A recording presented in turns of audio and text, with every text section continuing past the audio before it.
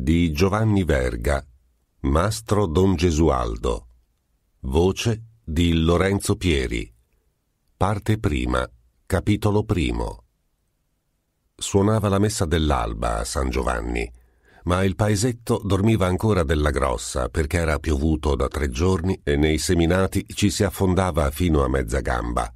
Tutta un tratto, nel silenzio, s'udì un rovinio la campanella squillante di Sant'Agata che chiamava aiuto, usci e finestre che sbattevano, la gente che scappava fuori in camicia gridando Terremoto, San Gregorio Magno. Era ancora buio. Lontano, nell'ampia distesa nera dell'Alia, ammiccava soltanto un lume di carbonai e più a sinistra la stella del mattino sopra un nuvolone basso che tagliava l'alba nel lungo altipiano del paradiso.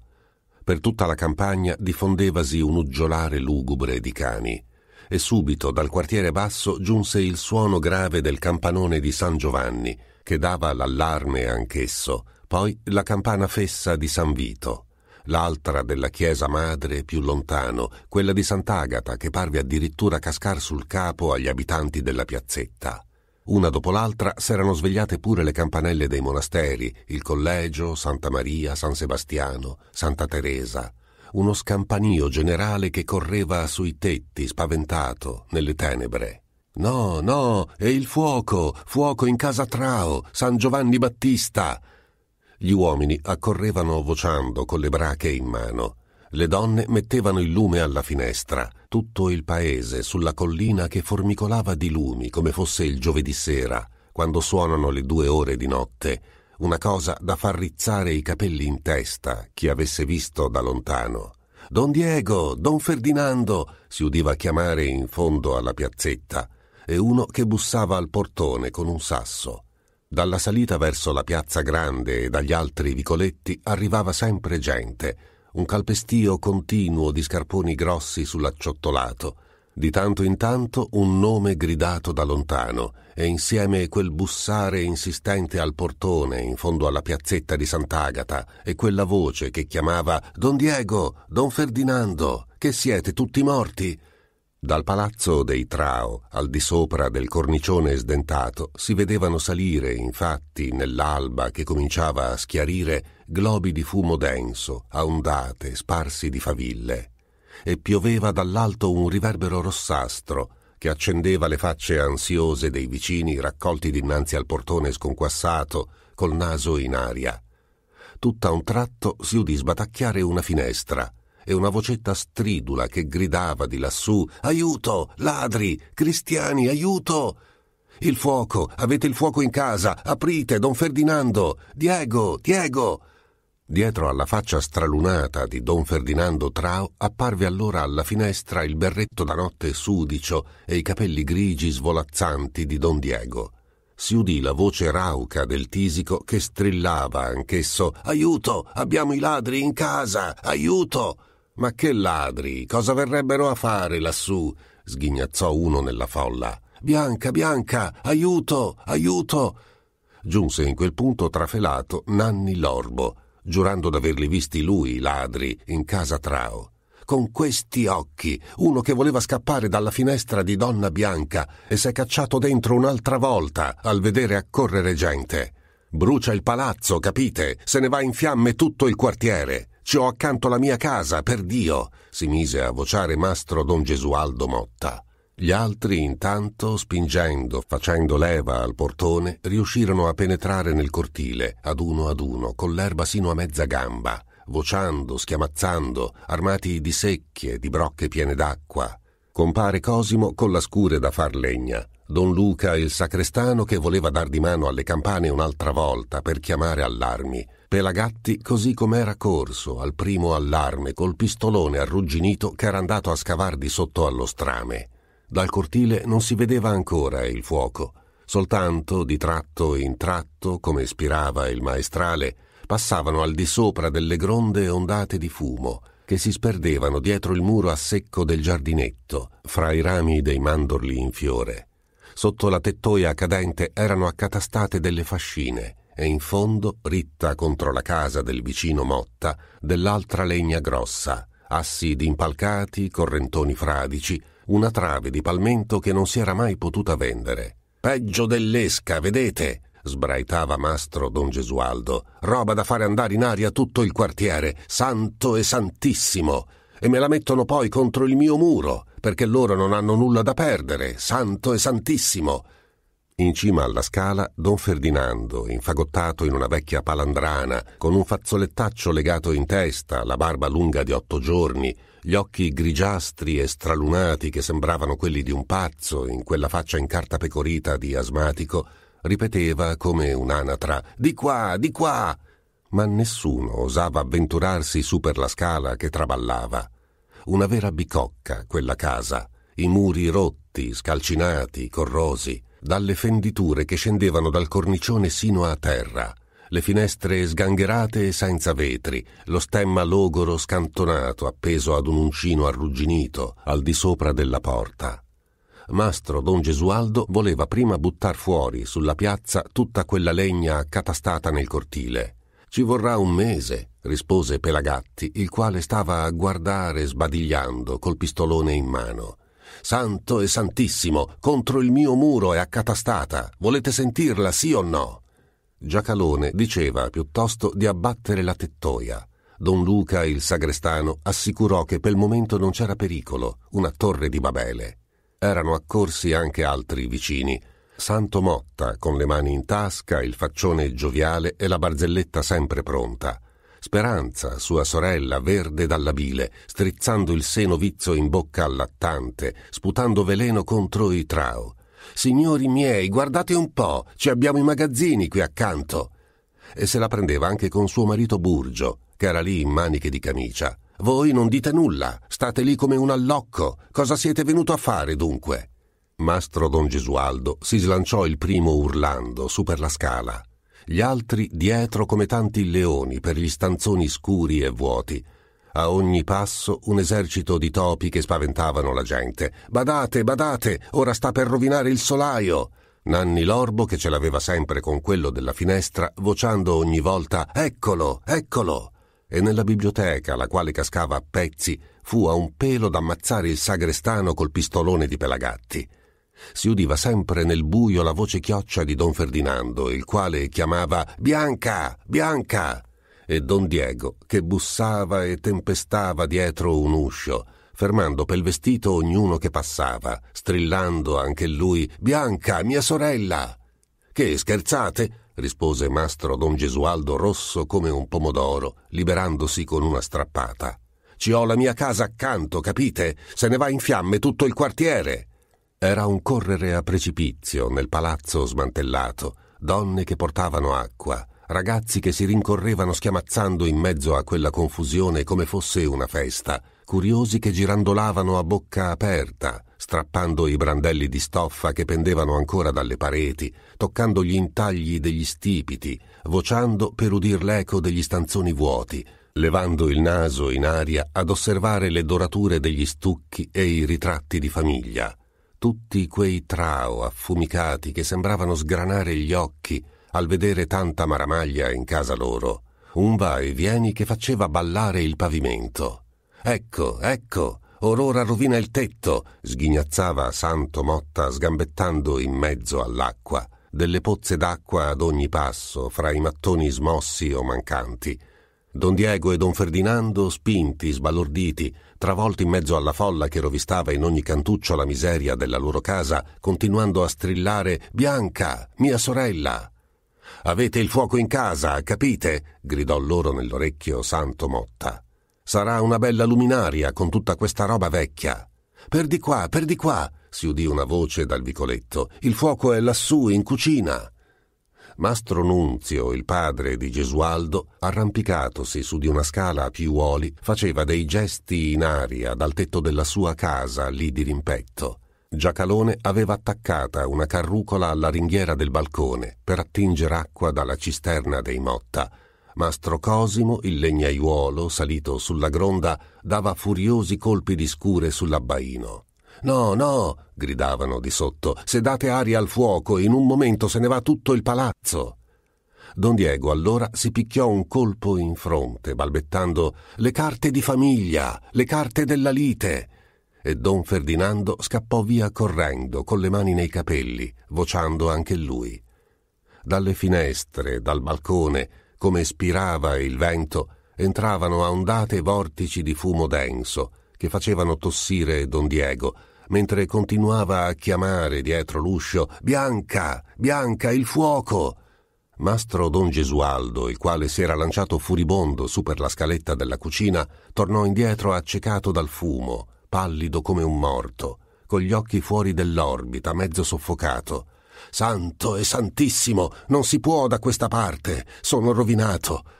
Gli altri vociavano tutti in una volta, ciascuno dicendo la sua, una baraonda da sbalordire. Buttate giù le tegole, appoggiate la scala al fumaiolo. Mastro Nunzio, in piedi sul tetto della sua casa, si dimenava al pari di un ossesso. Don Luca, il sagrestano, era corso davvero ad attaccarsi alle campane. La gente in piazza fitta come le mosche. Dal corridoio riuscì a farsi udire comare Speranza, che era rauca dal gridare, strappando i vestiti di dosso alla gente per farsi largo, con le unghie sfoderate come una gatta e la schiuma alla bocca. Dalla scala che è laggiù, in fondo al corridoio. Tutti corsero da quella parte, lasciando don Diego che seguitava a chiamare dietro l'uscio della sorella Bianca, Bianca. Udivasi un tramestio dietro quell'uscio, un correre all'impazzata, quasi di gente che ha perso la testa. Poi il rumore di una seggiola rovesciata. Nanni l'orbo tornò a gridare in fondo al corridoio Eccolo, eccolo! e si udì lo scoppio del pistolone di Pelagatti, come una cannonata. La giustizia, ecco qua gli sbirri, vociò dal cortile Santo Motta. Allora si aprì l'uscio all'improvviso e apparve donna bianca, discinta, pallida come una morta, annaspando con le mani convulse, senza proferire parola, fissando sul fratello gli occhi pazzi di terrore ed angoscia. A un tratto si piegò sulle ginocchia, aggrappandosi allo stipite, balbettando Ammazzatemi, don Diego, ammazzatemi pure, ma non lasciate entrare nessuno qui. Quello che accadde poi dietro quell'uscio che don Diego aveva chiuso di nuovo, spingendo nella cameretta la sorella, nessuno lo seppe mai. Si udì soltanto la voce di lui, una voce d'angoscia, disperata, che balbettava Voi, voi qui. Accorrevano il signor capitano, l'avvocato fiscale, tutta la giustizia. Don Liccio Papa, il caposbirro, gridando da lontano, brandendo la sciaboletta sguainata, Aspetta, aspetta, ferma, ferma! E il signor capitano dietro di lui, trafelato come Don Liccio, cacciando avanti il bastone. Largo, largo, date passo alla giustizia! L'avvocato fiscale ordinò di buttare a terra l'uscio. Don Diego, donna Bianca, aprite! Cosa vi è successo? S'affacciò Don Diego, invecchiato di dieci anni in un minuto, allibito, stralunato, con una visione spaventosa in fondo alle pupille grigie, con un sudore freddo sulla fronte, la voce strozzata da un dolore immenso. Nulla, mia sorella, lo spavento, non entrate nessuno. Pelagatti, inferocito contro Nanni l'orbo, bel lavoro mi faceva fare. Un altro po' ammazzavo compare santo. Il capitano gli fece lui pure una bella lavata di capo. Con le armi da fuoco. Che scherzate? Siete una bestia. Signor capitano, credevo che fosse il ladro laggiù al buio. L'ho visto con questi occhi. Zitto, zitto, ubriacone, gli diede sulla voce l'avvocato fiscale. Piuttosto andiamo a vedere il fuoco. Adesso, dal corridoio, dalla scala dell'orto, tutti portavano acqua. Compare Cosimo era salito sul tetto e dava con la scure sui travicelli. Da ogni parte facevano piovere sul soffitto che fumava tegole, sassi, cocci di stoviglie. Burgio sulla scala a piuoli sparandovi schioppettate sopra e dall'altro lato Pelagatti, appostato accanto al fumaiuolo, caricava e scaricava il pistolone senza misericordia. Don Luca che suonava tutto andare le campane, la folla dalla piazza vociando e gesticolando, tutti i vicini alla finestra. I Margarone stavano a vedere dalla terrazza al di sopra dei tetti di rimpetto le figliuole ancora coi riccioli incartati, don Filippo che dava consigli da lontano, dirigendo le operazioni di quelli che lavoravano a spegnere l'incendio con la canna d'India. Don Ferdinando, il quale tornava in quel momento carico di scartafacci, batté il naso nel corridoio buio contro Giacalone, che andava correndo. Scusate, don Ferdinando, vado a chiamare il medico per la sorella di Vossignoria. Il dottor Tavuso! gli gridò dietro la zia Macri, una parente povera come loro, che era accorsa per prima. Qui vicino, alla farmacia di Bomma. Bianca era stata presa dalle convulsioni, un attacco terribile. Non bastavano in quattro a trattenerla sul lettuccio. Don Diego, sconvolto anche lui, pallido come un cadavere, con le mani scarne e tremanti, cercava di ricacciare indietro tutta quella gente. No, non è nulla, lasciatela sola. Il capitano si mise infine a far piovere legnate a dritta e a manca, come veniva, sui vicini che s'affollavano all'uscio curiosi. Che guardate, che volete? Via di qua, fannulloni, vagabondi. Voi, don Liccio Papa, mettetevi a guardia del portone. Venne più tardi, un momento, il barone Mendola, per convenienza, e donna Sarina Cirmena, che ficcava il naso dappertutto, il canonico Lupi da parte della baronessa Rubiera, la zia Sganci e gli altri parenti mandarono il servitore a prender notizie della nipote. Don Diego, reggendosi appena sulle gambe, sporgeva il capo dall'uscio e rispondeva a ciascheduno Sta un po' meglio, è più calma, vuole essere lasciata sola. Eh, eh, mormorò il canonico scuotendo il capo e guardando in giro le pareti squallide della casa. Mi rammento qui, dov'è andata la ricchezza di casa Trao. Il barone scosse il capo anche lui, lisciandosi il mento ispido di barba dura con la mano pelosa. La zia Cirmena scappò a dire Sono pazzi, pazzi da legare tutti e due. Don Ferdinando già è stato sempre uno stupido e don Diego, vi rammentate, quando la cugina Sganci gli aveva procurato quell'impiego nei mulini. No, signore, un trao non poteva vivere di salario. Di limosina sì, possono vivere. Oh, interruppe il canonico con la malizia che gli rideva negli occhietti di topo, ma stringendo le labbra sottile. Sì, signore, come volete chiamarla? Tutti i parenti si danno la voce per quello che devono mandare a Pasqua e a Natale: vino, olio, formaggio, anche del grano. La ragazza già è tutta vestita dei regali della zia Rubiera.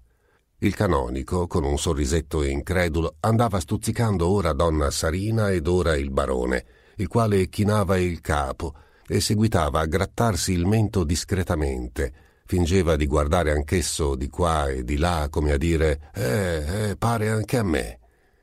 Giunse in quel mentre il dottor Tavuso in fretta, col cappello in capo, senza salutar nessuno, ed entrò nella camera dell'inferma. Poco dopo tornò ad uscire, stringendosi nelle spalle, gonfiando le gote, accompagnato da don Ferdinando allampanato che pareva un cucco. La zia Macri e il canonico Lupi corsero dietro al medico, la zia Cirmena che voleva sapere ogni cosa e vi piantava in faccia quei suoi occhialoni rotondi, peggio dell'avvocato fiscale. Eh, cos'è stato? Lo sapete voi? Adesso si chiamano nervi, malattia di moda. Vi mandano a chiamare per un nulla, quasi potessero pagare le visite del medico, rispose Tavuso burbero. Quindi, piantando anche lui gli occhiali in faccia a donna Sarina, volete che ve la dica? Le ragazze a certa età bisogna maritarle e voltò le spalle soffiando gravemente, tossendo, spurgandosi. I parenti si guardarono in faccia. Il canonico, per discrezione, prese a tenere a bada il barone Mendola, dandogli chiacchiera e tabacco, sputacchiando di qua e di là, onde cercare di sbirciar quello che succedeva dietro l'uscio socchiuso di donna Bianca, stringendo le labbra riarse come inghiottisse ogni momento. Si capisce, la paura avuta, le avevano fatto credere d'avere i ladri in casa, povera donna bianca, e così giovine, così delicata. Sentite, cugina, disse donna Sarina tirando in disparte la Macri. Don Ferdinando, sciocco, voleva accostarsi per udire lui pure. Un momento, che maniera? lo sgridò la zia Cirmena. Ho da dire una parola a vostra zia. Piuttosto andate a pigliare un bicchiere d'acqua per Bianca, che le farà bene tornò a scendere Santo Motta di lassù, fregandosi le mani con l'aria sorridente. È tutta rovinata la cucina, non c'è più dove cuocere un uovo, bisognerà fabbricarla di nuovo. Come nessuno gli dava retta, fissava in volto or questo ed ora quello col suo sorriso sciocco. Il canonico Lupi, per levarselo dai piedi, gli disse infine Va bene, va bene, poi ci si penserà. Il barone Mendola, appena Santo Motta volse le spalle, si sfogò infine Ci si penserà, se ci saranno i denari per pensarci. Io gliel'ho sempre detto, vendete metà casa, cugini cari, anche una o due camere, tanto da tirare innanzi. Ma no, signore, vendere la casa dei Trao. Piuttosto ogni stanza che rovina chiudono l'uscio e si riducono in quelle che restano in piedi. Così faranno per la cucina, faranno cuocere le uova qui in sala quando le avranno. Vendere una o due camere? No, signore, non si può, anche volendo la camera dell'archivio e ci sono le carte di famiglia, quella della processione e non ci sarà poi dove affacciarsi quando passa il Corpus Domini, quella del cucù, ci hanno anche la camera per il cucù, capite? E il barone con quella sfuriata li piantò tutti lì che si sganasciavano dalle risa. Donna Sarina, prima d'andarsene, picchiò di nuovo all'uscio della nipote per sapere come stava. Fece capolino Don Diego, sempre con quella faccia di cartapesta, e ripeté Meglio, è più calma. Vuole essere lasciata sola. Povero Diego, sospirò la zia Macri. La Cirmena fece ancora alcuni passi nell'anticamera perché non udisse don Ferdinando, il quale veniva a chiuder l'uscio, e soggiunse sottovoce Lo sapevo da un pezzo. Vi rammentate la sera dell'Immacolata che cadde tanta neve? Vidi passare il baronello Rubiera dal vicoletto qui a due passi, intabarrato come un ladro. Il canonico Lupi attraversò il cortile, rialzando la sottana sugli stivaloni grossi in mezzo alle erbacce, si voltò indietro verso la casa smantellata per vedere se potessero udirlo, e poi, dinanzi al portone, guardando inquieto di qua e di là, conchiuse Avete udito il dottore Tavuso? Possiamo parlare perché siamo tutti amici intimi e parenti. A certa età le ragazze bisogna maritarle. Capitolo secondo Nella piazza, come videro passare Don Diego Trao col cappello bisunto e la palandrana delle grandi occasioni, fu un avvenimento. Ci volle il fuoco a farvi uscire di casa. Il cugino Zacco voleva anche condurlo al caffè dei nobili. Narrateci, dite come fu. Il poveraccio si schermì alla meglio. Peraltro non era socio. Poveri, sì, ma i Trao non s'erano mai cavato il cappello a nessuno. Fece il giro lungo onde evitare la farmacia di Bomma, dove il dottor Tavuso sedeva in cattedra tutto il giorno, ma nel salire pel condotto, rasente al muro, inciampò in quella linguaccia di ciolla che era sempre in cerca di scandali. Buon vento, buon vento, don Diego, andate da vostra cugina Rubiera. Lui si fece rosso. Sembrava che tutti gli leggessero in viso il suo segreto si voltò ancora indietro, esitante, guardingo, prima d'entrare nel vicoletto, temendo che Ciolla stesse a spiarlo. Per fortuna colui s'era fermato a discorrere col canonico Lupi, facendo di gran risate, alle quali il canonico rispondeva atteggiando la bocca al riso anche lui, discretamente. La baronessa Rubiera faceva vagliare del grano. Don Diego la vide passando davanti alla porta del magazzino in mezzo ad una nuvola di pula, con le braccia nude, la gonnella di cotone rialzata sul fianco, i capelli impolverati, malgrado il fazzoletto che s'era tirato giù sul naso a mo' di tettino. Essa stava litigando con quel ladro del sensale Pirtuso, che le voleva rubare il suo farro pagandolo due tarì meno a salma, accesa in volto, gesticolando con le braccia pelose, il ventre che le ballava. Non ne avete coscienza, giudeo? Poi, come vide don Diego, si voltò sorridente. Vi saluto, cugino Trao. Cosa andate facendo da queste parti? Venivo appunto, signora cugina, e don Diego, soffocato dalla polvere, si mise a tossire. Scostatevi, scostatevi via di qua, cugino. Voi non ci siete avvezzo, interruppe la baronessa. Vedete cosa mi tocca fare? Ma che faccia avete, Gesù Maria? Lo spavento di questa notte, eh? Dalla botola in cima alla scaletta di legno si affacciarono due scarpacce, delle grosse calze turchine e si udì una bella voce di giovanetta, la quale disse Signora baronessa, eccoli qua. È tornato il baronello? Sento Marchese che abbaia laggiù. Va bene, adesso vengo. Dunque, per il farro cosa facciamo, mastro Lio? Pirtuso era rimasto accoccolato sul moggio, tranquillamente, come a dire che non gliene importava del farro guardando sbadatamente qua e là le cose strane che c'erano nel magazzino vasto quanto una chiesa. Una volta, al tempo dello splendore dei Rubiera, c'era stato anche il teatro. Si vedeva tuttora l'arco dipinto a donne nude e a colonnati come una cappella il gran palco della famiglia di contro, con dei brandelli di stoffa che spenzolavano dal parapetto, un lettone di legno scolpito e sgangherato in un angolo, dei seggioloni di cuoio sventrati per farne scarpe, una sella di velluto polverosa, a cavalcioni sul subbio di un telaio, vagli di tutte le grandezze appesi in giro, mucchi di pali e di scope, una portantina ficcata sotto la scala che saliva al palco, con lo stemma dei Rubiera allo sportello, e una lanterna antica posata sul copricielo come una corona. Giacalone e Vito Orlando, in mezzo a mucchi di frumento alti al pari di montagne, si dimenavano attorno ai vagli immensi come ossessi, tutti sudati e bianchi di pula, cantando in cadenza, mentre Gerbido, il ragazzo, ammucchiava continuamente il grano con la scopa. Ai miei tempi, signora baronessa, io ci ho visto la commedia in questo magazzino rispose Pirtuso per sviare la domanda. Lo so, lo so, così si son fatti mangiare il fatto suo, i Rubiera, e ora vorreste continuare. Lo pigliate il farro, sì o no? Ve l'ho detto, a cinque onze e venti. No, in coscienza non posso, ci perdo già un tarì a salma. Benedicite a vossignoria. Via, mastro Lio, ora che ha parlato la signora baronessa, aggiunse Giacalone sempre facendo ballare il vaglio ma il sensale riprese il suo moggio e se ne andò senza rispondere. La baronessa gli corse dietro sull'uscio per gridargli A cinque e ventuno v'accomoda? Benedicite, benedicite. Ma essa, con la coda dell'occhio, si accorse che il sensale si era fermato a discorrere col canonico Lupi, il quale, sbarazzatosi infine del ciolla, se ne veniva su pel vicoletto. Allora, rassicurata, si rivolse al cugino Trao, parlando d'altro. Stavo pensando giusto a voi, cugino. Un po' di quel farro voglio mandarvelo a casa. No, no, senza cerimonie, siamo parenti. La buona annata deve venire per tutti. Poi il Signore ci aiuta. Avete avuto il fuoco in casa, eh? Dio liberi. M'hanno detto che Bianca è ancora mezza morta dallo spavento.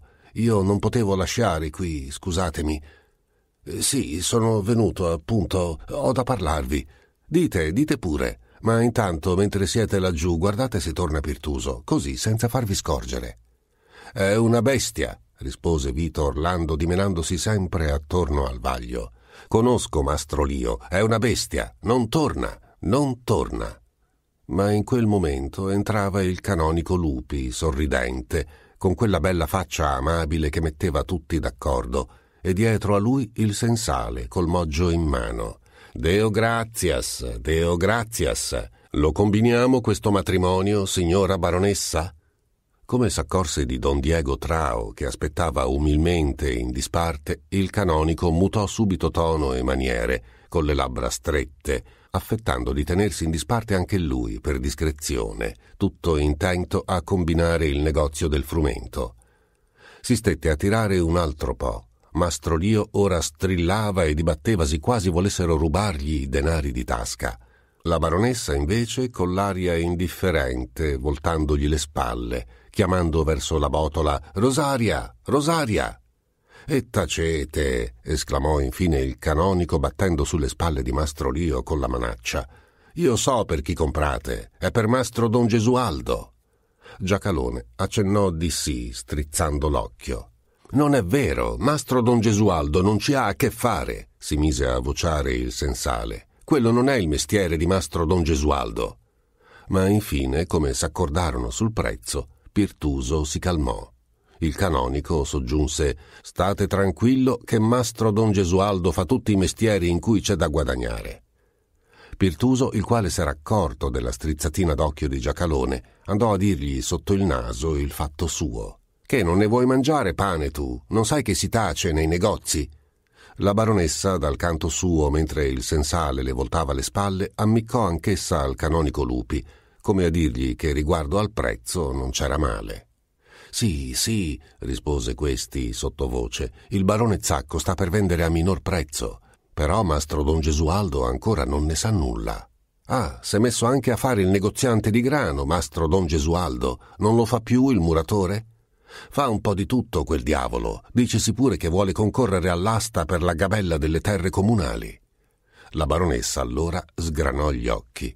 Le terre del cugino Zacco, le gabelle che da cinquant'anni si passano in mano di padre in figlio. È una bricconata. Non dico di no, non dico di no. Oggi non si ha più riguardo a nessuno. Dicono che chi ha più denari, quello ha ragione. Allora si rivolse verso Don Diego con grande enfasi, pigliandosela con i tempi nuovi. Adesso non c'è altro Dio, un galantuomo alle volte, oppure una ragazza che è nata di buona famiglia. Ebbene, non hanno fortuna. Invece uno venuto dal nulla, uno come mastro Don Gesualdo, per esempio. Il canonico riprese a dire come in aria di mistero, parlando piano con la baronessa, e Don Diego Trao sputacchiando di qua e di là. Ha la testa fine quel mastro Don Gesualdo. Si farà ricco, ve lo dico io. Sarebbe un marito eccellente per una ragazza a modo, come ce ne sono tante che non hanno molta dote. Mastro Lio stavolta se ne andava davvero. Dunque, signora baronessa, posso venire a caricare il grano? La baronessa, tornata di buon umore, rispose Sì, ma sapete come dice l'oste, qui si mangia e qui si beve, senza denari non ci venire. Pronti e contati, signora baronessa. Grazie a Dio vedrete che saremo puntuali. Se ve l'avevo detto, esclamò Giacalone ansando sul vaglio, è mastro don Gesualdo. Il canonico fece un altro segno di intelligenza alla baronessa e dopo che Pirtuso se ne fu andato le disse Sapete cosa ho pensato? Di concorrere pure all'asta vossignoria insieme a qualchedun altro. Ci starei anch'io. No, no, troppa carne al fuoco. Poi non vorrei fare uno sgarbo al cugino Zacco. Sapete bene, siamo nel mondo, abbiamo bisogno alle volte l'uno dell'altro. Intendo mettere avanti un altro. Mastro Don Gesualdo Motta, per esempio. Un capitaluccio lo ha, lo so di sicuro. Vossignoria darebbe l'appoggio del nome. Si potrebbe combinare una società fra di noi tre. Poscia, sembrandogli che don Diego Trao stesse ad ascoltare i loro progetti, perché costui aspettava il momento di parlare alla cugina Rubiera, impresciuttito nella sua palandrana, e aveva tutt'altro per la testa, il poveraccio, il canonico cambiò subito discorso.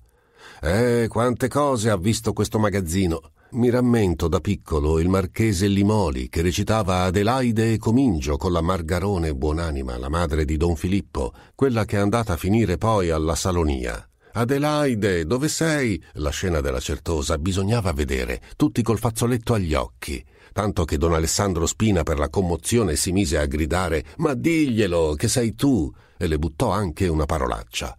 Ci fu poi la storia della schioppettata che tirarono al marchese Limoli mentre stava a prendere il fresco dopo cena e di don Nicola Margarone, che condusse la moglie in campagna e non le fece più vedere anima viva.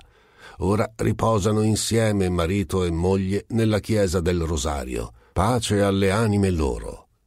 La baronessa affermava coi segni del capo, dando un colpo di scopa di tanto in tanto per dividere il grano dalla mondiglia.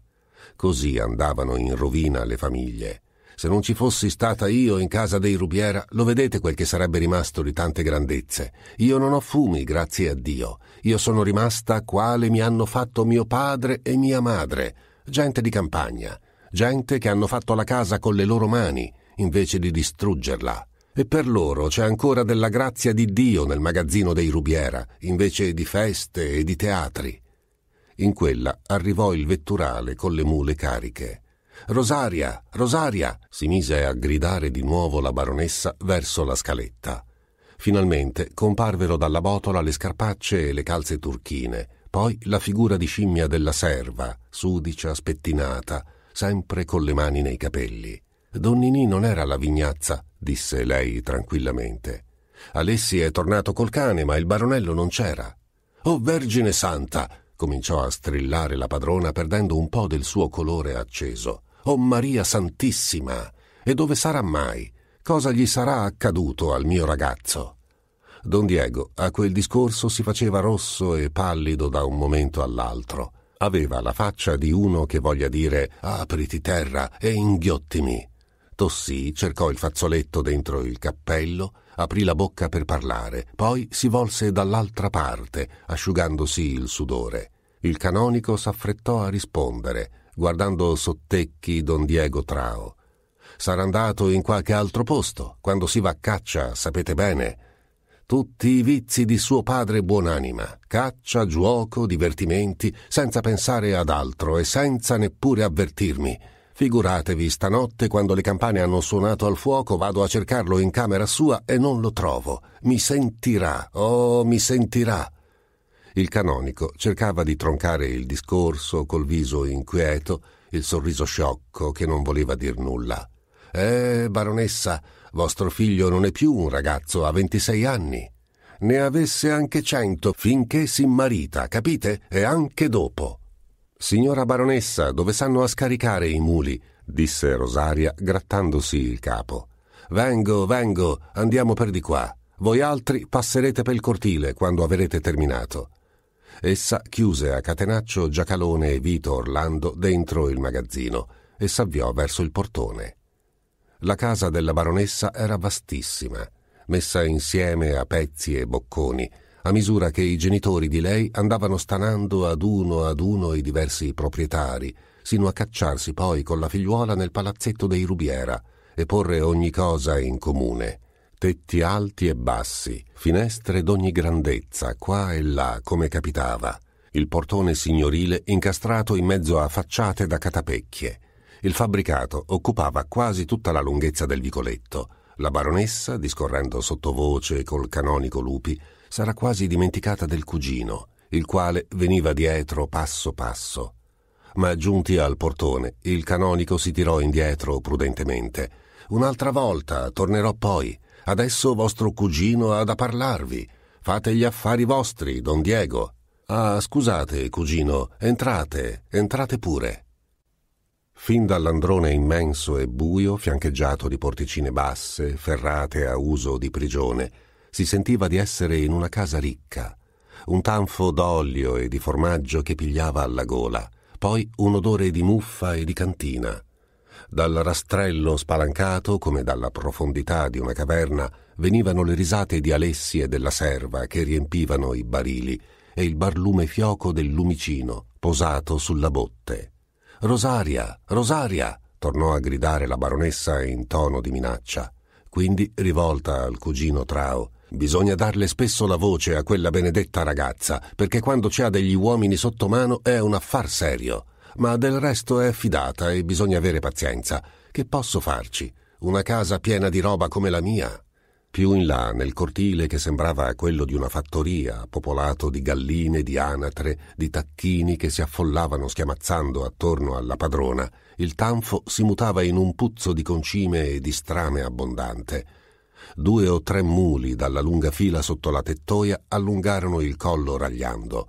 Dei piccioni calarono a stormi dal tetto. Un cane da pecoraio feroce si mise ad abbaiare, strappando la catena. Dei conigli allungavano pure le orecchie inquiete dall'oscurità misteriosa della legnaia.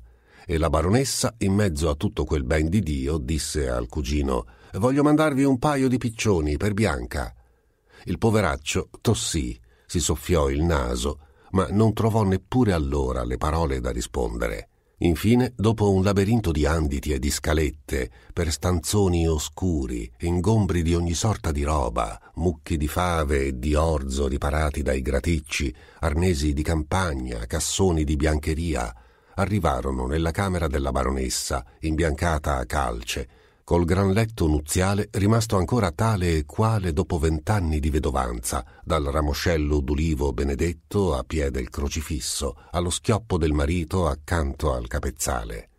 La cugina Rubiera era tornata a lamentarsi del figliuolo, tale e quale suo padre buonanima, senza darsi un pensiero al mondo della mamma o dei suoi interessi, Vedendo il cugino Trao inchiodato sull'uscio, rimpiccinito nel soprabitone, gli porse da sedere. Entrate, entrate, cugino Trao.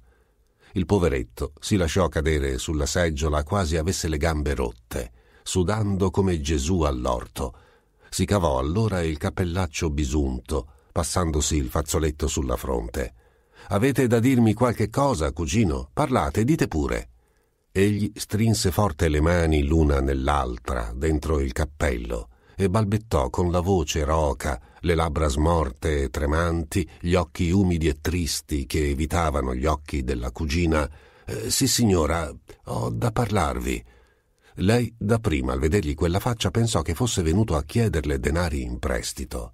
Sarebbe stata la prima volta, è vero. Erano troppo superbi i cugini Trao qualche regaluccio di quelli che aiutano a tirare innanzi, vino, olio, frumento, solevano accettarlo dai parenti ricchi, lei, la cugina Sganci, il barone Mendola, ma la mano non l'avevano mai stesa. Però alle volte il bisogno fa chinare il capo anche ad altro. La prudenza istintiva che era nel sangue di lei le agghiacciò un momento il sorriso benevolo Poscia pensò al fuoco che avevano avuto in casa, alla malattia di Bianca, era una buona donna, infine. Don Diego aveva proprio una faccia da far compassione. Accostò la sua seggiola a quella di lui per fargli animo e soggiunse Parlate, parlate, cugino mio, quel che si può fare, sapete bene, siamo parenti. I tempi non rispondono, ma quel poco che si può, non molto, ma quel poco che posso, fra parenti, parlate pure ma egli non poteva, no, con le fauci strette, la bocca amara, alzando ogni momento gli occhi su di lei e aprendo le labbra senza che ne uscisse alcun suono. Infine cavò di nuovo il fazzoletto per asciugarsi il sudore, se lo passò sulle labbra aride, balbettando È accaduta una disgrazia, una gran disgrazia. La baronessa ebbe paura di essersi lasciata andare troppo oltre. Nei suoi occhi, che fuggivano quelli lagrimosi del cugino, cominciò a balenare la inquietudine del contadino che teme per la sua roba. Cioè, cioè, vostro figlio è tanto ricco, mia sorella no, invece. A quelle parole la cugina Rubiera tese le orecchie, con la faccia un tratto irrigidita nella maschera dei suoi progenitori, improntata alla diffidenza arcigna dei contadini che le avevano dato il sangue nelle vene e la casa messa insieme a pezzo a pezzo con le loro mani. Si alzò, andò ad appendere la chiave allo stipite dell'uscio, frugò alquanto nei cassetti del cassettone.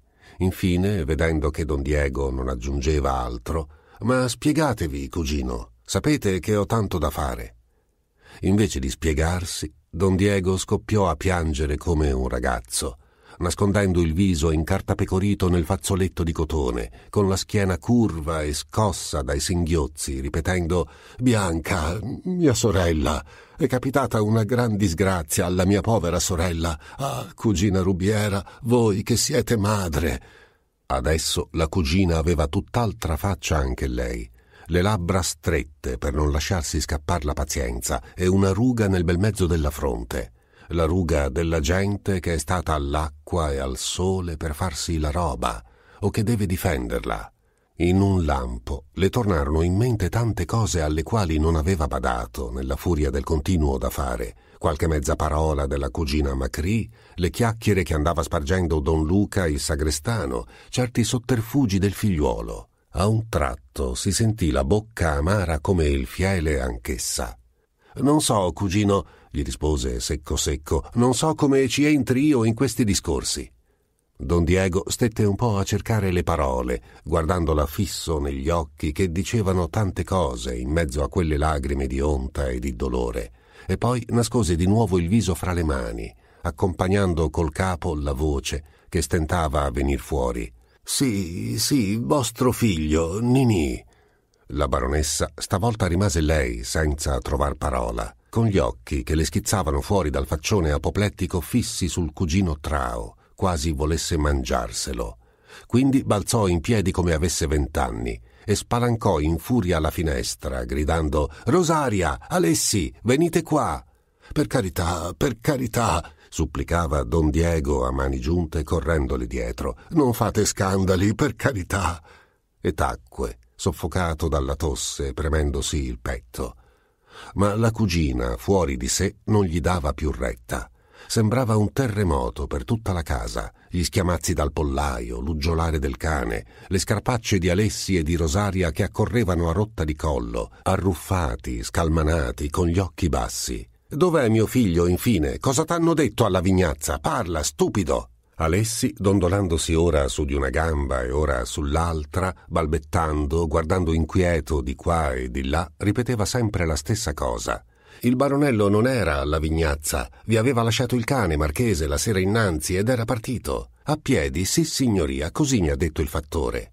La serva, rassettandosi di nascosto, a capo chino soggiunse che il baronello, allorché andava a caccia di buon'ora, soleva uscire dalla porticina della stalla per non svegliar nessuno.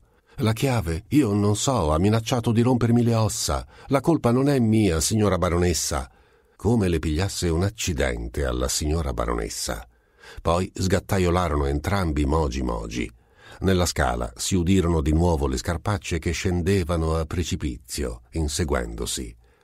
Don Diego, cadaverico, col fazzoletto sulla bocca per frenare la tosse, continuava a balbettare, soffocato dalle parole senza senso.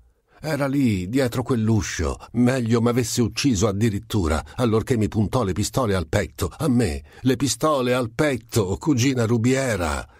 La baronessa si asciugava le labbra amare come il fiele col fazzoletto di cotone.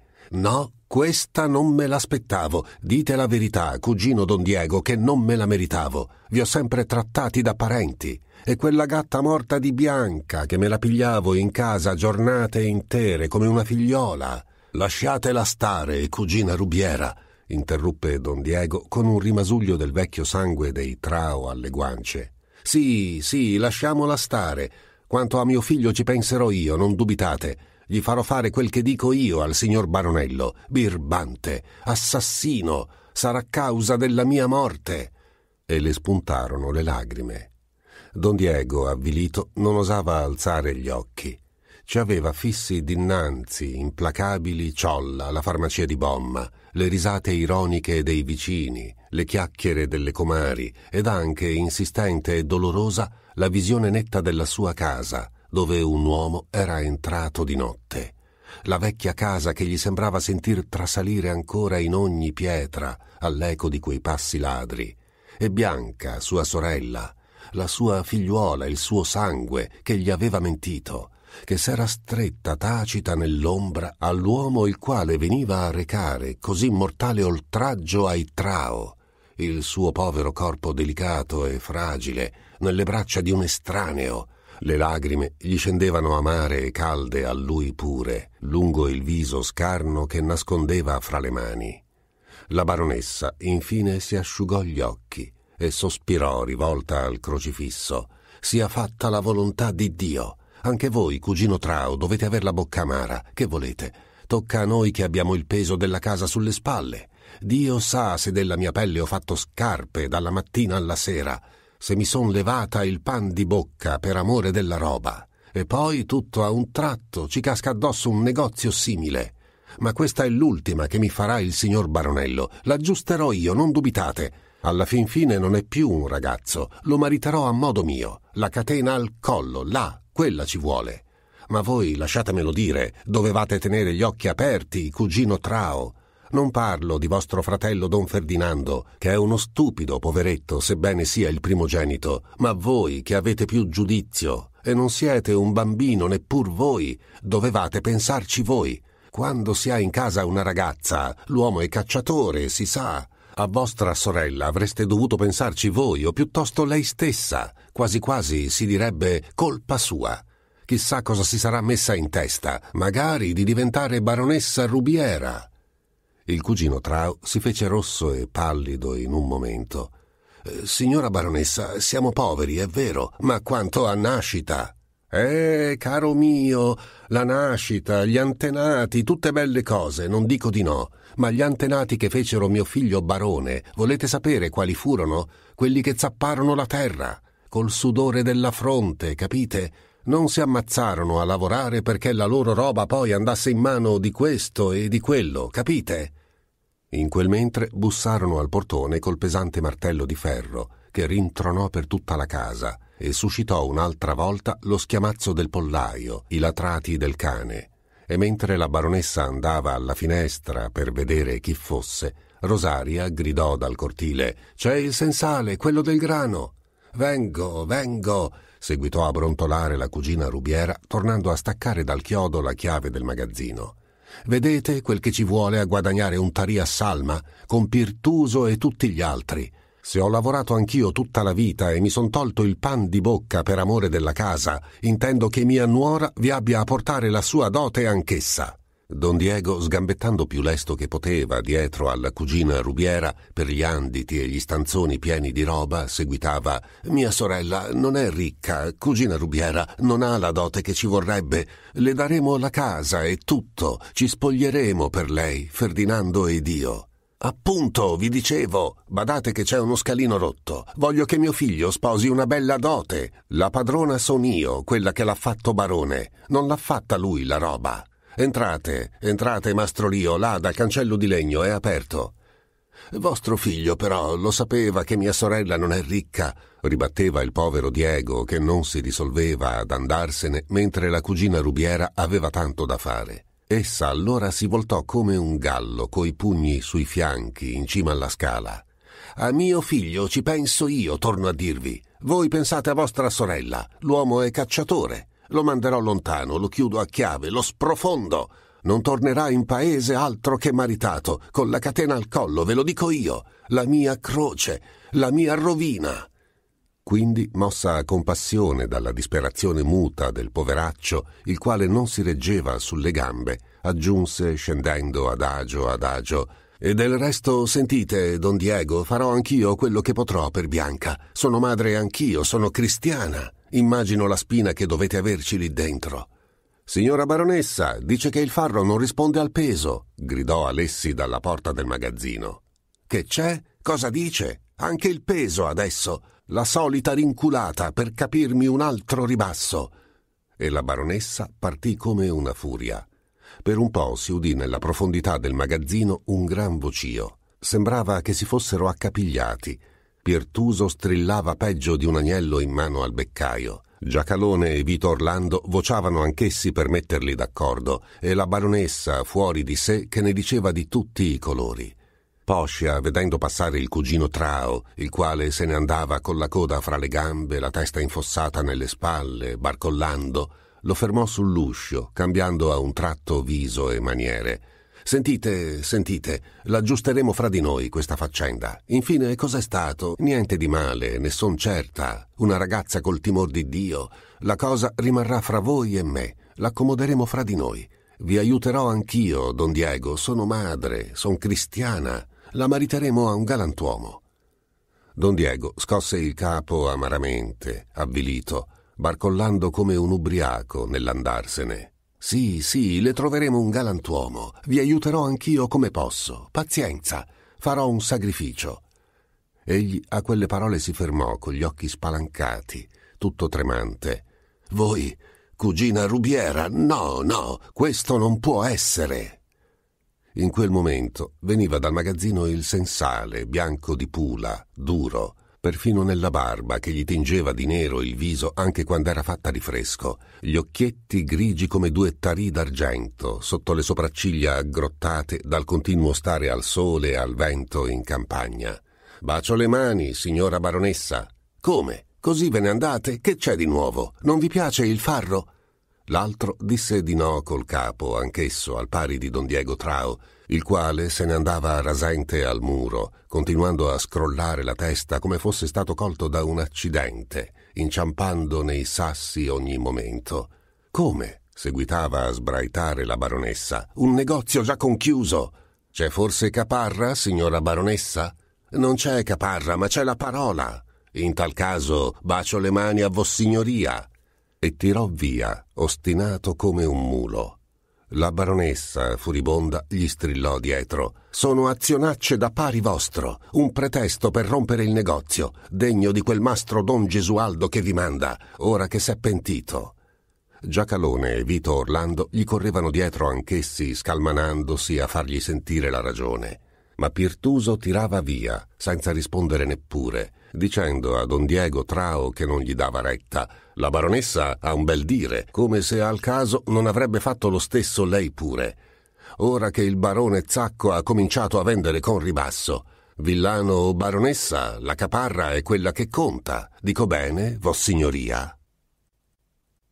Capitolo terzo La signora Sganci aveva la casa piena di gente venuta per vedere la processione del santo patrono. C'erano dei lumi persino nella scala, i cinque balconi che mandavano fuoco e fiamma sulla piazza nera di popolo, don Giuseppe Barabba in gran livrea e coi guanti di cotone che annunziava le visite. Mastro Don Gesualdo, vociò ad un tratto cacciando fra i battenti dorati il testone arruffato. Devo lasciarlo entrare, signora padrona? C'era il fiorfiore della nobiltà, l'arciprete Bugno lucente di raso nero, donna Giuseppina Alosi carica di gioie, il marchese Limoli con la faccia e la parrucca del secolo scorso, la signora Sganci, sorpresa di quel bel modo dinanzi a tanta gente, non seppe frenarsi. Che bestia! Sei una bestia! Don Gesualdo Motta si dice, bestia! Mastro Don Gesualdo fece così il suo ingresso fra i pezzi grossi del paese, raso di fresco, vestito di panno fine, con un cappello nuovo fiammante fra le mani mangiate di calcina. Avanti, avanti, don Gesualdo, strillò il marchese Limoli con quella sua vocetta acre che pizzicava. Non abbiate suggezione. Mastro don Gesualdo però esitava alquanto, intimidito, in mezzo alla gran sala tappezzata di damasco giallo, sotto gli occhi di tutti quei sganci che lo guardavano alteramente dai ritratti in giro alle pareti. La padrona di casa gli fece animo. Qui, qui, c'è posto anche per voi, don Gesualdo c'era appunto il balcone del vicoletto, che guardava di sbieco sulla piazza per gli invitati di seconda mano e i parenti poveri. Donna Chiara Macri, così umile e dimessa che pareva una serva, sua figlia, donna Agrippina, monaca di casa, una ragazza con tanto di baffi, un faccione bruno e bitorzoluto da zoccolante e due occhioni neri come il peccato che andavano frugando gli uomini. In prima fila il cugino Don Ferdinando, curioso più di un ragazzo che si era spinto innanzi a gomitate e allungava il collo verso la piazza grande dal cravattone nero, al pari di una tartaruga, con gli occhietti grigi e stralunati, il mento aguzzo e color di fuliggine, il gran naso dei trao palpitante, il codino ricurvo, simile alla coda di un cane, sul bavero bisunto che gli arrivava alle orecchie pelose. E sua sorella, donna bianca, rincantucciata dietro di lui, con le spalle un po' curve, il busto magro e piatto, i capelli lisci, il viso smunto e dilavato, vestita di lanetta in mezzo a tutto il parentado in gala. Venite qui, don Gesualdo, v'ho serbato il posto per voi, qui vicino ai miei nipoti. Bianca si fece in là timidamente, Don Ferdinando, temendo d'essere scomodato, volse un momento il capo accigliato e mastro Don Gesualdo si avvicinò al balcone, inciampando, balbettando, sprofondandosi in scuse. Rimase lì, dietro le spalle di coloro che gli stavano dinanzi, alzando il capo a ogni razzo che saliva dalla piazza per darsi un contegno meno imbarazzato. Scusate, scusate, sbuffò allora donna Agrippina Macri arricciandosi il naso, facendosi strada coi fianchi poderosi, assettandosi sdegnosa il fazzoletto bianco sul petto enorme, e capitò nel crocchio dov'era la zia Cirmena con le altre dame sul balcone grande, in mezzo a un gran mormorio, tutte che si voltavano a guardare verso il balcone del vicoletto, in fondo alla sala. Me l'ha messo lì alle costole, capite? Un'indecenza. Ah, quello è lo sposo, domandò sottovoce donna Giuseppina Alosi, con gli occhietti che sorridevano in mezzo al viso placido di luna piena. Zitto, zitto, vado a vedere, disse la Cirmena, e attraversò la sala come un mare di luce nel vestito di raso giallo, per andare a fiutare che cosa si macchinasse nel balcone del vicoletto. Lì tutti sembravano sulle spine. La zia Macri fingendo di guardare nella piazza, Bianca zitta in un cantuccio, e don Ferdinando solo che badava a godersi la festa, voltando il capo di qua e di là senza dire una parola. Vi divertite qui, eh? Tu ti diverti, Bianca? Don Ferdinando volse il capo infastidito. Poi, vedendo la cugina Cirmena, borbottò Ah, donna Sarina, buonasera, buonasera, e tornò a voltarsi dall'altra parte. Bianca alzò gli occhi dolci ed umili sulla zia e non rispose. La Macri abbozzò un sorriso discreto. La Cirmena riprese subito, guardando don Gesualdo. Che caldo, eh? Si soffoca. C'è troppa gente questa volta. La cugina Sganci ha invitato tutto il paese. Mastro Don Gesualdo fece per tirarsi da banda. No, no, non vi scomodate, caro, voi. Sentite piuttosto cugina Macri. Signora, signora, vociò in quel momento don Giuseppe Barabba facendo dei segni alla padrona. No, rispose lei, prima deve passare la processione.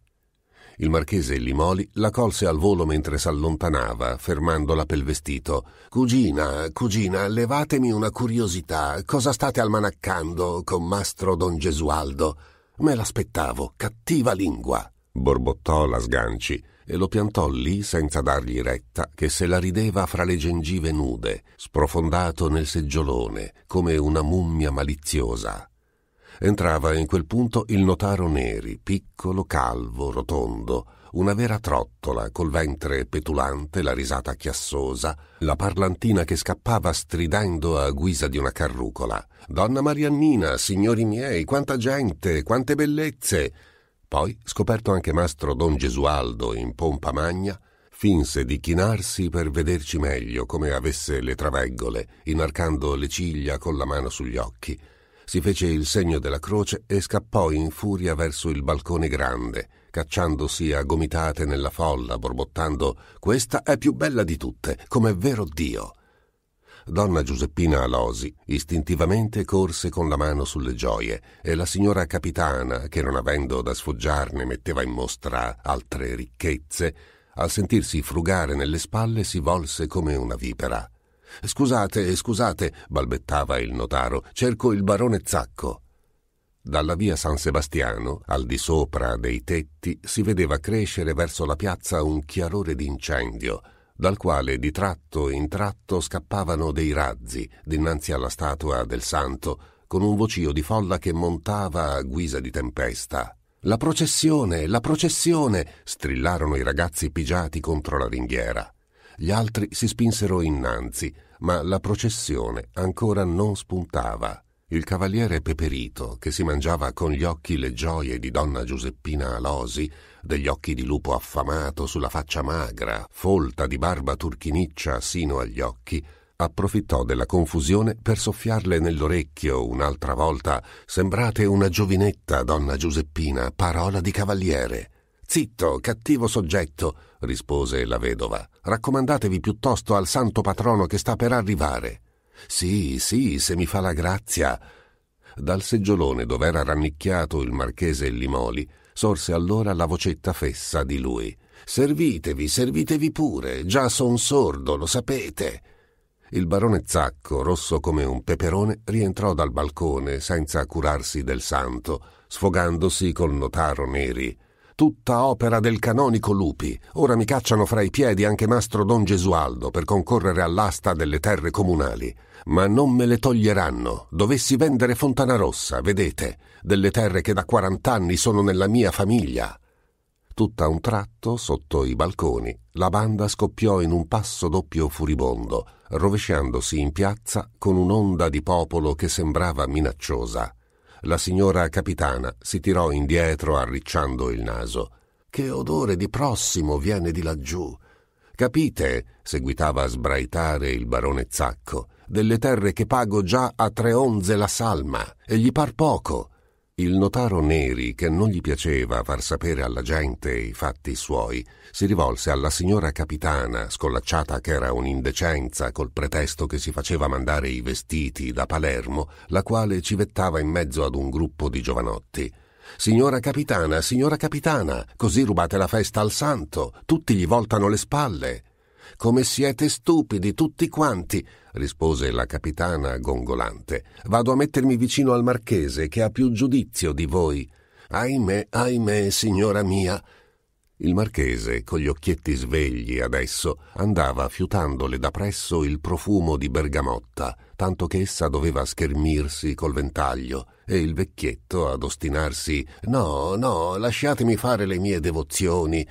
L'arciprete prese tabacco, si spurgò, tossì, infine si alzò e si mosse per andarsene, gonfiando le gote, le gote lucenti, la sottana lucente, il grosso anello lucente, tanto che le male lingue dicevano fosse falso.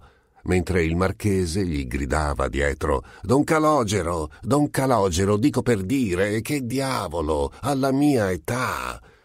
E appena cessarono le risate alla sortita del marchese, si udì donna Giuseppina Alosi che faceva le sue confidenze al cavaliere. Come fossi libera, capite? Le due grandi al collegio di Maria, il maschio al seminario. In casa ci ho soltanto l'ultimo, Sarino, che è meno alto di questo ventaglio. Poi i miei figliuoli hanno la roba del loro padre, buonanima. Donna Sarina tornò verso il balcone grande, chiacchierando sottovoce con la cugina Macri, con delle scrollatine di capo e dei sorrisetti che volevano dire. Però non capisco il mistero che vuol farne la cugina Sganci. Siamo parenti di Bianca, anche noi, alla fin fine. È quello? Quello lì? tornò a chiedere donna Giuseppina col sorriso maligno di prima. La Cirmena accennò di sì, stringendo le labbra sottili, con gli occhi rivolti altrove, in aria di mistero anch'essa. Infine non si tenne più. Fanno le cose sotto mano, come se fossero delle sudicerie. Capiscono anche loro che manipolano delle cose sporche, ma la gente poi non è così sciocca da non accorgersi un mese che il canonico Lupi si arrabatta in questo negozio, un va e vieni fra la Sganci e la Rubiera. Non me lo dite, esclamò Peperito. Una trao che sposa Mastro Don Gesualdo, non me lo dite. Quando vedo una famiglia illustre come quella scendere tanto in basso, mi fa male allo stomaco, in parola d'onore e volse le spalle, soffiandosi il naso come una trombetta nel fazzoletto sudicio, fremendo di indignazione per tutta la personcina misera, dopo aver saettato un'occhiata eloquente a donna Giuseppina. Chi volete che la sposi, senza dote? ribatté la Cirmena al cavaliere che era già lontano. Poi, dopo quello che è successo, almeno si metterà in grazia di Dio, osservò piano la zia Macri.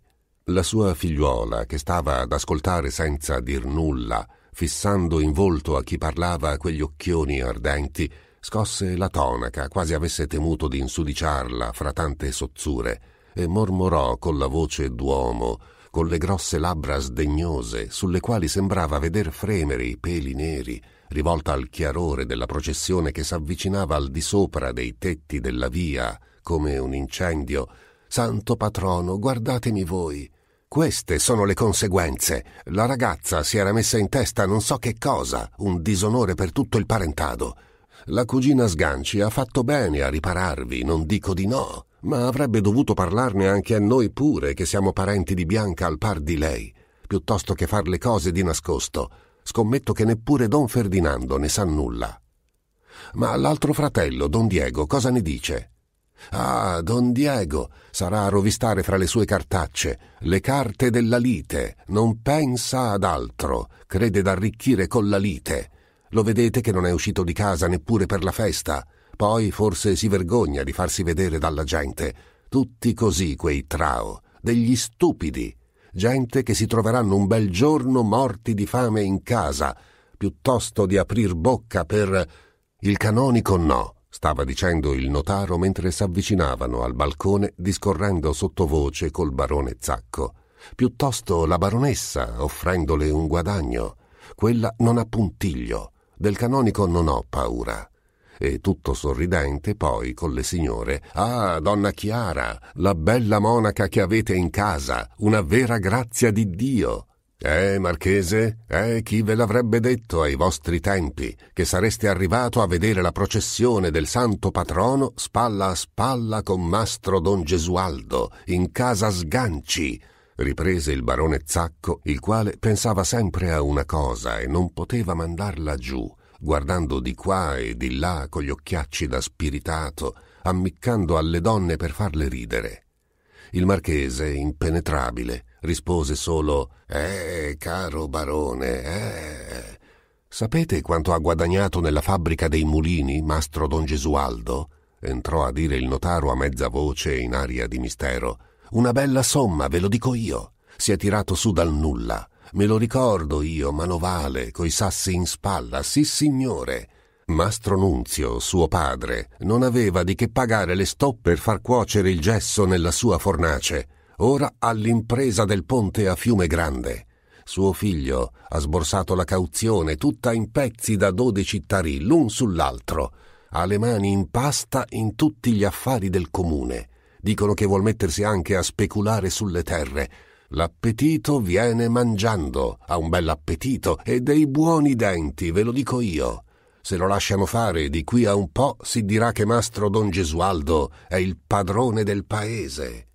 Il marchese allora levò un istante la sua testolina di scimmia, ma poi fece una spallucciata e rispose con quel medesimo risolino tagliente Per me non me ne importa, io sono uno spiantato.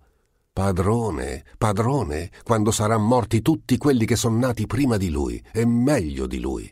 Venderò Fontana Rossa, ma le terre del comune non me le toglie mastro Don Gesualdo, né solo né con l'aiuto della baronessa Rubiera. Che c'è, che c'è? interruppe il notaro correndo al balcone per sviare il discorso, poiché il barone non sapeva frenarsi e vociava troppo forte. Giù in piazza, dinanzi al portone di casa Sganci, vedevasi un tafferuglio, dei vestiti chiari in mezzo alla ressa, berretti che volavano in aria, e un tale che distribuiva legnate a dritta e a manca per farsi largo. Subito dopo comparve sull'uscio dell'anticamera don Giuseppe Barabba, con le mani in aria strangolato dal rispetto. Signora, signora! Era tutto il casato dei Margarone stavolta. Donna Fifì, donna Giovannina, donna Mita, la mamma Margarone, donna Bellonia dei Bracalanti di pietra perzia, niente meno, che soffocava in un busto di raso verde, pavonazza, sorridente, e dietro il papà Margarone, dignitoso, gonfiando le gote, appoggiandosi alla canna d'India col pomo d'oro, senza voltar nemmeno il capo, tenendo per mano l'ultimo dei Margarone, Nicolino, il quale strillava e tirava calci perché non gli facevano vedere il santo dalla piazza. Il papà, brandendo la canna d'India, voleva insegnargli l'educazione. Adesso, sogghignò il marchese per calmarlo, oggi che festa! Lasciatelo stare, quel povero ragazzo, don Filippo. Don Filippo lasciò stare, limitandosi a lanciare di tanto in tanto qualche occhiataccia autorevole al ragazzo che non gli badava. Intanto gli altri facevano festa alle signore Margarone. Donna Bellonia, donna Fifì, che piacere stasera! perfino don Giuseppe Barabba a modo suo, sbracciandosi a portar delle altre seggiole e a smoccolare i lumi. Poi dal balcone si mise a fare il telegrafo con qualcuno che era giù in piazza, gridando per farsi udire in mezzo al gran brusio della folla Signor barone, signor barone. Infine corse dalla padrona, trionfante. Signora, signora, eccolo che viene, ecco don Ninì. Donna Giuseppina Alosi abbozzò un sorrisetto alla gomitata che le piantò nei fianchi il barone Zacco. La signora capitana invece si rizzò sul busto, come se sbocciassero allora le sue belle spalle nude dalle maniche rigonfie. Sciocco, non ne fai una bene, cos'è questo fracasso? Non è questa la maniera. Don Giuseppe se ne andò brontolando ma in quella entrava Don Ninì Rubiera, un giovanotto alto e massiccio che quasi non passava dall'uscio, bianco e rosso in viso, coi capelli ricciuti e degli occhi un po' addormentati che facevano girare il capo alle ragazze. Donna Giovannina Margarone, un bel pezzo di grazia di Dio, anch'essa, cinghiata nel busto al pari della mamma, si fece rossa come un papavero al vedere entrare il baronello ma la mamma le metteva sempre innanzi la maggiore, donna Fifì, disseccata e gialla dal lungo celibato, tutta pelosa, con certi denti che sembrava volessero acchiappare un marito a volo, sopraccarica di nastri, di fronzoli e di gale, come un uccello raro. Fifì vi ha scoperto per la prima in mezzo alla folla. Che folla, eh? Mio marito ha dovuto adoperare il bastone per farci largo. Proprio una bella festa. Fifì ci ha detto: Ecco lì il baronello Rubiera, viene al palco della musica. Don Ninì guardava intorno, inquieto. A un tratto, scoprendo la cugina bianca rincantucciata in fondo al balcone del vicoletto, smorta in viso, si turbò, smarrì un istante il suo bel colorito fiorente e rispose balbettando eh, Sì, signora, infatti sono della commissione. Bravo, bravo, bella festa davvero. Avete saputo far le cose bene. E vostra madre, don Ninì? Eh, presto, presto, chiamò dal balcone la zia Sganci. Ecco qui il santo. Il marchese Limoli, che temeva l'umidità della sera, aveva afferrato la mamma Margarone per il suo vestito di raso verde e faceva il libertino. Non c'è furia, non c'è furia, il santo torna ogni anno. Venite qua, donna Bellonia, lasciamo il posto ai giovani noi, che ne abbiamo viste tante delle feste. E continuava a biascicarle delle barzellette salate nell'orecchio, che sembrava arrossire dalla vergogna, divertendosi alla faccia seria che faceva don Filippo sul cravattone di raso mentre la signora capitana, per far vedere che sapeva stare in conversazione, rideva come una matta chinandosi in avanti ogni momento, riparandosi col ventaglio per nascondere i denti bianchi, il seno bianco, tutte quelle belle cose di cui studiava l'effetto con la coda dell'occhio, mentre fingeva di andare in collera, allorché il marchese si pigliava qualche libertà soverchia. Adesso che erano soli, diceva lui col suo risolino sdentato di satiro. Mita, Mita, chiamò infine la mamma Margarone. No, no, non mi scappate, donna Bellonia, non mi lasciate solo con la signora capitana. Alla mia età, donna Mita sa quel che deve fare. È grande e grossa quanto le sue sorelle messe insieme, ma sa che deve fare la bambina per non far torto alle altre due. Il notaro Neri, che per la sua professione sapeva i fatti di tutto il paese e non aveva peli sulla lingua, domandò alla signora Margarone Dunque, ce li mangeremo presto questi confetti per il matrimonio di donna Fifì? Don Filippo tossì forte. Donna Bellonia rispose che sino a quel momento erano chiacchiere. La gente parlava perché sapeva don Ninì Rubiera un po' assiduo con la sua ragazza. Nulla di serio, nulla di positivo, ma le si vedeva una gran voglia di non essere creduta. Il marchese Limoli, al solito, trovò la parola giusta. Finché i parenti non si saranno accordati per la dote, non se ne deve parlare in pubblico.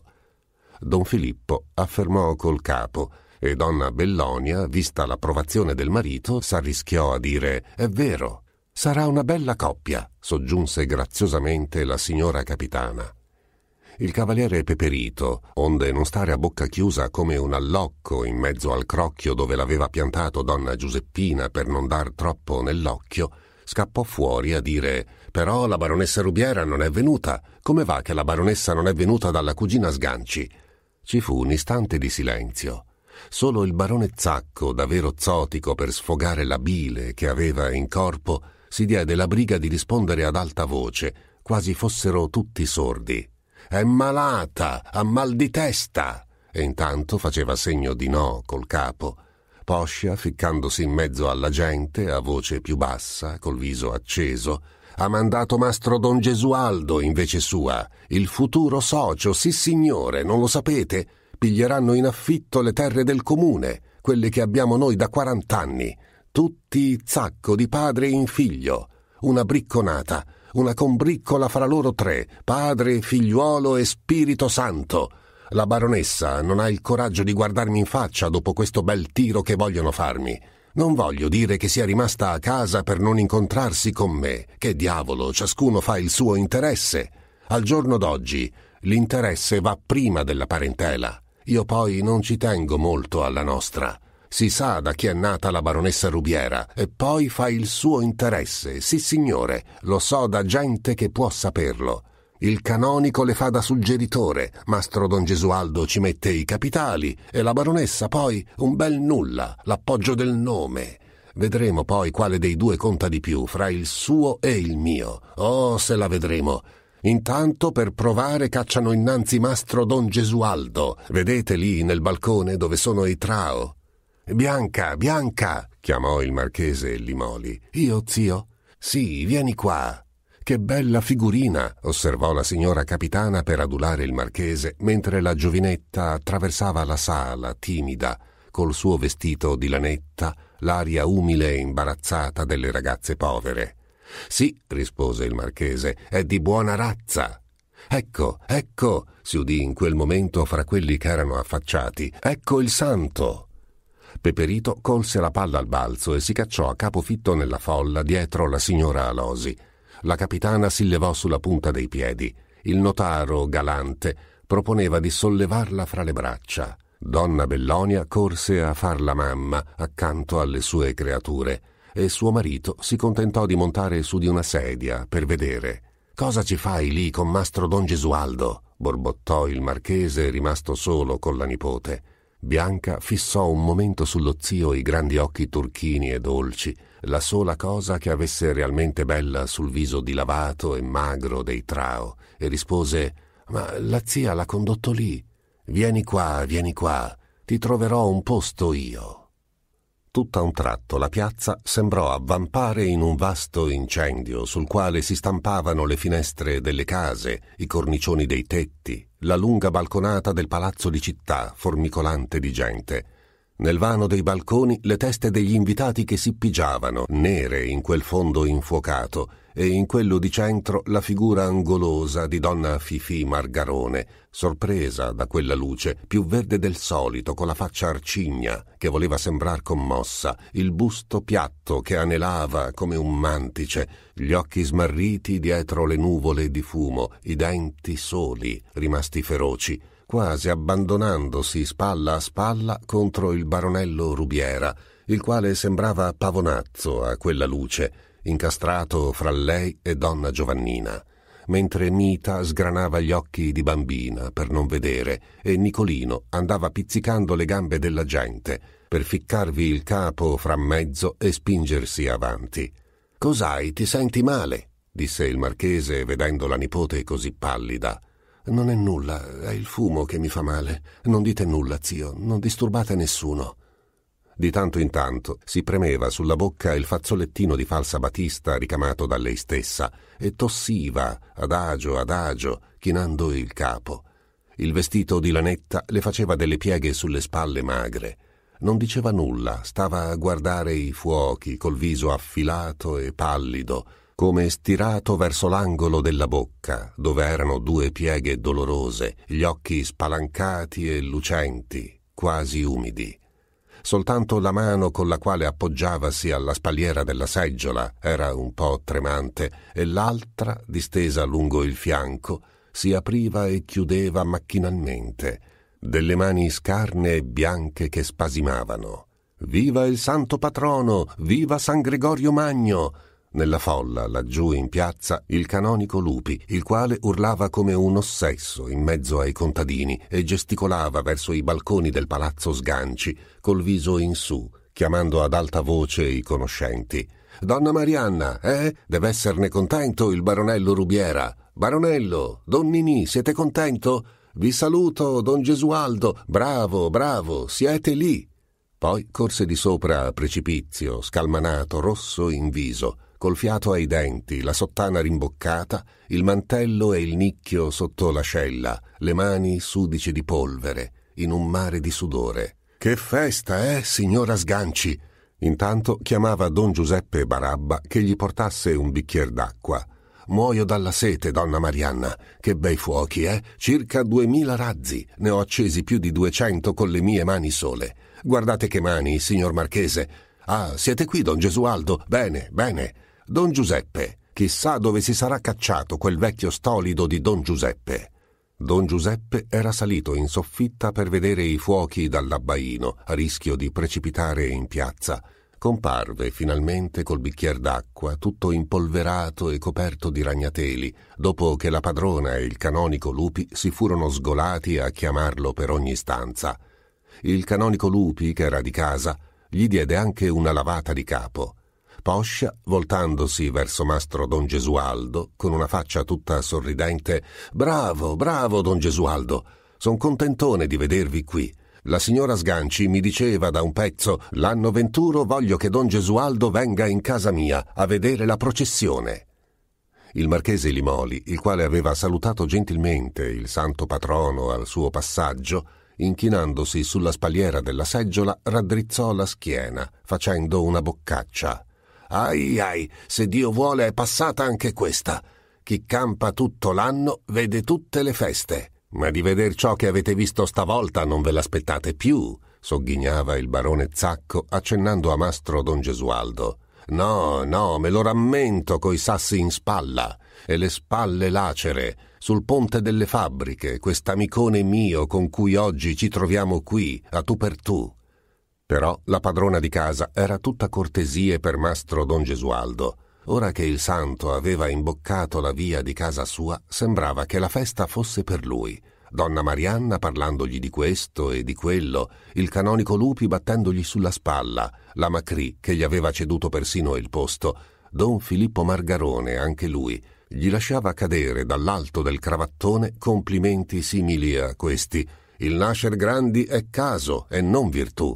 Venire su dal nulla, qui sta il vero merito. Il primo mulino che avete costruito in appalto, eh? Coi denari presi in prestito al 20%.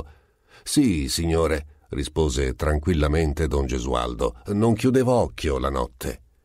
L'arciprete Bugno, ingelosito dei salamelecchi fatti a un altro, dopo tutti quegli spari, quelle grida, quel fracasso che gli parevano dedicati un po' anche a lui come capo della Chiesa, era riuscito a farsi un po' di crocchio attorno pur esso, discorrendo dei meriti del santo patrono.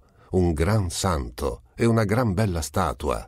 I forestieri venivano apposta per vederla degli inglesi, s'era risaputo poi, l'avrebbero pagata a peso d'oro, onde portarsela laggiù fra i loro idoli. Il marchese, che stava per iscoppiare, l'interruppe alla fine. Ma che sciocchezze! Chi ve la dà a bere, don Calogero? La statua è di cartapesta, una brutta cosa. I topi ci hanno fatto dentro il nido. Le gioie, eh, non arricchirebbero neppure me, figuratevi. Vetro colorato, come tante altre che se ne vedono, un fantoccio da carnevale. Eh? Cosa dite? Sì, un sacrilegio. Il mastro che fece quel santo deve essere a casa del diavolo. Non parlo del santo che è in paradiso, lo so, è un'altra cosa. Basta la fede. Son cristiano anch'io, che diavolo, e me ne vanto.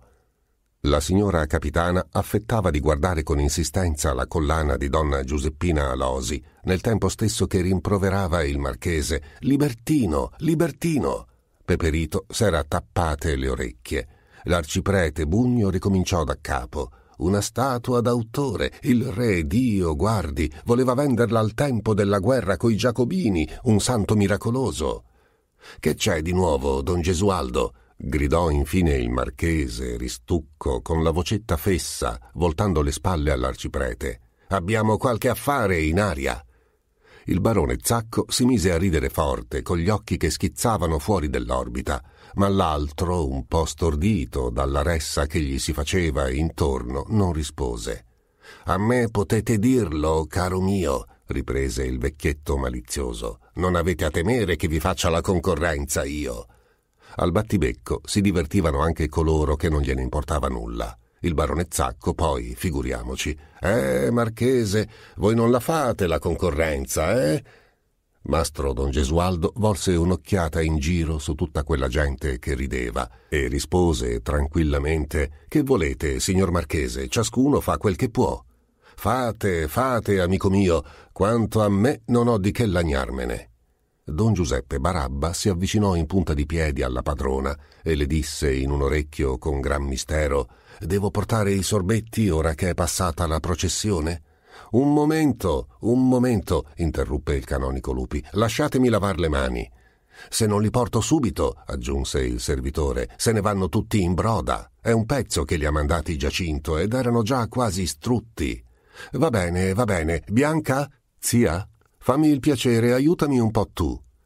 Dall'uscio spalancato a due battenti entrarono poco dopo don Giuseppe e mastro Titta, il barbiere di casa, carichi di due gran vassoi d'argento che sgocciolavano, e cominciarono a fare il giro degli invitati, passo passo, come la processione anch'essi. Prima l'arciprete, donna Giuseppina Alosi, la capitana, gli invitati di maggior riguardo. Il canonico Lupi diede una gomitata al barbiere, il quale passava dinanzi a mastro don Gesualdo senza fermarsi. Che so io, se ne vedono di nuove adesso, brontolò mastro Titta. Il ragazzo dei Margaroni ficcava le dita dappertutto. Zio, grazie, Bianca, ho la tosse e sono invalido come tuo fratello. Donna Bellonia lì sul balcone, suggerì la zia Sganci, la quale si sbracciava anche lei a servire gli invitati. Dopo il primo movimento generale, un manovrar di seggiole per schivare la pioggia di sciroppo, erano seguiti alcuni istanti di raccoglimento, un acciottolio discreto di piattelli, un lavorar guardingo e tacito di cucchiai, come fosse una cerimonia solenne. Donna Mita Margarone ghiotta, senza levare il naso dal piatto, Barabba e Mastro Titta in disparte, posati vassoi, si asciugavano il sudore coi fazzoletti di cotone. Il baronello Rubiera, il quale stava discorrendo in un cantuccio del balcone grande naso a naso con donna Fifì, guardandosi negli occhi, degli occhi che si struggevano come i sorbetti, si scostò bruscamente al veder comparire la cugina, scolorandosi un po' in viso. Donna Bellonia prese il piattino dalle mani di Bianca, inchinandosi goffamente. Quante gentilezze! È troppo, è troppo! La figliuola finse di accorgersi soltanto allora della sua amica. Oh, Bianca, sei qui? Che piacere. M'avevano detto che eri ammalata. Eh, sì, un po'. Adesso sto bene. Si vede, hai bella cera, e un bel vestitino anche, semplice, ma grazioso. Donna Fifì si chinò fingendo d'osservare la stoffa, onde far luccicare i topazzi che aveva al collo. Bianca rispose, facendosi rossa, è di lanetta, un regalo della zia. Ah, ah. Il baronello, che era sulle spine, propose di rientrare in sala. Comincia ad essere umido, piglieremo qualche malanno. Sì, Fifì, Fifì, disse la signora Margarone. Donna Fifì dovette seguire la mamma, con l'andatura cascante che le sembrava molto sentimentale, la testolina alquanto piegata sull'omero, le palpebre che battevano, colpite dalla luce più viva, sugli occhi languiditi, come avesse sonno. Bianca posò la mano sul braccio del cugino, il quale stava per svignarsela anche lui dal balcone, dolcemente, come una carezza, come una preghiera.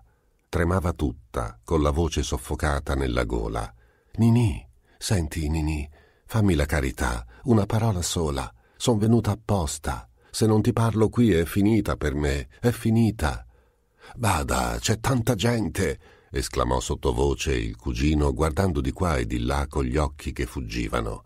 Ella gli teneva fissi addosso i begli occhi supplichevoli, con un grande sconforto, un grande abbandono doloroso in tutta la persona, nel viso pallido e disfatto, nell'atteggiamento umile, nelle braccia inerti che si aprivano desolate. Cosa mi rispondi, Nini? Cosa mi dici di fare? Vedi, sono nelle tue braccia, come l'addolorata. Egli allora cominciò a darsi dei pugni nella testa, commosso, col cuore gonfio anch'esso, badando a non far strepito e che non sopraggiungesse nessuno nel balcone. Bianca gli fermò la mano. Hai ragione, siamo due disgraziati. Mia madre non mi lascia padrone neanche di soffiarmi il naso, capisci? Capisci? Ti pare che non ci pensi a te? Ti pare che non ci pensi? La notte non chiudo occhio. Sono un povero disgraziato. La gente mi crede felice e contento. Guardava giù nella piazza ora spopolata, onde evitare gli occhi disperati della cugina che gli passavano il cuore addolorato, con gli occhi quasi umidi anch'esso. Vedi, soggiunse, vorrei essere un povero diavolo, come Santo Motta laggiù, nell'osteria di Pecu Pecu, povero e contento. La zia non vuole. No, non vuole. Che posso farci? Essa è la padrona si udiva nella sala la voce del barone Zacco che disputava alterato e poi nei momenti che esso taceva il cicaleccio delle signore come un passeraio con la risatina squillante della signora capitana che faceva da ottavino. Bisogna confessarle tutto alla zia. Don Ninì allungò il collo verso il vano del balcone, guardingo. Poscia rispose abbassando ancora la voce. Gliel'ha detto tuo fratello. C'è stato un casa del diavolo, non lo sapevi? Don Giuseppe Barabba venne sul balcone portando un piattello su ciascuna mano. Donna Bianca, dice la zia, prima che si finiscano. Grazie, mettetelo lì su quel vaso di fiori. Bisogna far presto, donna Bianca, non ce n'è quasi più. Don Ninì allora mise il naso nel piattello, fingendo di non badare ad altro. Tu non ne vuoi? Essa non rispose. Dopo un po', quando il servitore non era più lì, si udì di nuovo la voce sorda di lei. È vero che ti mariti? Io? Tu con Fifì Margarone? Non è vero, chi te l'ha detto? Tutti lo dicono. Io non vorrei, è mia madre che si è messa in testa questa cosa. Anche tu, dicono che vogliono farti sposare don Gesualdo Motta. Io? Sì, tutti lo dicono, la zia, mia madre stessa. Si affacciò un istante donna Giuseppina Alosi, come cercando qualcheduno, e vedendo i due giovani in fondo al balcone, rientrò subito nella sala. Vedi, vedi, disse lui, abbiamo tutti gli occhi addosso. Piglia il sorbetto, per amor mio, che la gente ci osserva. Abbiamo tutti gli occhi addosso. Essa prese dolcemente dalle mani di lui il piattino che aveva fatto posare sul vaso dei garofani, ma tremava così che due o tre volte si udì il tintinnio del cucchiaino, il quale urtava contro il bicchiere. Barabba corse subito dicendo Eccomi, eccomi. Un momento, un momento ancora, don Giuseppe. Il baronello avrebbe pagato qualcosa di tasca sua per trattenere Barabba sul balcone. Come vi tratta la festa, don Giuseppe? Che volete, signor barone? Tutto sulle mie spalle. La casa da mettere in ordine, le fodere da togliere, i lumi da preparare. Donna Bianca qui può dirlo, che mi ha dato una mano. Mastro Titta fu chiamato solo per trattamento e domani poi devo tornare a scopare e rimettere le fodere. Don Giuseppe, seguitando a brontolare, se ne andò coi bicchieri vuoti. Dalla sala arrivò il suono di una sghignazzata generale, subito dopo qualcosa che aveva detto il notaro Neri e che non si poté intendere bene perché il notaro, quando le diceva grosse, abbassava la voce. Rientriamo anche noi, disse il baronello, per allontanare i sospetti ma Bianca non si mosse. Piangeva cheta, nell'ombra, e di tanto in tanto si vedeva il suo fazzoletto bianco salire verso gli occhi. Ecco, sei tu che fai parlare la gente, scappò detto al cugino che era sulle spine. Che te ne importa? Rispose lei. Che te ne importa oramai? Sì, sì, credi che non ti voglia più bene. Uno struggimento, un'amarezza sconfinata venivano dall'ampia distesa nera dell'Alia di rimpetto, al di là delle case dei Barresi, dalle vigne e gli oliveti di Giolio che si indovinavano confusamente, oltre la via del Rosario ancora formicolante di lumi, dal lungo altipiano del Casal Gilardo, rotto dall'alta cantonata del collegio, dal cielo profondo, ricamato di stelle, una più lucente lassù, che sembrava guardasse fredda, triste, solitaria. Il rumore della festa si dileguava e moriva lassù verso San Vito. Un silenzio desolato cadeva di tanto in tanto, un silenzio che stringeva il cuore. Bianca era ritta contro il muro, immobile, le mani e il viso smorti di lei sembravano vacillare al chiarore incerto che saliva dal banco del venditore di torrone. Il cugino stava appoggiato alla ringhiera, fingendo di osservare attentamente l'uomo che andava spegnendo la luminaria nella piazza deserta e il giovane del paratore, il quale correva su e giù per l'impalcato della musica come un gattone nero, schiodando, martellando, buttando giù i festoni e le ghirlande di carta i razzi che scappavano ancora di tratto in tratto, lontano, dietro la massa nera del palazzo di città, i colpi di martello del paratore, le grida più rare, stanche, avvinazzate, sembravano spegnersi lontano, nella vasta campagna solitaria. Insieme all'acre odore di polvere che dileguava, andava sorgendo un dolce odor di garofani. Passava della gente cantando, udivasi un baccano di chiacchiere e di risate nella sala, vicino a loro, nello schianto di quell'ultimo addio, senza parole. Nel vano luminoso del balcone passò un'ombra magra e si udì la tosserella del marchese Limoli. Eh, ragazzi, benedetti voi altri, sono venuto a veder la festa ora che è passata. Bianca, nipote mia, bada che l'aria della sera ti farà male. No, zio, rispose lei con voce sorda. Si soffoca lì dentro.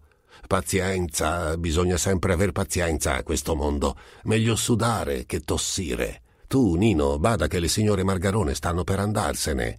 Vado, zio. Va, va, se no vedrai che denti. Non vorrei averli addosso neppur io, e sì che non posso fare lo schifiltoso. Che diavolo gli è saltato in corpo a tua madre di farti sposare quei denti? Ah, zio, sei uno sciocco. Dovresti lasciarle fare il diavolo a quattro quanto le pare e piace a tua madre. Sei figlio unico. A chi vuoi che lasci la roba dopo la sua morte? Eh, di qui a trent'anni, il tempo di crepare di fame intanto. Mia madre sta meglio di voi e di me, e può campare ancora trent'anni.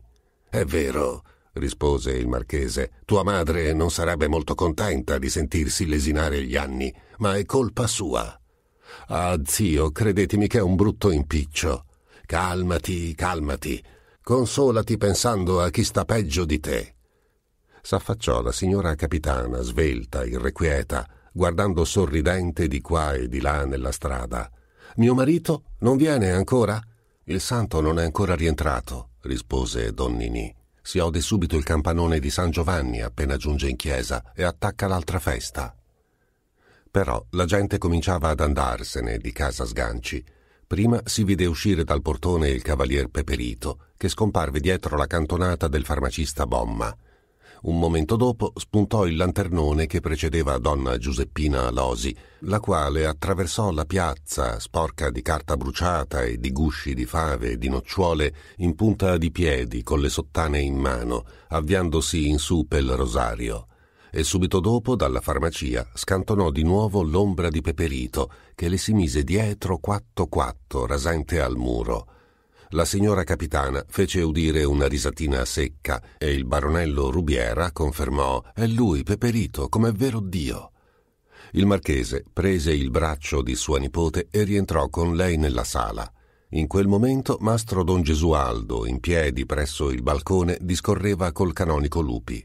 Questi, perorando con calore, sottovoce, in aria di mistero, stringendoglisi addosso, quasi volesse entrargli in tasca col muso di furetto l'altro serio, col mento nella mano, senza dire una parola, accennando soltanto col capo di tratto in tratto. Tale e quale come un ministro, sogghignava il barone Zacco. Il canonico conchiuse con una stretta di mano enfatica, volgendo un'occhiata al barone, il quale finse di non accorgersene, rosso al par di un gallo. La padrona di casa portava le mantiglie e i cappellini delle signore, mentre tutti i Margarone in piedi mettevano sossopra la casa per accomiatarsi. Toh, Bianca, ti credevo già andata via, esclamò donna Fifì col sorriso che mordeva. Bianca rispose soltanto con un'occhiata che sembrava attonita, tanto era smarrita e dolente. In quel tempo suo cugino si dava gran moto fra le mantiglie e i cappellini a capo basso. Un momento, un momento, esclamò don Filippo levando il braccio rimastogli libero, mentre con l'altro reggeva Nicolino addormentato. Si udiva un tafferuglio nella piazza, strilli da lontano. La gente correva verso San Giovanni e il campanone che suonava a distesa laggiù. La signora capitana rientrò dal balcone tappandosi le orecchie con le belle mani candide, strillando in falsetto Mio marito, si picchiano e si abbandonò sul canapè con gli occhi chiusi. Le signore si misero a vociare tutte in una volta. La padrona di casa gridava a Barabba di scendere a dare il catenaccio giù al portone, mentre donna Bellonia spingeva le sue ragazze in branco nella camera di donna Mariannina e il marchese Limoli picchiava sulle mani della capitana dei colpettini secchi. Il notaro Neri propose anche di slacciarla. Vi pare? diss'ella allora, balzando in piedi infuriata. Per chi m'avete presa, don Asino? Giunse in quel momento il capitano, seguito da don Liccio Papa, che sbraitava in anticamera narrando l'accaduto. Non lo avrebbero trattenuto in cento. La solita storia di ogni anno, disse finalmente il signor capitano, dopo che si fu rimesso, vuotando d'un fiato un bicchier d'acqua i devoti di San Giovanni che danno mano al campanone un quarto d'ora prima, soperchierie. Quelli di San Vito poi che non vogliono tollerare, legnate da orbi ci sono state. La solita storia di ogni anno, ripeté il canonico Lupi, una porcheria. La giustizia non fa nulla per impedire. Il capitano in mezzo alla sala, con l'indice teso verso di lui, sbuffò infine. Sentitelo, perché non ci andate voi? Un altro po' facevano la festa a me pure. Vostro marito ha corso pericolo della vita, donna Carolina. La signora capitana, col bocchino stretto, giunse le mani. Gesù Maria, Maria Santissima del pericolo. Stai fresca, borbottò il notaro voltandosi in là. Stai fresca davvero, se aspetti che tuo marito voglia arrischiare la pelle per lasciarti vedova. Don Ninì Rubiera, cercando il cappello, si imbatté nella cugina, la quale gli andava dietro come un fantasma, stravolta, incespicando ad ogni passo. Bada, le disse lui, bada, ci guardano, c'è lì don Gesualdo. Bianca, Bianca, le mantiglie di queste signore! Gridò la zia Sganci dalla camera da letto dove s'era ficcato tutto lo stormo dei Margarone. Essa frugava in mezzo al mucchio, con le mani tremanti. Il cugino era così turbato anch'esso che seguitava a cercare il suo cappello lui pure. Guarda, ce l'ho in testa, non so nemmeno quello che fo. Si guardò attorno come un ladro, mentre ciascuno cercava la sua roba in anticamera, e la tirò in disparte verso l'uscio. Senti, per l'amor di Dio, sii cauta. Nessuno ne sa nulla. Tuo fratello non sarà andato a raccontarlo ed io neppure. Sai che t'ho voluto bene più dell'anima mia. Essa non rispose verbo, gli occhi soli che parlavano e dicevano tante cose. Non guardarmi con quella faccia bianca. No, non guardarmi così. Mi tradirei anch'io. Donna Fifì uscì col cappello e la mantiglia, stecchita, le labbra strette quasi fossero cucite, e siccome sua sorella, giovialona, si voltava a salutare Bianca, la richiamò con la voce stizzosa. Giovannina, andiamo, andiamo. Meno male questa qui, borbottò il baronello, ma sua sorella è un castigo di Dio. La zia Sganci, accompagnando le Margarone sino all'uscio, disse a mastro don Gesualdo che si sprofondava in inchini sul pianerottolo a rischio di ruzzolare giù per la scala. Don Gesualdo, fate il favore, accompagnate i miei nipoti Trao, già siete vicini di casa, don Ferdinando non ci vede bene la sera. Sentite qua, sentite qua, gli disse il canonico. Zacco non si dava pace fingeva di cercare il lampione nelle cassapanche dell'anticamera per darlo da portare a mastro don Gesualdo, giacché deve accompagnare donna Bianca, una dei Trao. Non gli sarebbe passato neppure pel capo di ricevere tanto onore a mastro don Gesualdo. Però costui non poteva udire perché aspettava nella piazza, discorrendo col canonico. Solo don Liccio Papa, il quale chiudeva la marcia con la sciaboletta a tracolla, si mise a ridere. Che c'è? Chiese il capitano che dava il braccio alla moglie infagottata. Che c'è, insubordinato? Nulla, rispose il marchese, il barone Zacco che abbaia alla luna.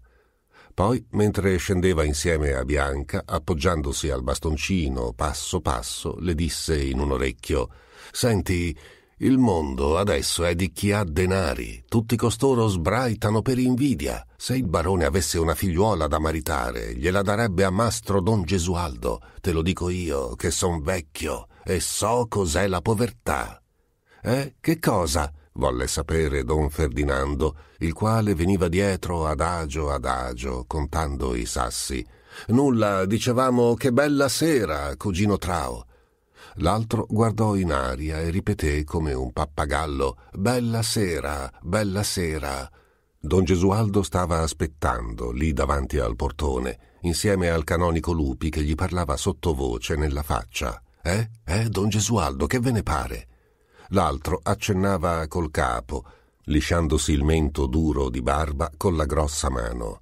Una perla, una ragazza che non sa altro, casa e chiesa, economa, non vi costerà nulla. In casa non è avvezza a spender di certo, ma di buona famiglia. Vi porterebbe il lustro in casa, vi imparentate con tutta la nobiltà. L'avete visto, eh, stasera? Che festa v'hanno fatto? I vostri affari andrebbero a gonfie vele, anche per quell'affare delle terre comunali. È meglio aver l'appoggio di tutti i pezzi grossi.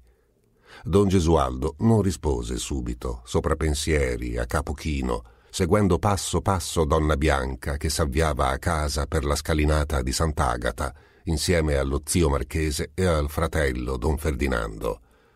Sì, sì, non dico di no. È una cosa da pensarci, una cosa seria. Temo di imbarcarmi in un affare troppo grosso, caro canonico. Quella è sempre una signora. Poi ho tante cose da sistemare prima di risolvere. Ciascuno sa i propri impicci. Bisogna dormirci sopra. La notte porta consiglio, canonico mio. Bianca, che se ne andava col cuore stretto, ascoltando la parlantina indifferente dello zio accanto al fratello taciturno e allampanato, udì quelle ultime parole. La notte porta consiglio. La notte scura e desolata nella cameretta misera. La notte che si portava via gli ultimi rumori della festa, l'ultima luce, l'ultima speranza come la visione di lui che se ne andava insieme a un'altra, senza voltarsi, senza dire nulla, senza rispondere a lei che lo chiamava dal fondo del cuore, con un gemito, con un lamento d'ammalata, affondando il viso nel guanciale bagnato di lagrime calde e silenziose. Capitolo quarto Mentre i muratori si riparavano ancora dall'acquazzone dentro il frantoio di Giolio, vasto quanto una chiesa, facendo alle piastrelle, entrò il ragazzo che stava a guardia sull'uscio, addentando un pezzo di pane con la bocca piena, vociando Il padrone, ecco il padrone. Dietro di lui comparve mastro don Gesualdo, bagnato fradicio, tirandosi dietro la mula che scuoteva le orecchie. Bravi, mi piace, divertitevi, tanto la paga vi corre lo stesso, corpo di sangue di... Agostino, il soprastante, annaspando, bofonchiando, affacciandosi all'uscio per guardare il cielo ancora nuvolo con l'occhio orbo, trovò infine la risposta. Cosa sapeva fare? Bagnarci tutti. La burrasca è cessata aurora. Siamo cristiani o porci? Se mi coglie qualche malanno, mia madre non lo fa più un altro Agostino, no? Sì, sì, hai ragione, la bestia sono io, ho la pelle dura. Ho fatto bene a mandare qui mio fratello per badare ai miei interessi, si vede. Sta a passare il tempo anche lui giocando, sia lodato Iddio. Santo, che era rimasto a bocca aperta, coccoloni, dinanzi al pioletto coi quattrini, si rizzò in piedi, tutto confuso, grattandosi il capo. Gesualdo, intanto che gli altri si davano da fare, mogi, mogi, misurava il muro nuovo con la canna. Si arrampicava sulla scala a piuoli, pesava i sacchi di gesso sollevandoli da terra. Sangue di Giuda, come se li rubassi i miei denari, tutti quanti d'intesa per rovinarmi. Due giorni per tre canne di muro. C'è un bel guadagno in questo appalto. I sacchi del gesso mezzi vuoti. Nelly, Nelly, dov'è quel figlio di mala femmina che ha portato il gesso? E quella calce che se ne va in polvere, eh? Quella calce che non ne avete coscienza di cristiani, Dio di paradiso. Anche la pioggia danno mio. Ci ho ancora i covoni sull'aia. Non si poteva mettere su la macina intanto che pioveva? Su, animo, la macina. Vi do una mano mentre son qua io. Santo, piuttosto, voleva fare una fiammata per asciugargli i panni addosso. Non importa, rispose lui. Me ne sono asciugata tanta dell'acqua sulle spalle. Se fossi stato come te sarei ancora a trasportare del gesso sulle spalle. Ti rammenti? E tu non saresti qua a giocare alle piastrelle. Brontolando, dandosi da fare per preparare la leva, le biette, i puntelli, si voltava indietro per lanciargli delle occhiate. Malannaggia! esclamò Santo, sempre quella storia! E se ne andò sull'uscio, accigliato, con le mani sotto le ascelle, guardando di qua e di là. I manovali esitavano, girando intorno al pietrone enorme. Il più vecchio, Mastro Cola, tenendo il mento sulla mano, scrollando il capo, aggrondato, guardando la macina come un nemico. Infine sentenziò che erano in pochi per spingerla sulla piattaforma. Se scappa la leva, Dio liberi. Chi si metterà sotto per dar lo scambio alle biette? Io no, com'è vero Dio. Se scappa la leva, mia madre non lo fa più un altro mastro cola ventura, eh? Ci vorrebbero dell'altre braccia, un martinetto, legare poi una carrucola lassù, alla travatura del tetto, poi dei cunei sotto. Vedete, vossignoria, a far girare i cunei si sta dai lati e non c'è pericolo. Bravo, ora mi fate il capomastro. Datemi la stanga, io non ho paura. Intanto che stiamo a chiacchierare il tempo passa, la giornata corre lo stesso, eh? Come se li avessi rubati i miei denari. Su, da quella parte. Non badate a me che ho la pelle dura, via, su. Viva Gesù, viva Maria. Un altro po'. Badate, badate. Ah, Mariano, santo diavolone, m'ammazzi. Su. Viva Maria. La vita, la vita, su, che fai, bestia, da quella parte, su. Ci siamo, è nostra, ancora, da quella parte. Non abbiate paura che non muore il Papa. Su, su, Se vi scappa la leva, ancora. Se avessi tenuta cara la pelle, ancora. Come la tien cara mio fratello santo. Santo diavolone, santo diavolone, badate. A quest'ora sarei a portar gesso sulle spalle. Il bisogno, via, via, il bisogno fa uscire il lupo. Ancora, su, il lupo dal bosco. Vedete mio fratello santo che sta a guardare? Se non ci fossi io, egli sarebbe sotto, sotto la macina, al mio posto, invece di grattarsi, a spingere la macina e la casa, tutto sulle mie spalle. Ah, sia lodato Iddio! Infine, assicurata la macina sulla piattaforma, si mise a sedere su di un sasso trafelato, ancora tremante dal batticuore, asciugandosi il sudore col fazzoletto di cotone. Vedete come ci si asciuga dalla pioggia? Acqua di dentro e acqua di fuori. Santo propose di passare il fiasco in giro. Ah, per la fatica che hai fatto, per asciugarti il sudore anche tu. Attaccati all'abbeveratoio, qui fuori dell'uscio. Il tempo s'era abbonacciato. Entrava un raggio di sole dall'uscio spalancato sulla campagna, che ora sembrava allargarsi ridente, col paese sull'altura, in fondo, di cui le finestre scintillavano. Lesti, lesti, ragazzi, sul ponte, andiamo, guadagniamoci tutti la giornata. Mettetevi un po' nei panni del padrone che vi paga. L'osso del collo ci rimetto in quest'appalto. Ci perdo di già, com'è vero Iddio. Agostino, mi raccomando, l'occhio vivo, la parola dolce e l'occhio vivo. Mastro Cola, voi che siete capomastro, chi vi ha insegnato a tenere il regolo in mano? Maledetto voi! Mariano, dammi quassù il regolo sul ponte, che non ne avete occhi, corpo del diavolo? L'intonaco che screpola e sbulletta, mi toccherà poi sentire l'architetto, malannaggia a voi altri. Quando torna quello del gesso, ditegli il fatto suo a quel figlio di mala femmina. Ditegli, Aneli, che sono del mestiere anch'io, che ne riparleremo poi sabato al far dei conti. Badava ad ogni cosa, girando di qua e di là, rovistando nei mucchi di tegole e di mattoni, saggiando i materiali, alzando il capo ad osservare il lavoro fatto, con la mano sugli occhi nel gran sole che s'era messo allora. Santo, santo, portami qua la mula, fagli almeno questo lavoro a tuo fratello. Agostino voleva trattenerlo a mangiare un boccone, poiché era quasi mezzogiorno, un sole che scottava da prendere un malanno a chi andava per la campagna a quell'ora. No, no, devo passare dal Camemi, ci vogliono due ore. Ho tant'altro da fare. Se il sole è caldo, tanto meglio. Arriverò asciutto al Camemi. Spicciamoci, ragazzi. Badate che vi sto sempre addosso come la presenza di Dio. Mi vedrete comparire quando meno ve lo aspettate. Sono del mestiere anch'io e conosco poi se si è lavorato o no. Intanto che se ne andava, Santo gli corse dietro, lisciando il collo alla mula, tenendogli la staffa. Finalmente, come vide che montava a cavallo senza darsene per inteso, si piantò in mezzo alla strada, grattandosi l'orecchio. Così mi lasci, senza domandarmi neppure se ho bisogno di qualche cosa. Sì, sì, ho capito. I denari che avesti lunedì te li sei giocati, ho capito, ho capito. Eccoti il resto. E divertiti alle piastrelle, che a pagare poi ci sono io, il debitore di tutti quanti. Brontolava ancora, allontanandosi all'ambio della mula sotto il sole cocente, un sole che spaccava le pietre adesso e faceva scoppiettare le stoppie quasi s'accendessero.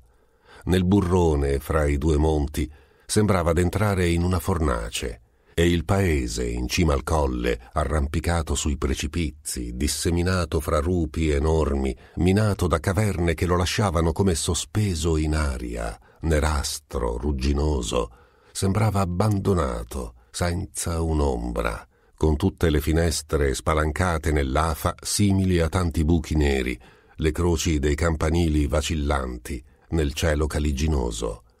La stessa mula anelava tutta sudata nel salire la via erta.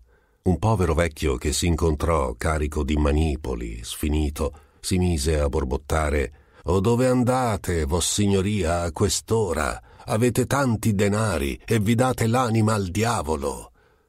Giunse al paese che suonava mezzogiorno, mentre tutti scappavano a casa come facesse temporale. Dal rosario veniva il canonico Lupi, accaldato, col nicchio sulla nuca, soffiando forte. Ah, Don Gesualdo, andate a mangiare un boccone. Io no, per mia disgrazia, sono a bocca asciutta sino a quest'ora. Vado a celebrare la Santa Messa, la messa di mezzogiorno. Un capriccio di Monsignore. Sono salito al paese apposta per voi. Ho fatto questa pettata. È caldo, eh? Intanto si asciugava il sudore col fazzoletto. Ho paura che mi giochino qualche tiro riguardo a quell'appalto delle strade comunali, signor canonico. Vossignoria che vi fate sentire in paese, ci avete pensato? So poi l'obbligo mio. Ma che dite? Fra di noi ci sto lavorando. A proposito, che facciamo per quell'altro affare? Ci avete pensato? Che risposta mi date? Don Gesualdo, il quale aveva messo al passo la mula, camminandogli al lato, curvo sulla sella, un po' sbalordito dal gran sole, rispose Che affare? Ne ho tanti. Di quale affare parlate, vossignoria? Ah, la pigliate su quel verso. Scusate, scusate tanto.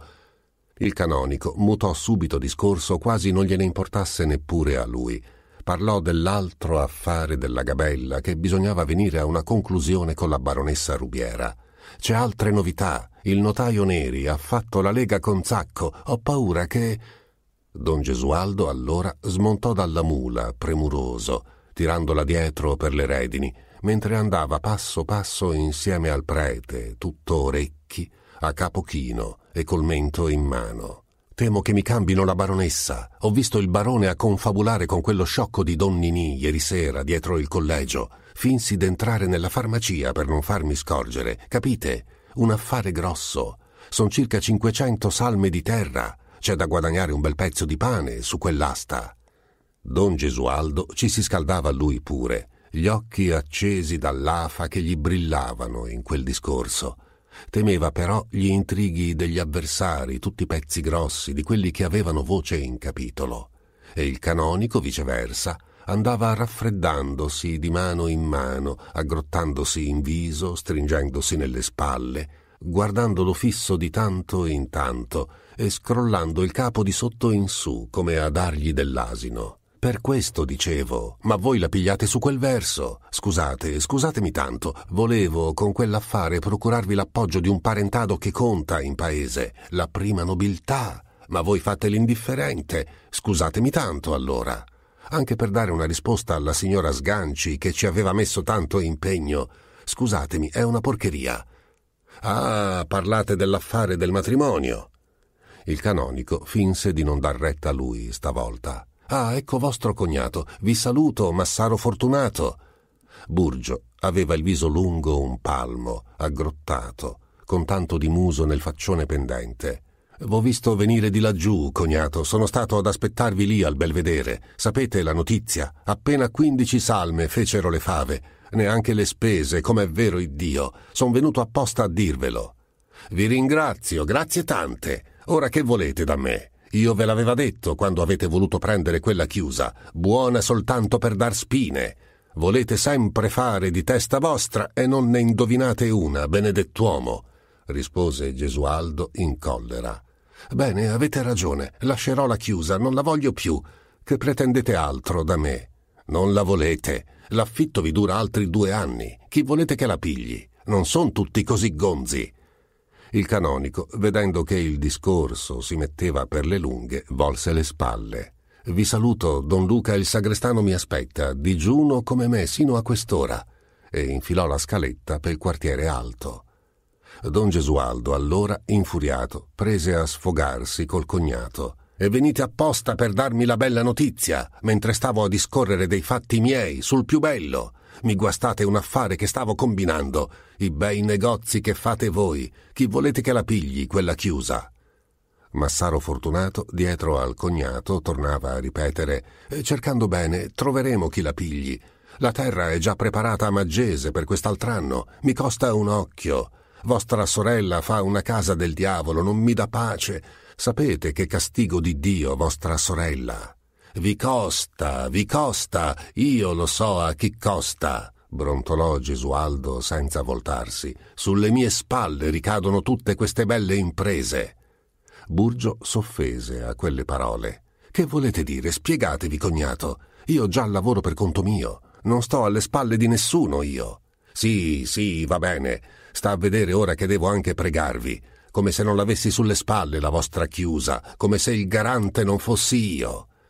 Così, brontolando, tutti e due andarono a cercare Pirtuso, che stava al fosso laggiù verso San Giovanni. Mastro Lio stava mangiando quattro fave con l'uscio socchiuso. Entrate, entrate, don Gesualdo, benedicite a vossignoria. Ne comandate? Volete restar servito? Poi, come udì parlare della chiusa che Burgio avrebbe voluto appioppare a un altro, di allegro che era si fece scuro in viso, grattandosi il capo. Eh, la chiusa del purgatorio. È un affar serio, non la vogliono neanche per pascolo. Burgio s'affannava a lodarla, terre di pianura, terre profonde, che gli avevano dato trenta salme di fave quell'anno soltanto, preparate a maggese per l'anno nuovo. Il cognato tagliò corto, come uno che ha molta altra carne al fuoco e non ha tempo da perdere inutilmente. Insomma, mastro Lio, voglio disfarmene. Fate voi una cosa giusta, con prudenza. Questo si chiama parlare, rispose Pirtuso. Vossignoria sa fare e sa parlare.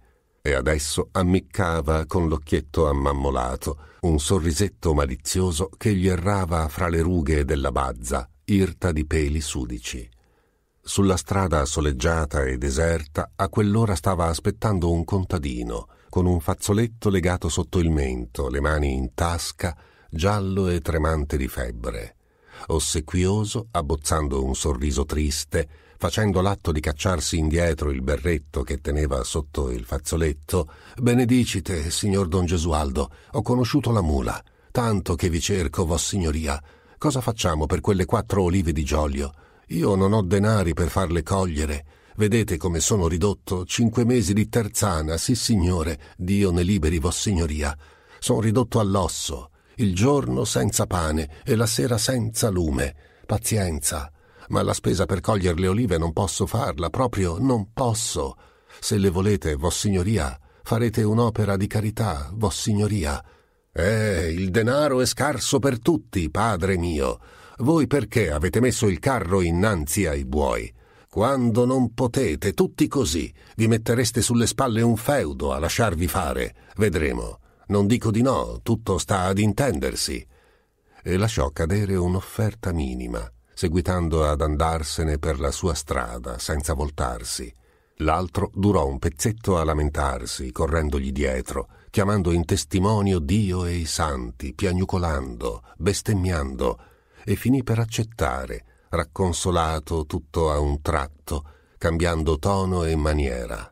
Compare Lio, avete udito, affare fatto, un buon negozio per Don Gesualdo, pazienza, ma è detta, quanto a me, è come se fossimo andati dal notaio. E se ne tornò indietro, con le mani in tasca. Sentite qua, mastro Lio, disse Gesualdo tirando in disparte Pirtuso. Burgio s'allontanò con la mula discretamente, sapendo che l'anima dei negozi è il segreto intanto che suo cognato diceva al sensale di comprargli dei sommacchi quando ce n'erano al prezzo corrente. Udì soltanto Mastro Lio che rispondeva sghignazzando, con la bocca sino alle orecchie. Ah, siete un diavolo! Vuol dire che avete parlato col diavolo. Sapete quel che bisogna vendere e comprare otto giorni prima. Va bene, restiamo intesi. Me ne torno a casa ora. Ho quelle quattro fave che m'aspettano. Burgio non si reggeva in piedi dall'appetito e si mise a brontolare come il cognato volle passare dalla posta. Sempre misteri, maneggi sotto mano. Don Gesualdo tornò tutto contento, leggendo una lettera piena di sgorbi e suggellata con la midolla di pane. Lo vedete che il diavolo mi parla all'orecchio, eh? M'ha dato anche una buona notizia e bisogna che torni da Mastro Lio. Io non so nulla, mio padre non m'ha insegnato a fare queste cose, rispose Burgio brontolando. Io fo come fece mio padre. Piuttosto, se volete venire a prendere un boccone a casa, non mi reggo in piedi, come è vero Dio. No, non posso, non ho tempo. Devo passare dal Camemi prima d'andare alla Canziria. Ci ho venti uomini che lavorano alla strada, i covoni sull'aia. Non posso. E se ne andò sotto il gran sole, tirandosi dietro la mula stanca pareva di soffocare in quella gola del petraio. Le rupi brulle sembravano arroventate, non un filo d'ombra, non un filo di verde, colline su colline, accavallate, nude, arsicce, sassose, sparse di olivi rari e magri, di fichidindia polverosi, la pianura sotto Budarturo come una landa bruciata dal sole, i monti foschi nella caligine in fondo. Dei corvi si levarono gracchiando da una carogna che appestava il fossato, delle ventate di scirocco bruciavano il viso e mozzavano il respiro, una sete da impazzire, il sole che gli picchiava sulla testa come fosse il martellare dei suoi uomini che lavoravano alla strada del Camemi. Allorché vi giunse, invece, li trovò tutti quanti sdraiati bocconi nel fossato, di qua e di là, col viso coperto di mosche e le braccia stese. Un vecchio soltanto spezzava dei sassi, seduto per terra sotto un ombrellaccio, col petto nudo color di rame, sparso di peli bianchi, le braccia scarne, gli stinchi bianchi di polvere come il viso, gli stinchi bianchi di polvere come il viso che pareva una maschera, gli occhi soli che ardevano in quel polverio. Bravi, bravi, mi piace, la fortuna viene dormendo. Son venuto io a portarvela. Intanto la giornata se ne va. Quante canne ne avete fatto di massicciata oggi? Vediamo. Neppure tre canne. Per questo che vi riposate adesso. Dovete essere stanchi, sangue di Giuda. Bel guadagno ci fo. Mi rovino per tenervi tutti quanti a dormire e riposare. Corpo di sangue di... Vedendolo con quella faccia accesa e riarsa, bianca di polvere soltanto nel cavo degli occhi e sui capelli, degli occhi come quelli che dà la febbre e le labbra sottili e pallide, nessuno ardiva rispondergli.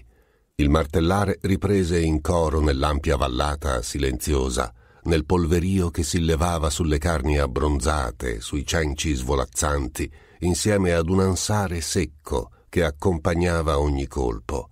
I corvi ripassarono gracidando nel cielo implacabile. Il vecchio allora alzò il viso impolverato a guardarli, con gli occhi infuocati, quasi sapesse cosa volevano e li aspettasse. Allorché finalmente Gesualdo arrivò alla canziria, erano circa due ore di notte.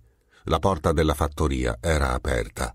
Diodata aspettava dormicchiando sulla soglia. Massaro Carmine, il camparo, era steso bocconi sull'aia, con lo schioppo fra le gambe. Brasi Camauro e Nanni Lorbo erano spulezzati di qua e di là come fanno i cani la notte quando sentono la femmina nelle vicinanze e i cani soltanto davano il benvenuto al padrone, abbaiando intorno alla fattoria. Ehi, non c'è nessuno? Roba senza padrone quando manco io. Diodata, svegliata all'improvviso, andava cercando il lume tastoni, ancora assonnata. Lo zio Carmine, fregandosi gli occhi con la bocca contratta dagli sbadigli, cercava delle scuse. Ah, sia lodato Dio! Voi ve la dormite da un canto, Diodata dall'altro, al buio. Cosa facevi al buio? Aspettavi qualcheduno? Brasi Camauro? Oppure Nanni Lorbo? La ragazza ricevette la sfuriata a capo chino e intanto accendeva lesta lesta il fuoco, mentre il suo padrone continuava a sfogarsi lì fuori all'oscuro e passava in rivista i buoi legati ai pioli intorno all'aia. Il camparo, mogio mogio, gli andava dietro per rispondere al caso. Ignor sì, pelo rosso sta un po' meglio. Gli ho dato la gramigna per rinfrescarlo. La bianchetta ora mi fa la svogliata anch'essa. Bisognerebbe mutar di pascolo tutto il bestiame. Il mal d'occhio, sì signore. Io dico che è passato di qui qualcheduno che portava il malocchio. Ho seminato perfino i pani di San Giovanni nel pascolo. Le pecore stanno bene, grazie a Dio. E il raccolto pure. Nanni Lorbo, laggiù, a Passanitello, dietro le gonnelle di quella strega. Un giorno o l'altro se ne torna a casa con le gambe rotte come vero Dio. E Brasi Camauro, anch'esso per amor di quattro spighe. Diodata gridò dall'uscio che era pronto. Se non avete altro da comandarmi, vossignoria, vado a buttarmi giù un momento. Come Dio volle, finalmente, dopo un digiuno di ventiquattro ore, don Gesualdo poté mettersi a tavola seduto di faccia all'uscio in maniche di camicia, le maniche rimboccate al di sopra dei gomiti, coi piedi indolenziti nelle vecchie ciabatte, che erano anch'esse una grazia di Dio. La ragazza gli aveva apparecchiata una minestra di fave novelle, con una cipolla in mezzo, quattrova fresche e due pomidori che era andata a cogliere tastoni dietro la casa. Le ova friggevano nel tegame, il fiasco pieno davanti. Dall'uscio entrava un venticello fresco che era un piacere, insieme al trillare dei grilli e all'odore dei covoni nell'aia.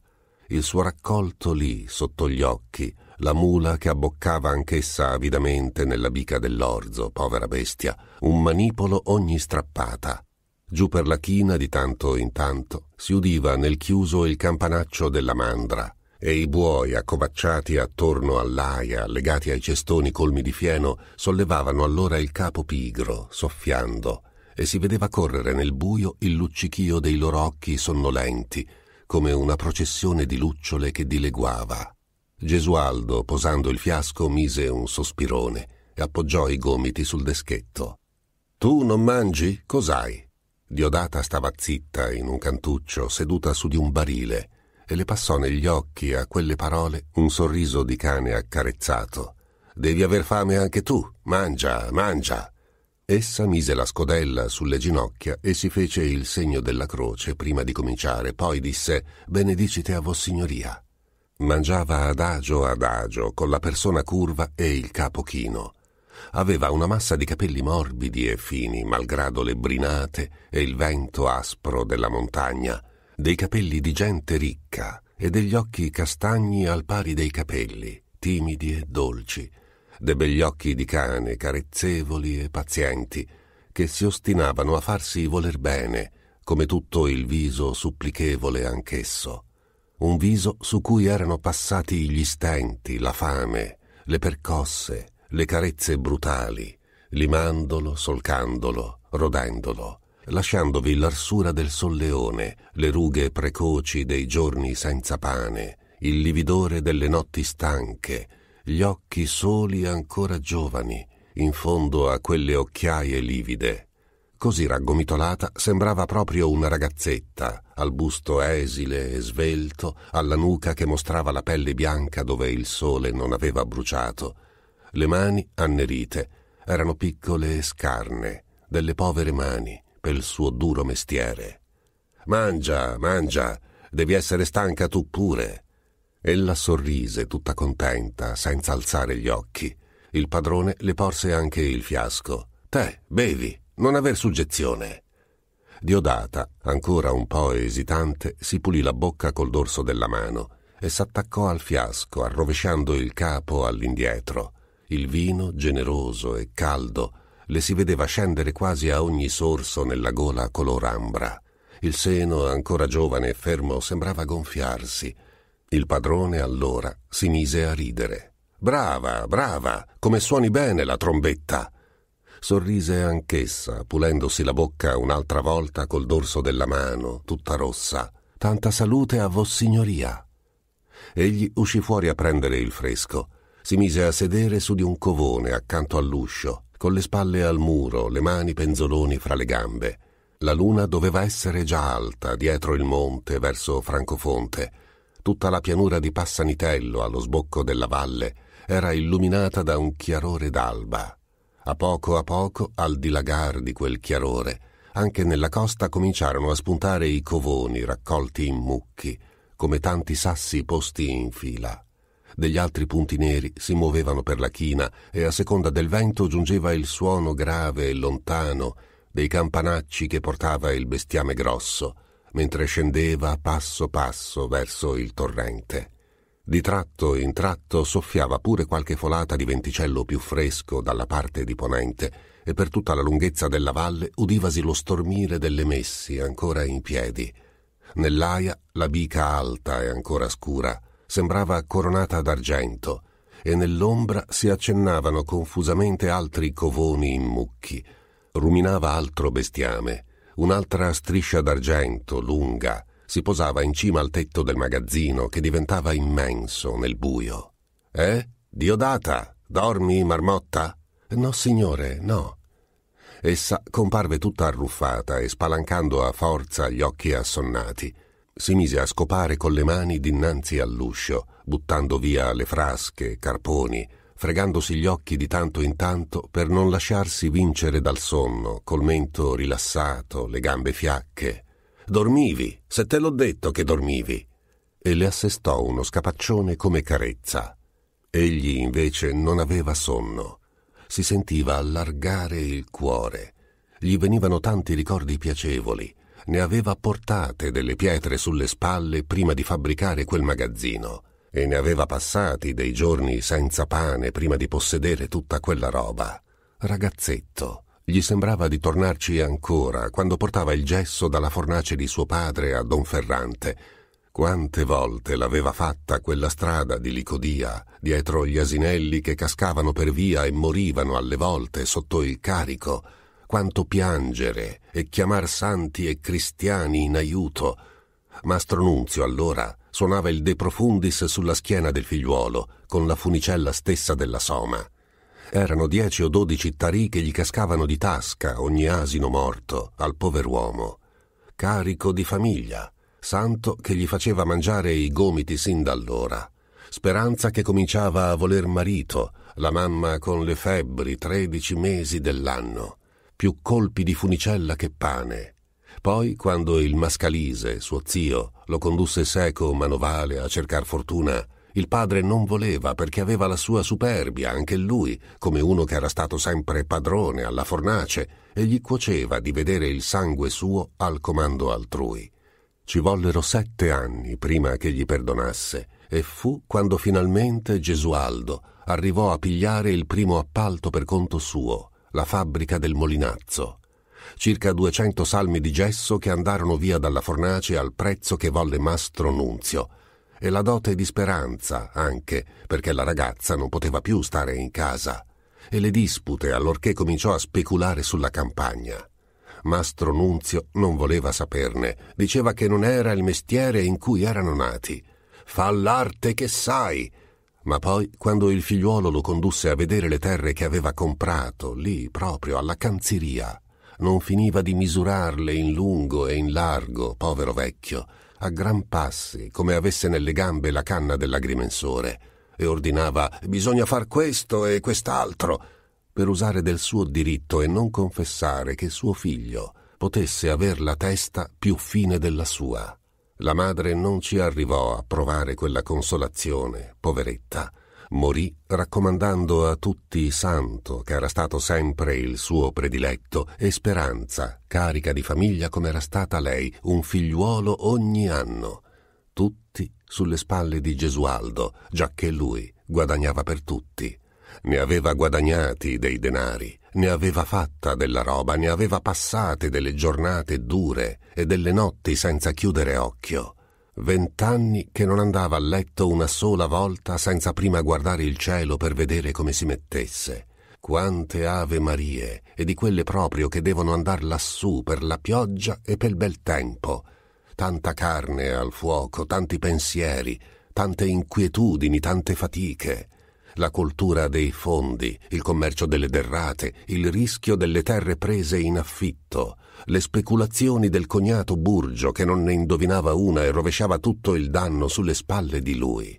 Mastro Nunzio, che si ostinava ad arrischiare con gli appalti il denaro del figliuolo per provare che era il padrone in casa sua. Sempre in moto, sempre affaticato, sempre in piedi di qua e di là, al vento, al sole, alla pioggia, con la testa grave di pensieri, il cuore grosso di inquietudini, le ossa rotte di stanchezza, dormendo due ore quando capitava, come capitava, in un cantuccio della stalla, dietro una siepe, nell'aia, coi sassi sotto la schiena, mangiando un pezzo di pane nero e duro dove si trovava, sul busto della mula, all'ombra di un ulivo, lungo il margine di un fosso, nella malaria, in mezzo a un nugolo di zanzare. Non feste, non domeniche, mai una risata allegra, tutti che volevano da lui qualche cosa, il suo tempo, il suo lavoro o il suo denaro. Mai un'ora come quelle che suo fratello santo regalavasi in barba sua all'osteria, trovando a casa poi, ogni volta, il viso arcigno di speranza, o le querimonie del cognato, o il piagnucolio dei ragazzi, le liti fra tutti loro quando gli affari non andavano bene costretto a difendere la sua roba contro tutti per fare il suo interesse. Nel paese non un solo che non gli fosse nemico o alleato pericoloso e temuto. Dover celare sempre la febbre dei guadagni, la botta di una mala notizia, l'impeto di una contentezza, e aver sempre la faccia chiusa, l'occhio vigilante, la bocca seria, le astuzie di ogni giorno, le ambagi per dire soltanto vi saluto, le strette di mano inquiete, con l'orecchio teso, la lotta coi sorrisi falsi o coi visi arrossati dall'ira, spumanti bava e minacce, la notte sempre inquieta, il domani sempre grave di speranza o di timore. Ci hai lavorato anche tu nella roba del tuo padrone, hai le spalle grosse anche tu, povera Diodata. Essa, vedendosi rivolta la parola, si accostò tutta contenta e gli si accovacciò ai piedi, su di un sasso, col viso bianco di luna, il mento sui ginocchi, in un gomitolo. Passava il tintinnio dei campanacci, il calpestio greve e lento per la distesa del bestiame che scendeva al torrente, dei muggiti gravi e come sonnolenti, le voci dei guardiani che lo guidavano e si spandevano lontane nell'aria sonora. La luna, ora discesa sino all'aia, stampava delle ombre nere in un albore freddo disegnava l'ombra vagante dei cani di guardia che avevano fiutato il bestiame, la massa inerte del camparo, steso bocconi. Nanni Lorbo, eh? O Brasi Camauro? Chi dei due ti sta dietro la gonnella? riprese don Gesualdo, che era in vena di scherzare. Diodata sorrise. No, signore, nessuno. Ma il padrone ci si divertiva. Sì, sì, l'uno o l'altro, o tutte e due insieme. Lo saprò, ti sorprenderò con loro nel vallone qualche volta.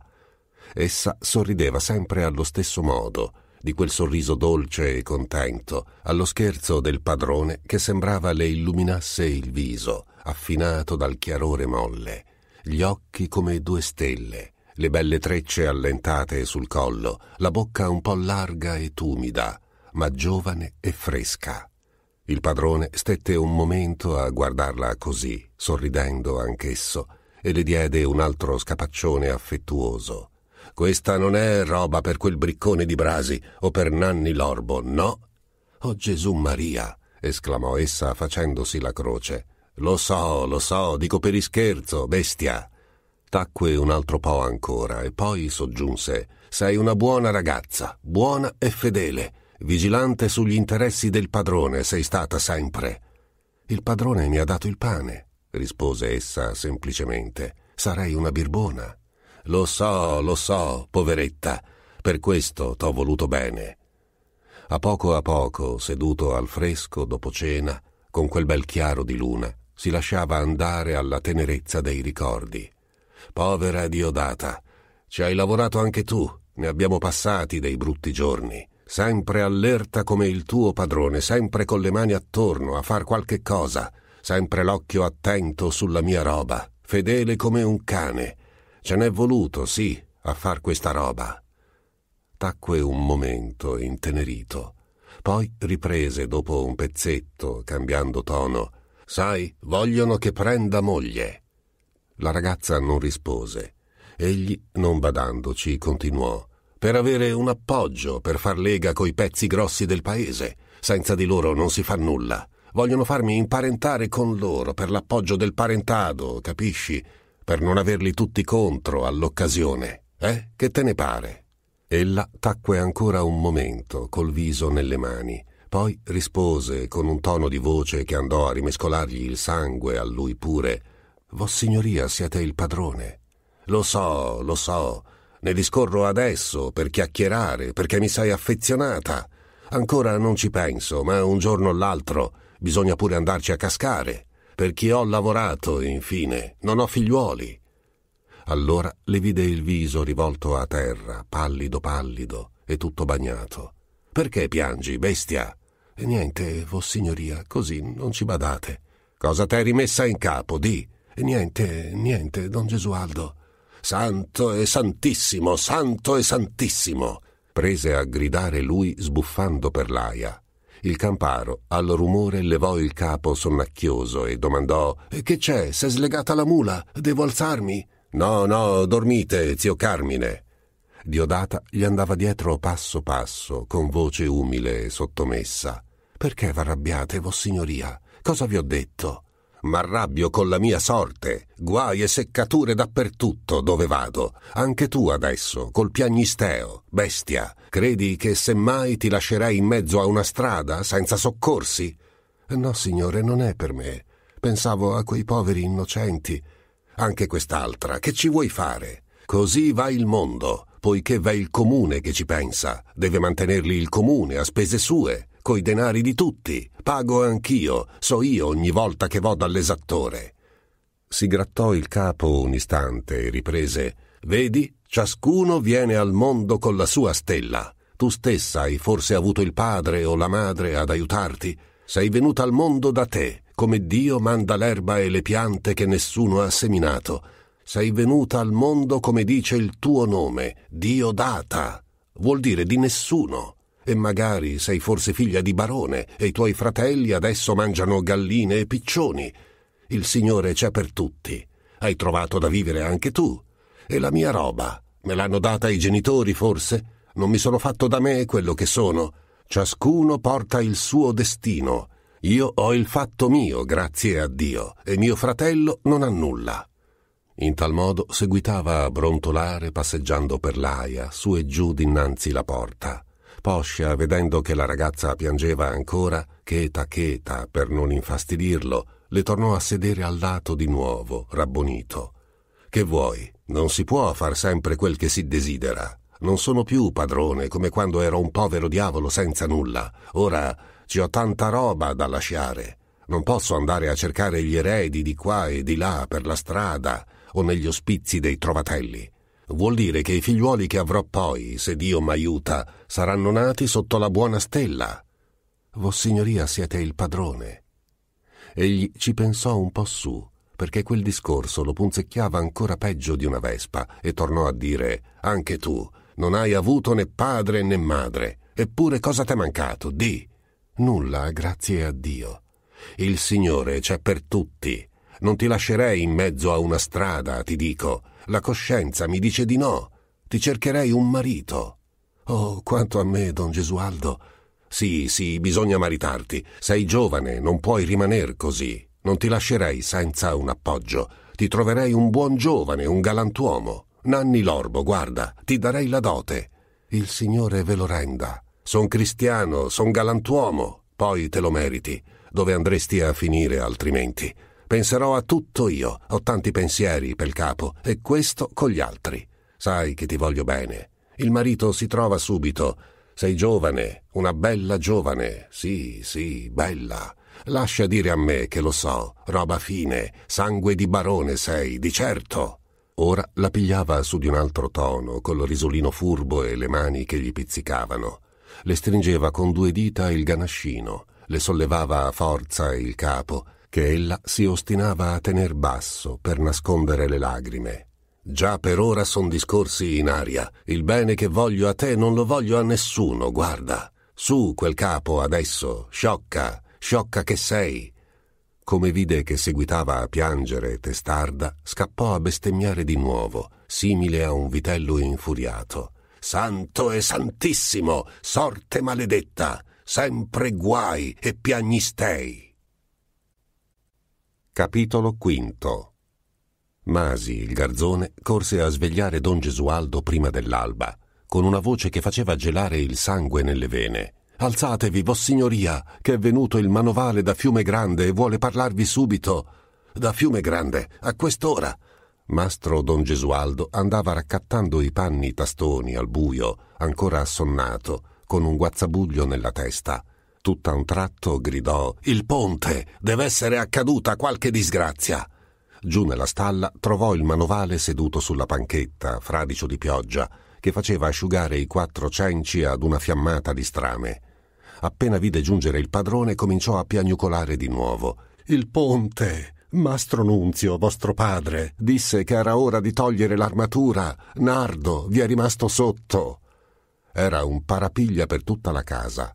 Speranza, la sorella, che scendeva a precipizio intanto che suo marito si infilava le brache, Santo, ancora mezzo ubriaco, ruzzoloni per la scaletta della botola, urlando quasi l'accoppassero. Il manovale, a ciascuno che capitava, tornava a dire Il ponte, l'armatura. Mastro Nunzio dice che fu il cattivo tempo.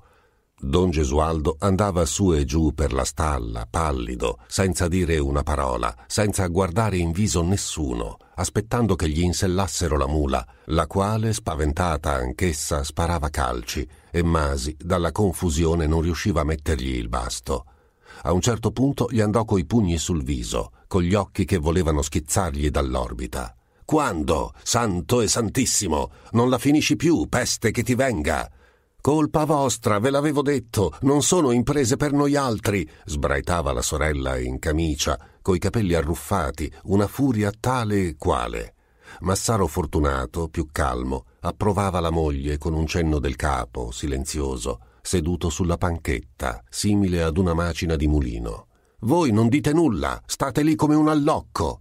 Adesso Speranza inveiva contro suo marito quando si tratta d'aiutar voi, che pure siete suo cognato, carico di figliuoli anche, allora saltano fuori le difficoltà. Denari non ce ne sono. I denari che si son persi nel ponte della malora. Gesualdo da principio si voltò verso di lei inviperito, con la schiuma alla bocca. Poscia mandò giù la bile e si mise a canterellare mentre affibbiava la testiera della mula. Un'allegria che gli mangiava il fegato si fece il segno della croce, mise il piede alla staffa. Infine, di lassù a cavallo, che toccava quasi il tetto col capo, sputò fuori il fatto suo prima d'andarsene. Avete ragione, m'ha fatto fare dei bei negozi tuo marito. La semenza che abbiamo buttato via a Donninga, la vigna che m'ha fatto piantare dove non nasce neppure erba da pascolo. Testa fine, tuo marito. M'è toccato pagarle di tasca mia le vostre belle speculazioni. Ma son stanco, ve, di portare la soma. L'asino, quando è stanco, si corica in mezzo alla via e non va più avanti. E spronò la mula che borbottava ancora la sorella sbraitandogli dietro dall'uscio della stalla finché si udirono i ferri della cavalcatura sui ciottoli della stradicciuola nel buio. Il manovale si mise a correre affannato, zoppicando, ma il padrone, che aveva la testa come un mulino, non se ne avvide.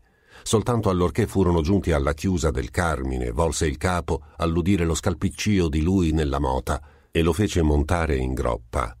Il ragazzo, con la voce rotta dall'andatura della mula, ripeteva sempre la stessa cosa.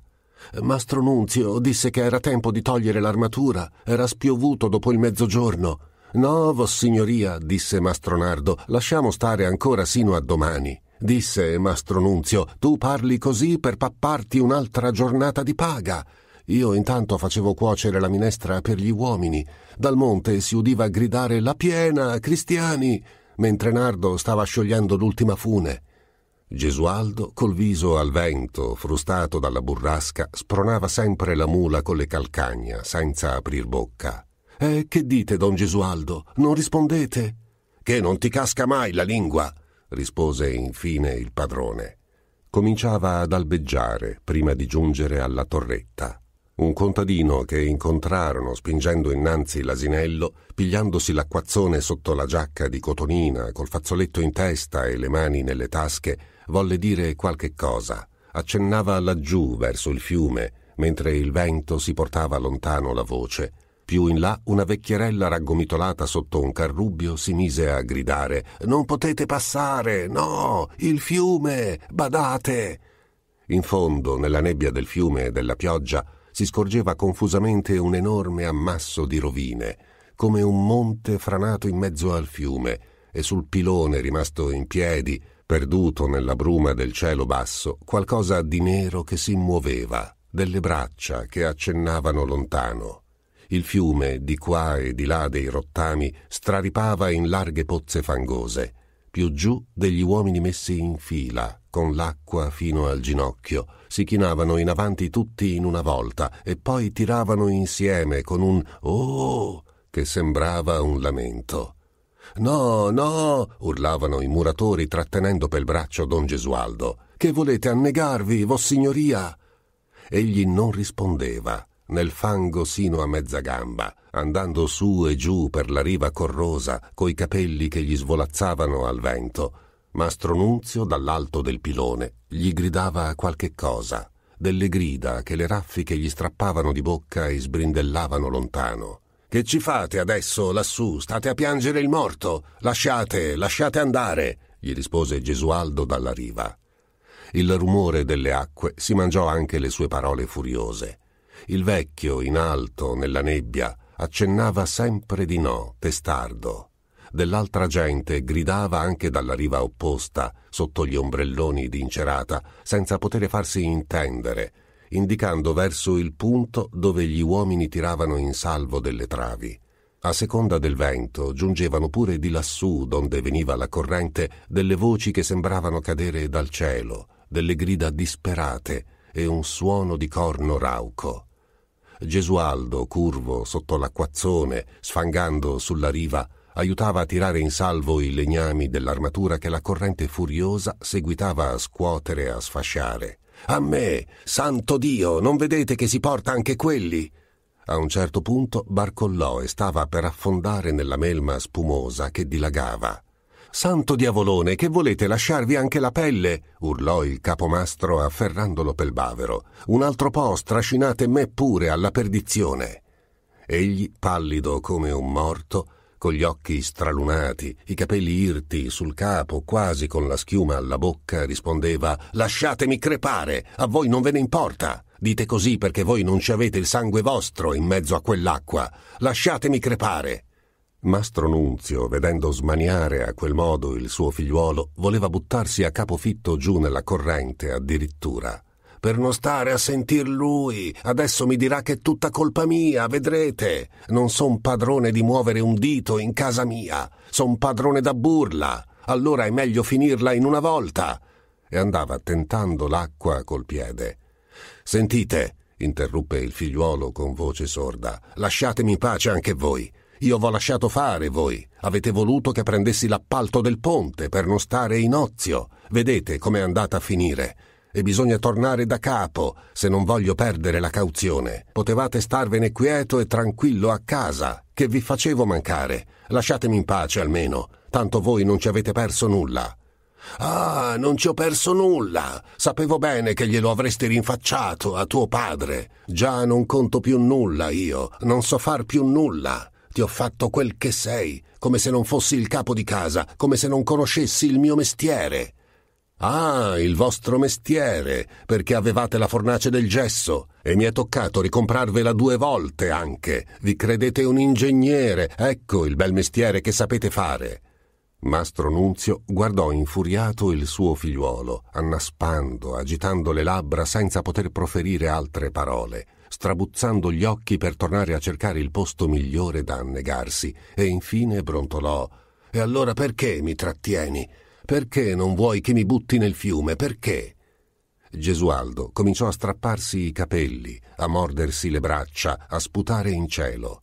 Poscia gli si piantò in faccia disperato, scuotendogli le mani giunte dinanzi al viso. Per l'amor di Dio, per l'anima di mia madre, con questo po' di tegola che m'è cascata fra capo e collo, capite che non ho voglia di scherzare adesso. Il capomastro si intromise per calmarli. Infine, quel che è stato è stato, il morto non torna più. Con le chiacchiere non si rimedia a nulla. Piuttosto venite ad asciugarvi tutti e due, che arrischiate di pigliare un malanno per giunta, così fradici come siete. Avevano acceso un gran fuoco di giunchi e di legna rotte nella capanna, pezzi di travi su cui erano ancora appiccicate le immagini dei santi che dovevano proteggere il ponte, buonanima sua, Mastro Nunzio, il quale perdeva anche la fede in quella disdetta, ci sputò sopra un paio di volte col viso torvo. Tutti piangevano e si fregavano gli occhi dal fumo, intanto che facevano asciugare i panni umidi. In un canto, sotto quelle quattro tegole rotte, era buttato Nardo, il manovale che s'era rotta la gamba, sudando e spasimando. Volle mettere anch'egli una buona parola nel malumore fra padre e figlio.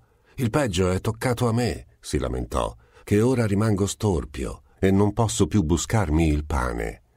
Uno dei suoi compagni, vedendo che non poteva muoversi, gli ammucchiò un po' di strame sotto il capo. Mastro Nunzio sull'uscio, coi pugni rivolti al cielo, lanciava fuoco e fiamme. Giuda Iscariota, santo diavolone, doveva venire adesso questa grazia di Dio. Ciascheduno diceva la sua, dei vicini venuti per vedere, dei viandanti che volevano passare il fiume e aspettavano al riparo con la schiena alla fiammata. Evviva voi, avete fatto un bel lavoro, tanti denari spesi, i denari del comune. Ora ci tocca aspettare chissà quanto prima di vedere un altro ponte. O com'era fatto, di ricotta? Questi altri adesso, arrivate giusto nel buon momento. Volete che faccia scendere Dio e i santi di lassù? sbraitava Mastro Nunzio. Gesualdo, lui, non diceva nulla, con la faccia color di terra, seduto su di un sasso, le mani fra le cosce, penzoloni. Quindi prese a sfogarsi col manovale. Guarda quella carogna. Mi lascia fuori la mula con questo tempo, poltronaccio, nemico del tuo padrone. Non vi disperate, vossignoria, piagnucolò Nardo dal suo cantuccio. Finché c'è la salute, il resto è niente. Gesualdo gli lanciò addosso un'occhiata furibonda. Parla bene lui, che non ha nulla da perdere. No, no, vossignoria, non dite così, che il Signore vi gastiga.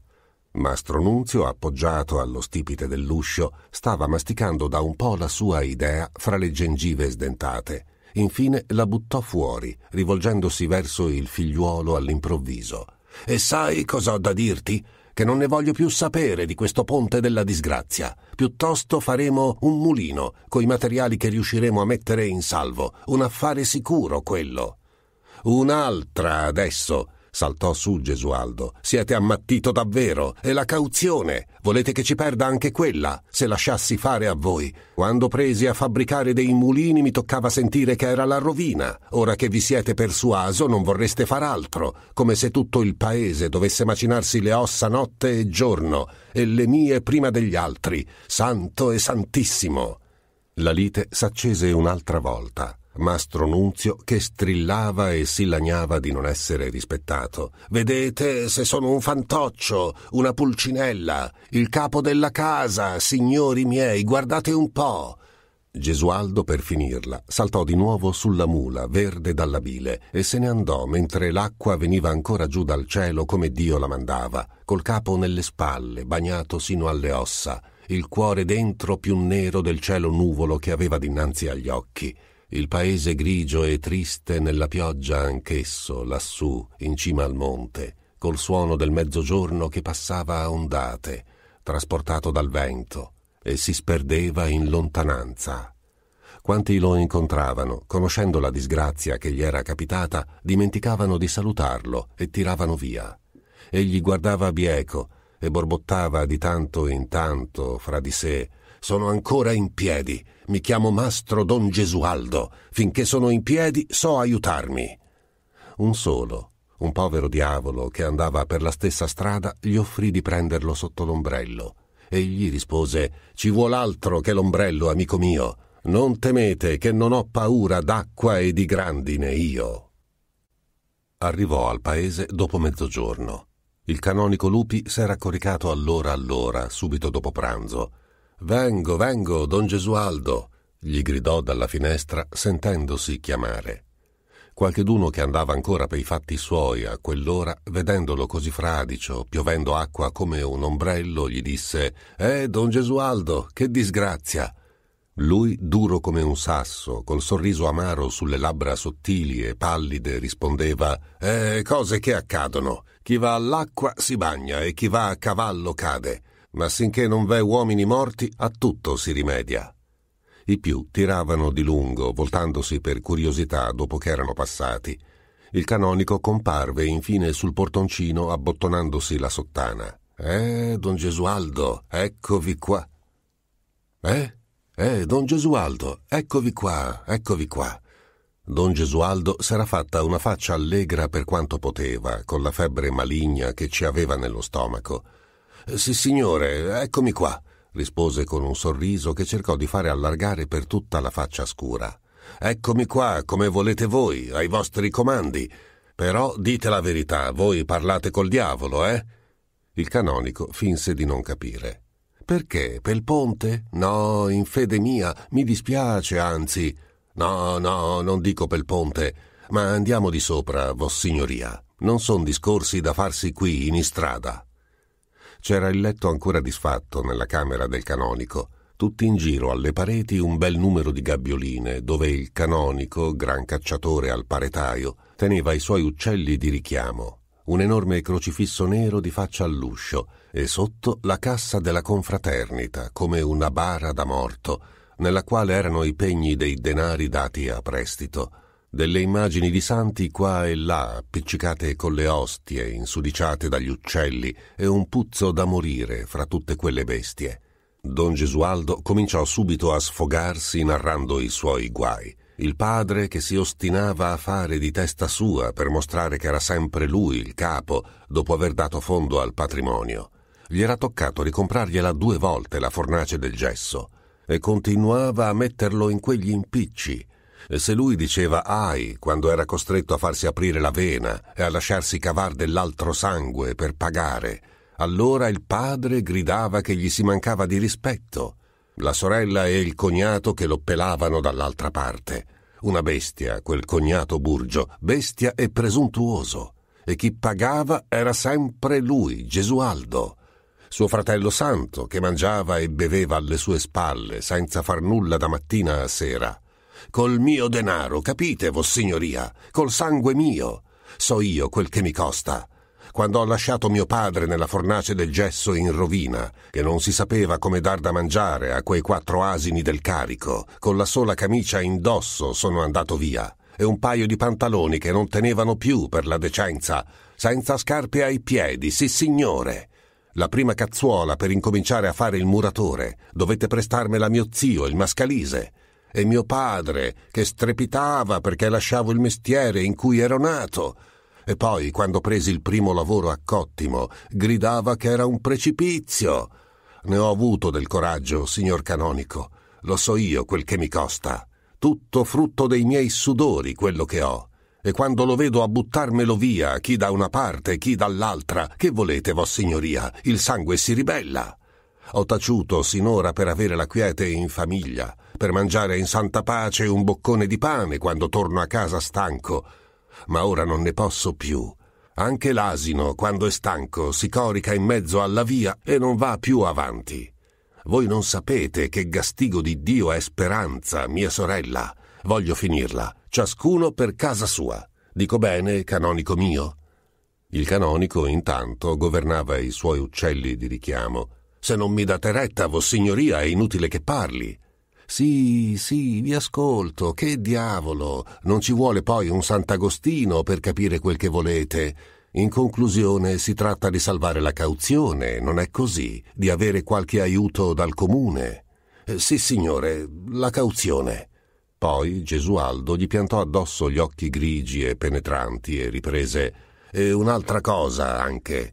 Vi dicevo che voglio far casa da me per conto mio, se trovo la moglie che mi conviene. Ma se non mi date retta, vossignoria, allora è inutile. O se fingete di non capire. Vi ricordate quel discorso che mi faceste la sera della festa del santo patrono? Ma se fate le viste di non capire perché sono venuto qui da voi, quando vi ho detto per prima cosa, vi ho detto eccomi qua, come volete voi. Ah, rispose il canonico alzando il capo come un asino che strappi la cavezza. Poi lasciò stare il nicchio che andava spolverando attentamente e gli fissò addosso anche lui i suoi occhi da uomo che non si lascia mettere nel sacco. Sentite, don Gesualdo, questo non è discorso che venite a farmi adesso a questa maniera. Allora vuol dire che non conoscete chi vi è amico e chi vi è nemico, benedetto Dio. Ho piacere che abbiate toccato con mano se il consiglio che vi ho dato allora era tutt'oro una giovane che è una perla, avvezza ad ogni guaio, che l'avreste tutta ai vostri comandi e di famiglia primaria anche, la quale vi farebbe imparentare con tutti i pezzi grossi del paese. Lo vedete adesso di che aiuto vi sarebbe?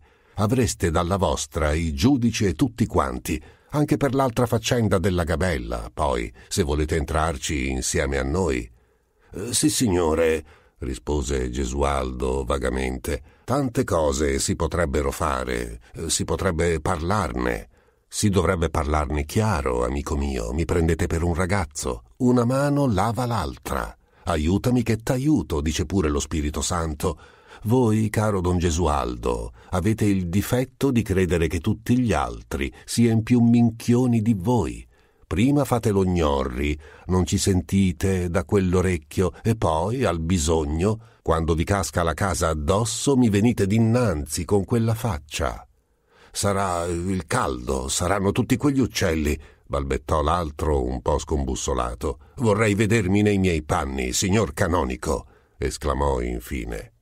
Nei vostri panni, sicuro, mi ci metto. Voglio farvi vedere e toccar con mano chi vi vuol bene o no. Eccomi con voi. Pensiamo a quest'affare del ponte prima, a salvare la cauzione con un sussidio del comune. Andremo adesso dal capitano e dai giurati che non ci sarebbero contrari. Peccato che il barone Zacco abbia già dei sospetti per l'affare della gabella. Lasciatemi pensare. Mentre terminava di legarsi il mantello al collo, andava raccogliendo le idee, con le sopracciglia aggrottate, guardando in terra di qua e di là. Ecco, io vo prima dalla signora Sganci. No, no, non le dico nulla per adesso, qualche parola così in aria, in via accademica. Mi basta che donna Marianna scriva due righe al capitano. Quanto alla baronessa Rubiera, posso dormire fra due guanciali. È come se fosse la vostra stessa persona, se mi promettete, ma badiamo, veh? E il canonico sgranò gli occhi. Don Gesualdo stese la mano verso il crocifisso. No, dico per l'altro affare, quello della gabella. Non vorrei che giocassimo a scaricabarile fra di noi, caro don Gesualdo. Costui voleva allungare la mano di nuovo, ma il canonico aveva già infilato l'uscio. Voi m'aspetterete giù nel portone. Un momento, vado e torno. Tornò, fregandosi le mani. Ve l'avevo detto, non ci vede dagli occhi, donna Marianna, per quella nipote, farete un affarone. Appena fuori si imbatterono nel notaro Neri che andava ad aprire lo studio e fece il viso di condoglianza a don Gesualdo. Brutto affare, eh? Mi dispiace. Sotto si vedeva che gongolava. Il canonico, a tagliar corto, rispose lui. Cosa da nulla, il diavolo poi non è così brutto. Rimedieremo. Abbiamo salvato i materiali. Dopo, quando furono lontani e il notaio con la chiave nella toppa li guardava ancora ridendo, il canonico gli soffiò nell'orecchio a mastro don Gesualdo È che avete una certa faccia, caro mio. Io? Sì, non ve ne accorgete, ma l'avete. Se fate quella faccia, tutti vi metteranno i piedi sopra per camminarvi. Con quella faccia non si va a chiedere un favore. Aspettatemi qui, salgo un momento dal cavalier Peperito. È una bestia, ma l'hanno fatto giurato. Appena il canonico se ne fu andato su per la scala rotta e scalcinata, arrivò il cavaliere dal poderetto, montato su di un asinello macilento, con una bisaccia piena di fave dietro. Don Gesualdo, per ingraziarselo, lo aiutò a scaricar le fave e a legar l'asino alla mangiatoia sotto l'arco della scaletta. Ma il cavaliere parve un po' seccato d'essere stato sorpreso in quell'arnese, tutto infangato e col vestito lacero da campagna. Non ne facciamo nulla, disse il canonico ritornando poco dopo. È una bestia. Crede di fare il cavaliere sul serio. Deve avercela con voi. Bisogna trovare la persona. Ciolla, oi, Ciolla, a voi dico, Ciolla, Sapete se è in casa don Filippo? L'avete visto uscire? Ciolla ammiccò con l'unico occhio, torcendo ancora la bocca di paralitico. No, Canali è ancora lì da Bomma, che l'aspetta per condurlo dalla cognata alla ceraiuola, sapete bene, è la loro passeggiata dopo pranzo, a trastullarsi con lei dietro lo scaffale. Che c'è di nuovo, don Gesualdo? Andate a benedire il ponte insieme al canonico? Don Gesualdo si sfogò infine con lui, appuntandogli contro le corna con tutte e due le mani. Vi stava sulla pancia quel ponte, come aveste dovuto spendere di tasca vostra. Il canonico lo tirò per un braccio. Andiamo, andiamo. Volete chiudere la bocca a tutti gli sfaccendati?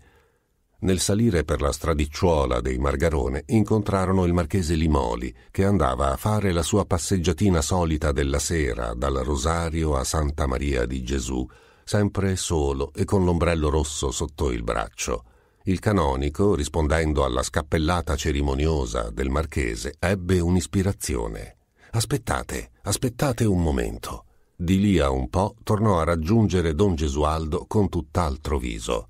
Un gran diavolo quel marchese, povero come Giobbe, ma è uno che ha voce in capitolo. S'aiutano fra di loro, tutti in un gruppo. Una buona parola, alle volte, fra di loro non possono dir di no. Lo lascerebbero morir di fame, ma un favore non glielo negano. Don Filippo era ancora in casa occupato a rigar la carta per le aste di Nicolino. Che buon vento, che buon vento!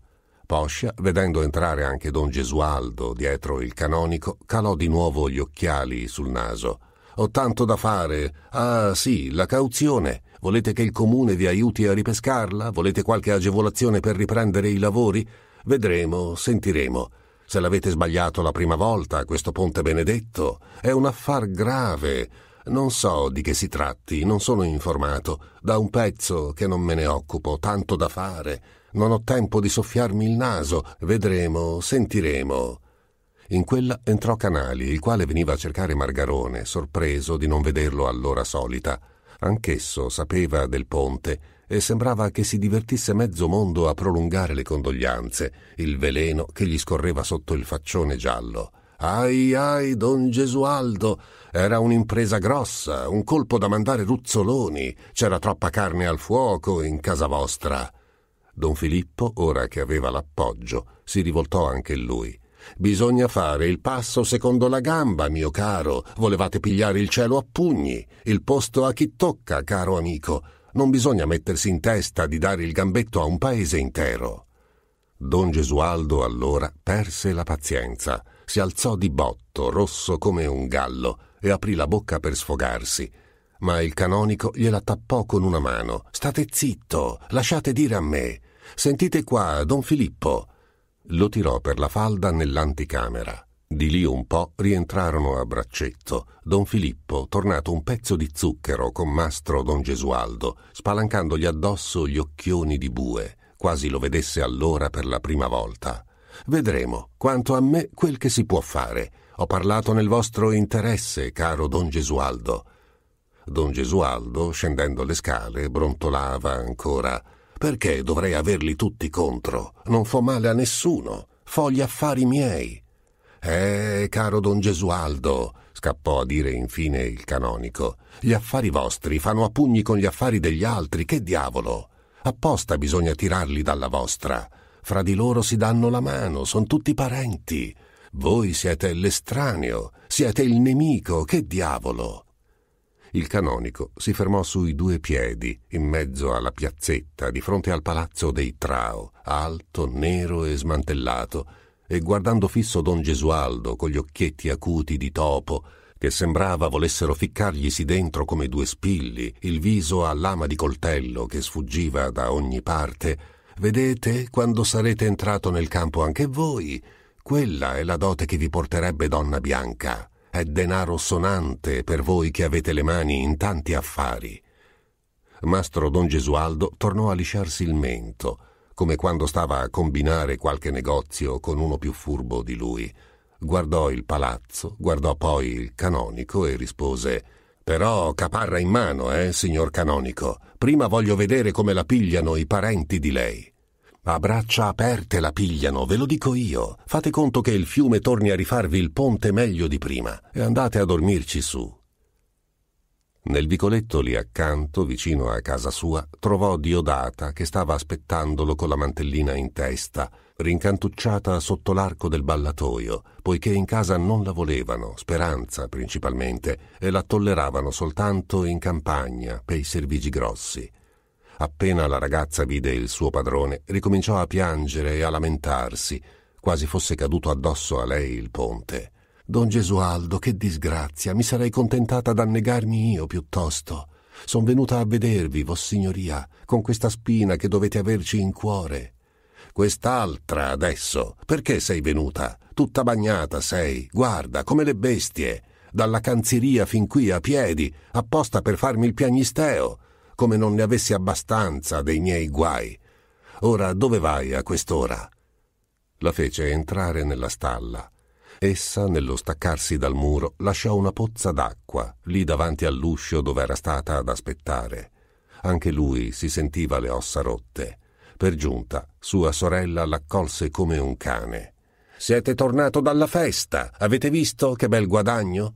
Poi si rivolse inviperita a suo marito, nera, magra al par di un chiodo, con gli occhi di carbone, tanto di bocca aperta, quasi volesse mangiarsi la gente.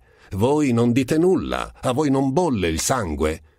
Burgio, più pacifico, cercava di svignarsela, facendo le spalle grosse, chinando il testone di bue. Ecco, nessuno si dà pensiero dei guai che ci capitano. Io sola mi mangio il fegato. Il fratello Gesualdo, con la bocca amara, le andava cantando Lascia stare, Speranza, lasciami stare, che ne ho abbastanza, anche senza la tua predica. Non volete sentire neppure la predica? Non volete che mi lamenti? Tanti denari persi, che non li guadagnate i vostri denari voi? Egli, per fuggire quella vespa, andava cercando in cucina qualcosa da mettere sotto il dente dopo una giornata simile frugava nel cassone del pane, speranza sempre dietro, come il gastigo di Dio. Fra poco, seguitando di questo passo, non ce ne sarà più di pane nel cassone, no, e non ci sarà neppure il cassone, non ci sarà. La casa se ne andrà tutta al diavolo. Santo, che tornava affamato dal bighellonare in piazza tutta la giornata, a trovare il fuoco spento diede nelle furie, come un vero animale i ragazzi che strillavano, tutti i vicini alle finestre per godersi la scena, tanto che Gesualdo, infine, perse la pazienza. Sapete cosa vi dico? Che mi fate fare uno sproposito. Tante volte ve l'ho predicato, ora lo fo sul serio, come vero Dio. L'asino, quando non ne può più, si corica, e buonanotte a chi resta e se ne andò nella stalla mentre Speranza gli strillava dietro Scappate anche per andare a trovare Diodata? Vi pare che non l'abbia vista? Mezza giornata che vi aspetta, quella sfacciata. Egli sbatacchiò l'uscio. Dapprima non voleva neppur mangiare, digiuno com'era da ventiquattro ore, con tutti quei dispiaceri che gli empivano lo stomaco. Diodata andò a comprargli del pane e del salame bagnata sino alle ossa al par di lui, con la gola secca. Lì, sulla panchetta della stalla, dinanzi a una fiammata di strame, almeno si inghiottiva in pace un po' di grazia di Dio. Ti piace, eh, questa bella vita? Ti piace a te? domandava egli, masticando a due palmenti, ancora imbronciato. Essa stava a vederlo mangiare, col viso arrossato dalla fiamma, e diceva di sì, come voleva lui, con un sorriso contento adesso. Il giorno finiva sereno. C'era un'occhiata di sole che spandevasi color d'oro sul cornicione del palazzo dei Trao, di rimpetto, e donna bianca, la quale sciorinava un po' di biancheria logora sul terrazzo che non poteva vedersi dalla piazza, con le mani fine e delicate, la persona che sembrava più alta e sottile in quella vesticciuola dimessa, mentre alzavasi sulla punta dei piedi per arrivare alle funicelle stese da un muro all'altro. Vedi chi vogliono farmi sposare? disse lui. Una trao e buona massaia anche, m'hanno detto la verità. E rimase a guardare pensieroso, masticando adagio adagio. Diodata guardava anche lei, senza dir nulla, col cuore grosso. Passarono le capre belando dal vicoletto. Donna Bianca, come sentisse al fine quegli occhi fissi su di lei, voltò il viso pallido e sbattuto e si trasse indietro bruscamente. Adesso accende il lume, riprese don Gesualdo. Fa tutto in casa, lei. Eh, c'è poco da scialarla in quella casa. Mi piace perché è avvezza ad ogni guaio e l'avrei al mio comando. Tu di, che te ne pare? Diodata volse le spalle andando verso il fondo della stalla per dare una manciata di biada fresca alla mula e rispose dopo un momento con la voce roca. Vossignoria siete il padrone. È vero, ma beh, che bestia, devi aver fame anche tu. Mangia, mangia, poveretta, non pensar solo alla mula. Capitolo sesto Don Luca, il sagrestano, andava spegnendo ad una ad una le candele dell'altar maggiore con un ciuffetto d'erbe legato in cima alla canna tenendo d'occhio nel tempo istesso una banda di monelli che irrompevano di tratto in tratto nella chiesa quasi deserta in quell'ora calda, inseguiti a male parole dal sagrestano. Donna Bianca Trao, inginocchiata dinanzi al confessionario, chinava il capo umile. Abbandonavasi in un accasciamento desolato, biascicando delle parole sommesse che somigliavano a dei sospiri.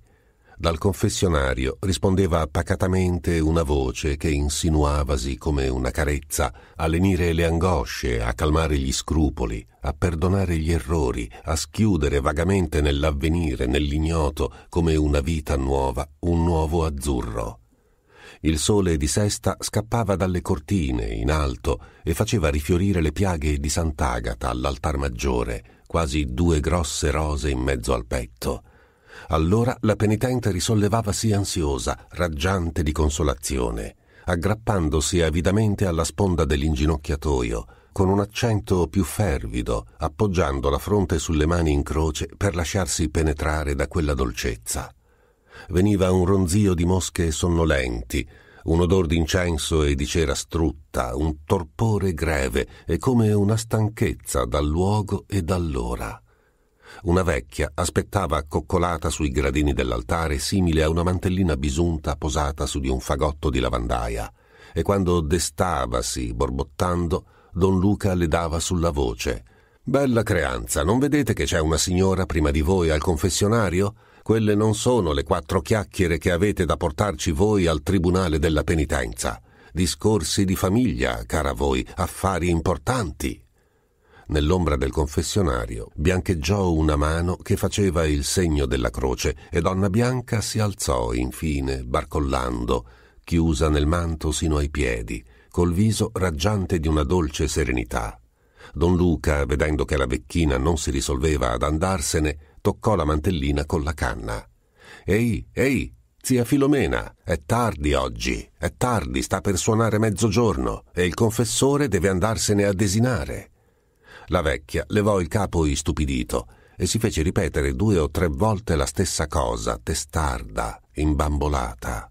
Sicuro, sto per chiudere la chiesa. Potete andarvene, madre mia. Oggi neppure. C'è la trebbia al passo di cava, padre Angelino. Giorni di lavoro, cara mia.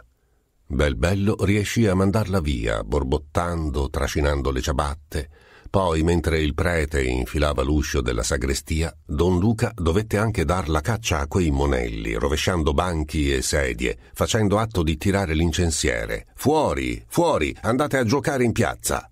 Nello stesso tempo, passava e ripassava vicino a Donna Bianca che si era inginocchiata a pregare dinanzi alla cappella del sacramento, sfolgorante d'oro e di colori lucenti da accecare, tossendo, spurgandosi, fermandosi a soffiarsi il naso, brontolando neppure in chiesa non si può raccogliersi a fare le orazioni. Donna Bianca si alzò in piedi, segnandosi, con le labbra ancora piene di Ave Marie. Il sagrestano le rivolse la parola direttamente mentre essa avviavasi per uscire. Siete contenta, vossignoria? Un santuomo quel padre Angelino. Confessa bene, eh? L'ha lasciata contenta? Ella accennò di sì col capo, col sorriso breve, rallentando il passo per cortesia. Un bravo uomo, un uomo di giudizio. Quello sì che ve lo può dare un buon consiglio, meglio di vostro fratello Don Ferdinando e anche di Don Diego, sì guardò intorno con gli occhi di gatto, avvezzi a vederci al buio nella chiesa e su per la scala del campanile, e aggiunse sottovoce, cambiando tono, in aria di gran mistero.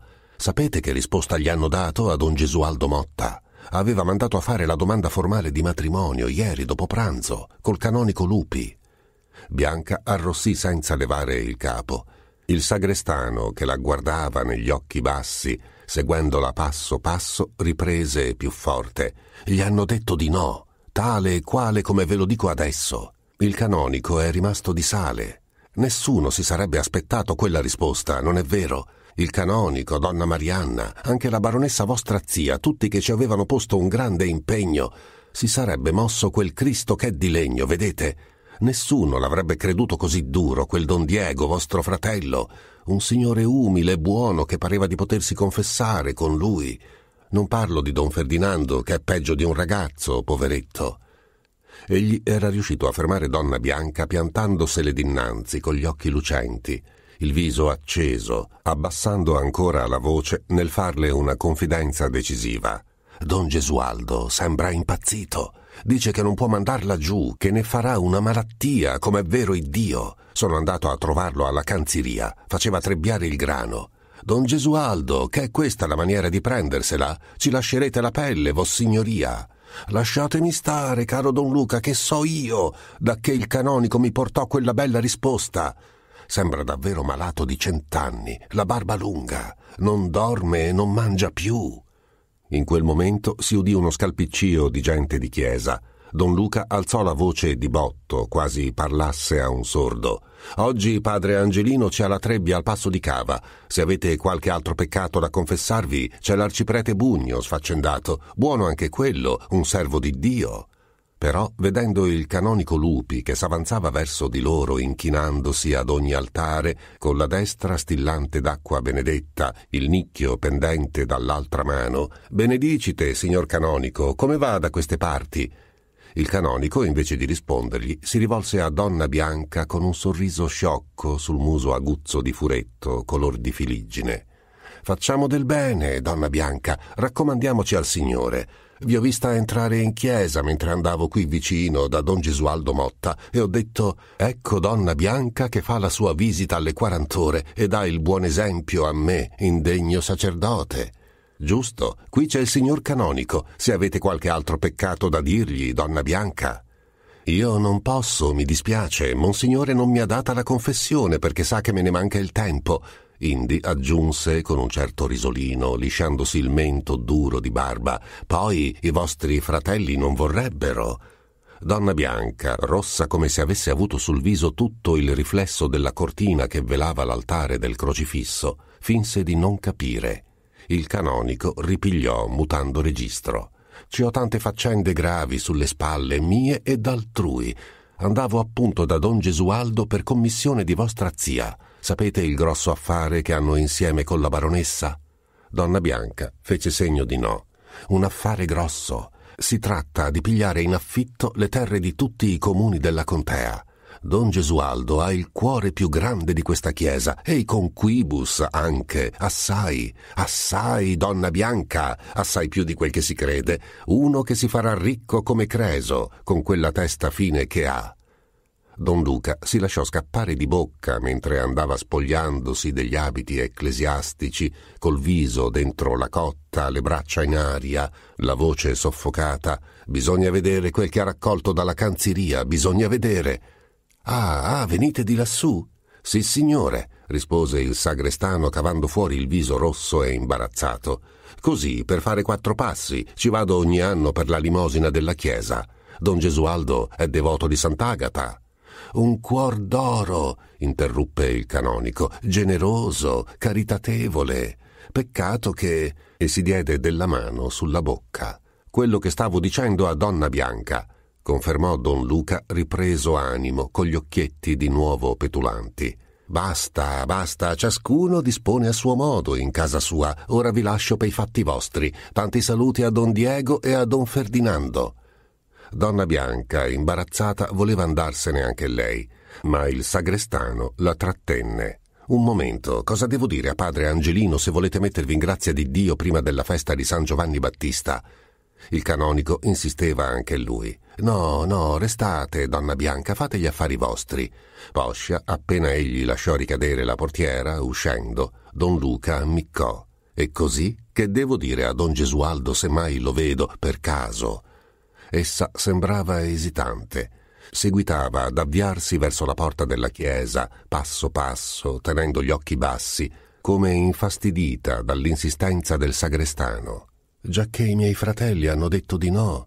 Una sciocchezza hanno detto. Avrei voluto condurli per mano alla canziria e fargli vedere se non vale tutti i vostri ritratti affumicati. Scusatemi, donna Bianca, parlo nell'interesse di Vossignoria. I vostri fratelli tengono al fumo perché sono vecchi, hanno i piedi nella fossa loro.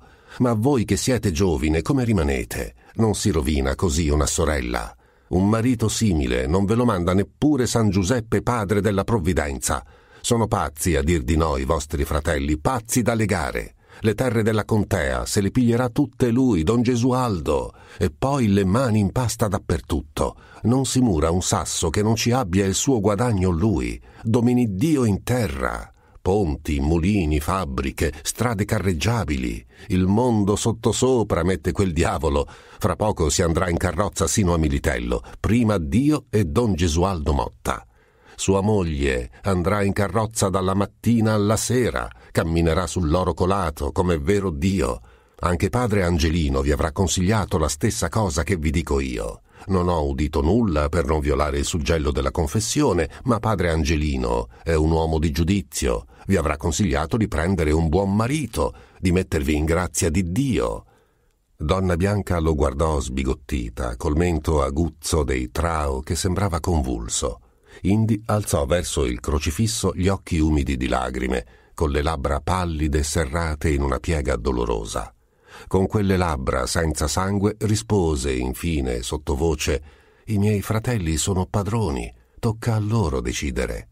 Don Luca, a corto d'argomenti, rimase un istante quasi sbalordito, piantandosi dinanzi a lei per non lasciarla scappare, soffocato da tante buone ragioni che aveva in gola, balbettando, annaspando, grattandosi rabbiosamente il capo, con gli occhietti scintillanti che andavano come frugandola tutta da capo a piedi per trovare il punto debole, scuotendole dinanzi le mani giunte, minaccioso e supplichevole.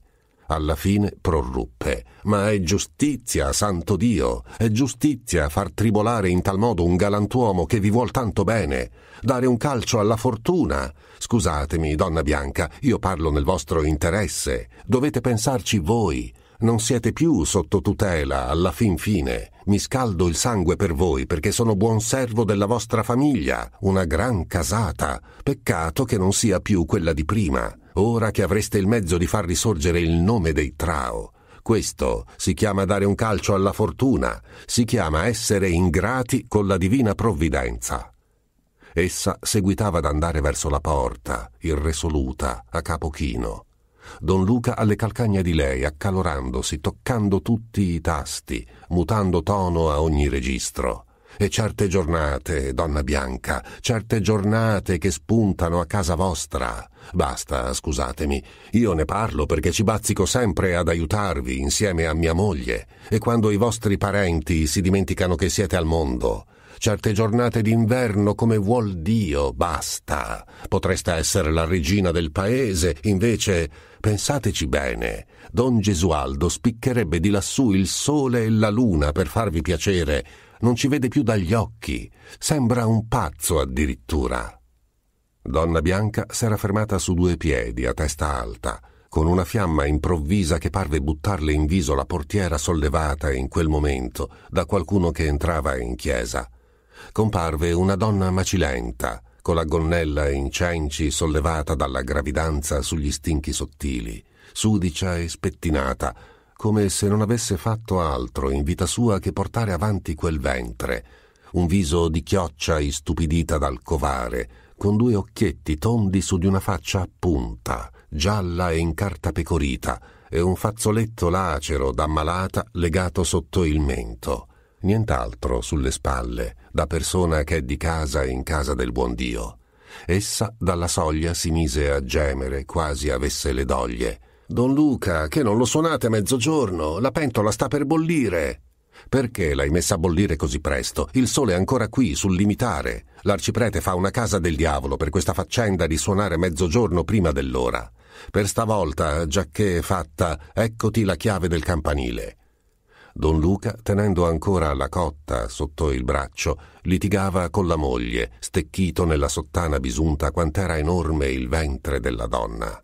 Tu c'hai l'orologio lì nella pancia, pensi solo a mangiare, ci vuol la grazia di Dio. I vicini sono ancora tutti fuori, ecco lì i ragazzi di Burgio. Aspettano anche loro, piagnucolò la moglie sempre su quel tono. Aspettano che suonate mezzogiorno. E se ne andò col ventre avanti. I nipoti di Don Gesualdo, riprese il sagrestano, ammiccando in modo significativo a Donna Bianca nel tornare indietro. Stanno lì a farci la spia. Li manda sua madre apposta, comare Speranza, per sapere tutto quello che facciamo. Tiene d'occhio la roba, colei, quasi fosse sua. Ci ha fatto i suoi disegni sopra. Quando mi incontra, l'aria di mangiarmi. Finse di precedere Donna Bianca per sollevare la portiera, onde trattenerla ancora un momento lui fa proprio compassione, una faccia da malato. Mi parlò tutto il tempo di Vossignoria. Dice che forse il canonico Lupi non avrà saputo fare l'imbasciata, che vorrebbe parlarvi, per vedere, per sentire. Donna Bianca si fece di fuoco. È innamorato, che volete farci? Innamorato come un pazzo. Dovreste tornare a parlargliene coi vostri fratelli, mandargli qualche buona parola, una risposta più da cristiani. Verrò io stesso a prenderla dopo mezzogiorno, quando Don Diego e Don Ferdinando sono in letto, col pretesto dei fiori per la Madonna. Sì, cosa mi dite? Essa chinò il capo rapidamente nel passare sotto la cortina ed uscì fuori. Don Luca credette di scorgere che volesse frugarsi in tasca e seguitò correndole dietro. Che fate? No, mi offendete. Un'altra volta, più tardi, quando potrete. Ho pensato meglio di mandare mia moglie a prendere la risposta di Vossignoria. Non vorrei che i vostri fratelli, vedendomi bazzicare per casa, sospettassero che mi manda il canonico. Dopo Vespro spicciò lesto lesto il servizio della chiesa e corse alla canziria. Cinque miglia di salita, pazienza, per amore di don Gesualdo che se lo meritava in verità. Sta per cascare, don Gesualdo. Ancora essa non mi ha detto chiaro di sì con la sua bocca, ma si vede che tentenna come la pera quando è matura. Sono pratico di queste cose, perché vedo tutti i giorni in chiesa delle donne che ricorrono al tribunale della penitenza, prima e poi. M'ha fatto sudare una camicia. Ma ora vi dico che la pera è matura un'altra crollatina e vi casca fra le braccia, ve lo dico io. Dovreste correre al paese e scaldare il ferro mentre è caldo. Però don Gesualdo non fece una gran festa all'imbasciata amorosa che gli capitava in quel momento. Vedete, don Luca, ci ho tutta la raccolta nell'aia, sono in piedi da stanotte. Non ho sempre il vento in tasca per trebbiare a comodo mio. L'aia era vasta quanto una piazza Dieci muli trottavano in giro continuamente e dietro i muli correvano Nanni Lorbo e Brasi Camauro, affondando nella pula sino ai ginocchi, ansanti, vociando, cantando, urlando. Da un lato, in una nuvola bianca, una schiera di contadini armati di forche, con le camicie svolazzanti, sembrava che vangassero nel grano mentre lo zio Carmine, in cima alla bica, nero di sole, continuava a far piovere altri covoni dall'alto. Delle tregge arrivavano ogni momento dai seminati intorno, cariche d'altra messe. Dei garzoni insaccavano il grano e lo portavano nel magazzino, dove non cessava mai la nenia di Pirtuso, che cantava Evviva Maria ogni venti moggi. Tutt'intorno svolazzavano stormi di galline, un nugolo di piccioni per aria, degli asinelli macilenti abboccavano affamati nella paglia, con l'occhio spento, Altre bestie da soma erano sparse qua e là, e dei barili di vino passavano di mano in mano, quasi a spegnere un incendio. Don Gesualdo sempre in moto, con un fascio di taglie in mano, segnando il frumento insaccato, facendo una croce per ogni barile di vino, contando le tregge che giungevano, sgridando Diodata, disputando col sensale, vociando agli uomini da lontano, sudando, senza voce, con la faccia accesa, la camicia aperta, un fazzoletto di cotone legato al collo, un cappellaccio di paglia in testa. Lo vedete, don Luca, se ho tempo da perdere, adesso? Vino, qua, date da bere a don Luca. Sì, sì, verrò, ma quando potrò? Per ora non posso muovermi, cascasse il mondo. Diodata, bada che il vento spinge la fiamma verso l'aia, santo e santissimo. No, don Luca, non sono in collera per il rifiuto dei suoi fratelli. Venite qua, accostatevi, che è inutile far sapere alla gente i fatti nostri. Ciascuno la pensa a modo suo, poi è lei che deve risolvere. Se lei dice di sì, io per me non mi tiro indietro ma oggi non posso venire e neppure domani. Beh, dopodomani. Dopodomani devo venire anche per l'affare della gabella e ne discorreremo. Don Luca suggerì pure di far precedere due paroline scritte. Ci abbiamo appunto mia moglie che par fatta apposta per consegnarle sotto mano a donna Bianca, senza destar sospetti. Una bella letterina con due o tre parole che fanno colpo sulle ragazze. Capite, vossignoria? Ciolla ci ha la mano. Ne parlerei io stesso a Ciolla in segretezza, senza stare a rompervi il capo, vossignoria, e vi fa fare una bella figura. Con un bottiglione di vino poi ve lo chetate il Ciolla. Don Gesualdo non volle sapere di lettera. Non per risparmiare il vino, ma che storie mi andate contando? Se a lei l'affare gli va, allora che bisogno c'è di tante chiacchiere? Basta, basta, conchiuse don Luca. Dicevo per piantare meglio il chiodo, ma voi siete il padrone. Don Luca se ne tornò tutto contento, con un agnello e una forma di cacio. per prudenza mandò la moglie a fare l'imbasciata sotto un pretesto. Circa quel discorso che siete intesi con mio marito, Vossignoria, dice che il confessore verrà dopodomani a prendere la risposta. Il confessore domenica aspetta la risposta. Don Ferdinando, che aveva udito aprire il portone, comparve in quel momento come un fantasma. Il confessore, riprese a dire la gnà Grazia senza che nessuno le domandasse nulla. Donna Bianca voleva confessarsi, oggi non può il confessore e domani neppure. Domenica, piuttosto, se gli fate sapere che siete pronta. La poveraccia, sotto quegli occhi stralunati di don Ferdinando, che pareva la frugassero tutta, sospettosi, inquieti, si confondeva, balbettava, cercava le parole. Poscia, vedendo che l'altro stava zitto e non si muoveva, allampanato, tacque anch'essa e si mise a guardare in aria a bocca aperta, con le mani sul ventre. Bianca, a tagliar corto, la condusse nella dispensa per darle una grembiata di fave. Don Ferdinando sempre dietro, cucito alle loro calcagna, taciturno, guardando in ogni cantuccio, sospettoso, si chinò anch'esso sul mucchietto di fave, covandolo con la persona, misurandolo ad occhio, palpandolo con le mani. E dopo che la sagrestana se ne fu andata come un'anatra, reggendo il grembiule pieno sul ventre enorme, si mise a brontolare Troppe, ne hai date troppe, stanno per terminare. La zia non ne manda altre prima di Natale. La sorella voleva andarsene, ma lui seguitava a cercare, a frugare, a passare in rivista la roba della dispensa, due salsicciotti magri appesi a un gran cerchio, una forma di cacio bucata dai topi, delle pere infracidite su di un asse, un orciolino d'olio appeso dentro un recipiente che ne avrebbe contenuto venti cafisi, un sacco di farina in fondo ad una cassapanca grande quanto un granaio, il cestone di vimini che aspettava ancora il grano della rubiera. Infine riprese ci vuol l'aiuto di Dio. Siamo tre bocche da sfamare in casa, ti par poco. Ci vorrebbe anche un po' di brodo per Diego. Non mi piace da qualche tempo. Hai visto la faccia che ha? Lo stesso viso della buonanima, ti rammenti, quando si mise a letto per non alzarsi più. E il medico non viene neppure perché ha paura di non essere pagato, dopo tanti denari che si è mangiati nell'ultima malattia della buonanima. La zia Rubiera si è dimenticata che siamo al mondo, ed anche la zia Sganci. Così brontolando, andava passo passo dietro alla sorella, chinandosi a raccattar per terra le fave cadute dal grembiule di Grazia. Poscia, come svegliandosi da un sogno, domandò Tu perché non vai dalla zia Rubiera? Avrebbe mandato un paio di piccioni, sapendo che Diego non sta bene, per fargli un po' di brodo. Bianca divenne di brace in viso e chinò gli occhi. Don Ferdinando aspettò un momento la risposta, a bocca aperta, battendo le palpebre. Indi tornò nella dispensa a riporre le fave che aveva raccolte da terra. Poco dopo essa se lo vide comparire dinanzi un'altra volta, con quell'aria sbalordita. Se torna la sagrestana non gli dar nulla un'altra volta. Sanguisughe sono. Le fave stanno per terminare, hai visto? E un'altra cosa.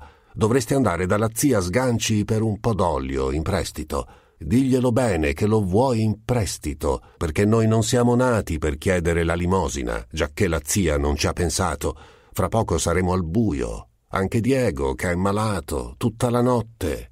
E spalancava gli occhi, accennando ancora con le mani e col capo, con un terrore vago sul viso attonito. Da lontano si udiva di tanto in tanto la tosse che si mangiava a don Diego, attraverso agli usci, lungo il corridoio, implacabile e dolorosa per tutta la casa. Bianca sussultava ogni volta col cuore che le scoppiava, chinandosi ad ascoltare, o fuggiva come spaventata, tappandosi le orecchie. Non ci reggo, no, non ci reggo. Infine Dio le diede la forza di ricomparire dinanzi a lui, quel giorno in cui don Ferdinando le aveva detto che il fratello stava peggio, nella cameretta sudicia, sdraiato su quel lettuccio che sembrava un canile. Don Diego non stava né peggio né meglio. Era lì aspettando quel che Dio mandava, come tutti i trao, senza lagnarsi, senza cercare di fuggire il suo destino, badando solo di non incomodare gli altri e tenersi per sé i suoi guai e le sue miserie. Volse il capo, vedendo entrare la sorella, quasi un'ombra gli calasse sul viso incartapecorito. Poscia le accennò con la mano di accostarsi al letto. Sto meglio, sto meglio. Povera Bianca, tu come stai? Perché non ti sei fatta vedere? Perché? Le accarezzava il capo con quella mano scarna e sudicia di malato povero. Gli era rimasto sulle guance incavate e sparse di peli grigi un calore di fiamma. Povera Bianca, son sempre tuo fratello, sai, il tuo fratello che ti vuol tanto bene, povera Bianca. Don Ferdinando mi ha detto, balbettò essa timidamente, volete un po' di brodo? Il malato dapprima fece segno di no, guardando in aria, supino. Poi volse il capo, fissandola con gli occhi avidi dal fondo delle orbite che sembravano vuote, filigginose. Il brodo, dicevi, c'è un po' di carne. Manderò dalla zia, dalla zia Sganci, s'affrettò ad aggiungere Bianca con una vampa improvvisa sulle guance. Sul volto del fratello era passata un'altra fiamma simile. No, no, non ne voglio. Neppure il medico voleva. No, no, cosa mi fa il medico? Tutte imposture per spillarci dei denari. Il vero medico è lassù, quel che vorrà Dio. Del resto mi sento meglio. Parve migliorare realmente di lì a qualche giorno. Del buon brodo, un po' di vino vecchio che mandava la zia Sganci, l'aiutarono ad alzarsi dal letto, ancora sconquassato, col fiato ai denti. Venne pure donna Marianna in persona a fargli visita, premurosa, con un rimprovero amorevole sulla faccia buona. Come? Siete in quello stato e io non ne so nulla? Siamo in mezzo ai turchi? Siamo parenti, sì o no? Sempre misteri, sempre ombrosi e selvatici, tutti voi altri, trao, rincantucciati come gli orsi in questa tana. Un bel mattino vi troveranno belli e morti all'improvviso, che sarà una vergogna per tutto il parentado. Neppure di quel negozio del matrimonio non me ne avete detto nulla. E sfilò quest'altro rosario. Erano pazzi o cos'erano a rifiutare una domanda simile a quella? Uno sulla strada di farsi riccone come Don Gesualdo Motta. Don Gesualdo, sì signori. I pazzi, lasciateli stare, vedete bene in quale stato vi hanno ridotto. Un cognato che potrebbe aiutarvi in tutti i modi, che vi toglierebbe da tante angustie. Ah, Donna Marianna guardava intorno per la stanzaccia squallida, scrollando il capo. Gli altri non fiatavano. Bianca a capo chino, don Ferdinando aspettando che parlasse suo fratello, con gli occhi di Barbagianni fissi su di lui. Don Diego da principio rimase attonito, brontolando Mastro Don Gesualdo, siamo arrivati fin lì, Mastro Don Gesualdo che vuol sposare una trao. Sicuro, chi volete che la sposi, senza dote? Non è più una bambina neppure lei, è un tradimento belle buono. Cosa farà quando chiuderete gli occhi voi e vostro fratello? La serva, eh? La serva della zia Rubiera o di qualche d'un altro? Don Diego si alzò dal letto come si trovava, in camiciuola di flanella col fazzoletto in testa, le gambe stecchite che gli tremavano a verga dentro le mutande logore. Un ecce omo andava errando per la stanza, stralunato, facendo gesti e discorsi incoerenti, tossendo, tirando il fiato a stento, soffiandosi il naso, quasi suonasse una tromba. Mastro Don Gesualdo! Saremmo arrivati a questo, che una trao sposerebbe Mastro Don Gesualdo! Tu acconsentiresti, Bianca, di, tu diresti di sì? Bianca, pallidissima, senza levare gli occhi da terra, disse di sì col capo, lentamente. Egli agitò in aria le braccia tremanti e non seppe più trovare una sola parola. Don Ferdinando non fiatava neppur lui, atterrito che Don Diego non riuscisse a persuader Bianca. Cosa volete che dica? esclamò la zia. Vi pare un bell'avvenire quello di invecchiare come voi altri, fra tante angustie? Scusatemi, ne parlo perché siamo parenti. Fo quel che posso anch'io per aiutarvi, ma non è una bella cosa, infine, neanche per voi altri. Ed ora che vi si offre la fortuna a risponderle con un calcio, scusatemi, io la direi una porcheria. D'un tratto Don Diego si mise a ridere, quasi colpito da un'ispirazione, ammiccando dell'occhio, fregandosi le mani, con dei cenni del capo che volevano dire assai. Va bene, va bene, non è che questo, perché ora come ora siamo un po' angustiati. Ti pesa, di, ti pesa questa vita angustiata, povera Bianca. Hai paura per l'avvenire. Si fregò il mento peloso con la mano ischeletrita, seguitando ad ammiccare, cercando di rendere furbo il sorriso pallido. Vieni qua, non ti dico altro.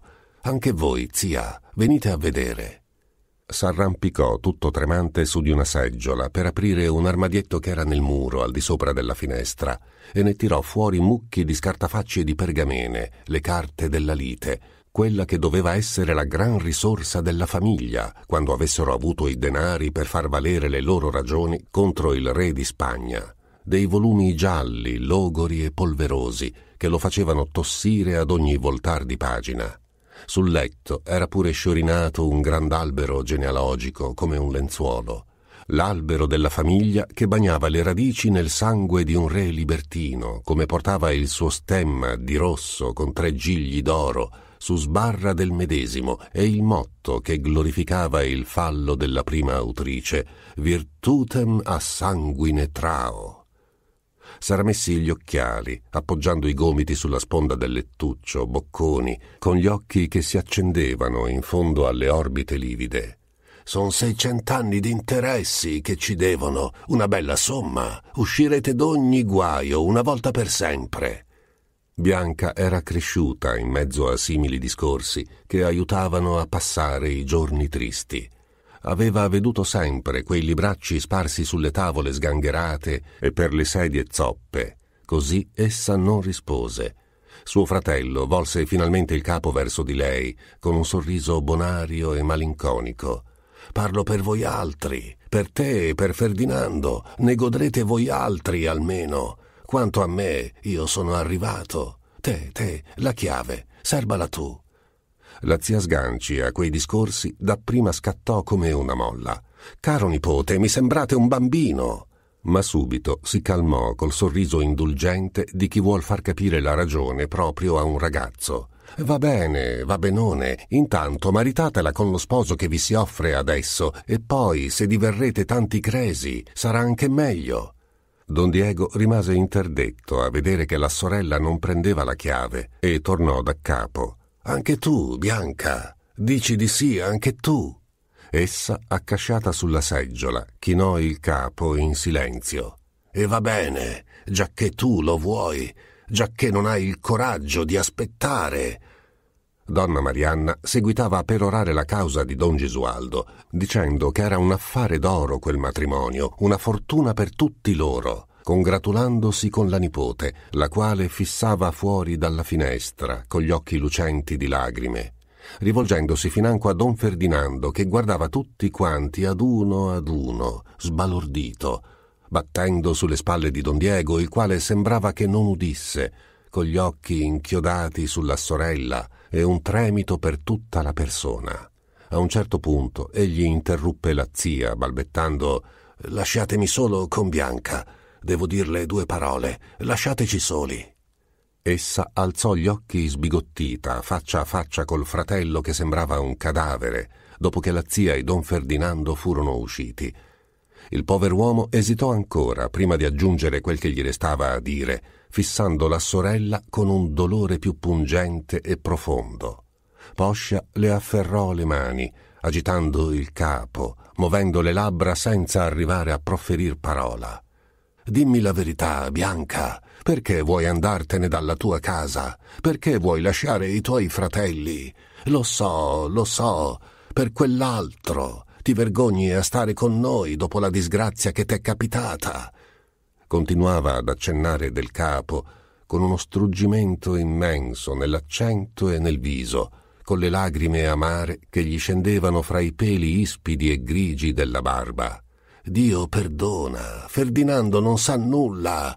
Io, io, Bianca, come una figliuola, ti voglio bene. Mia figlia sei, Bianca tacque sopraffatto da uno scoppio di pianto.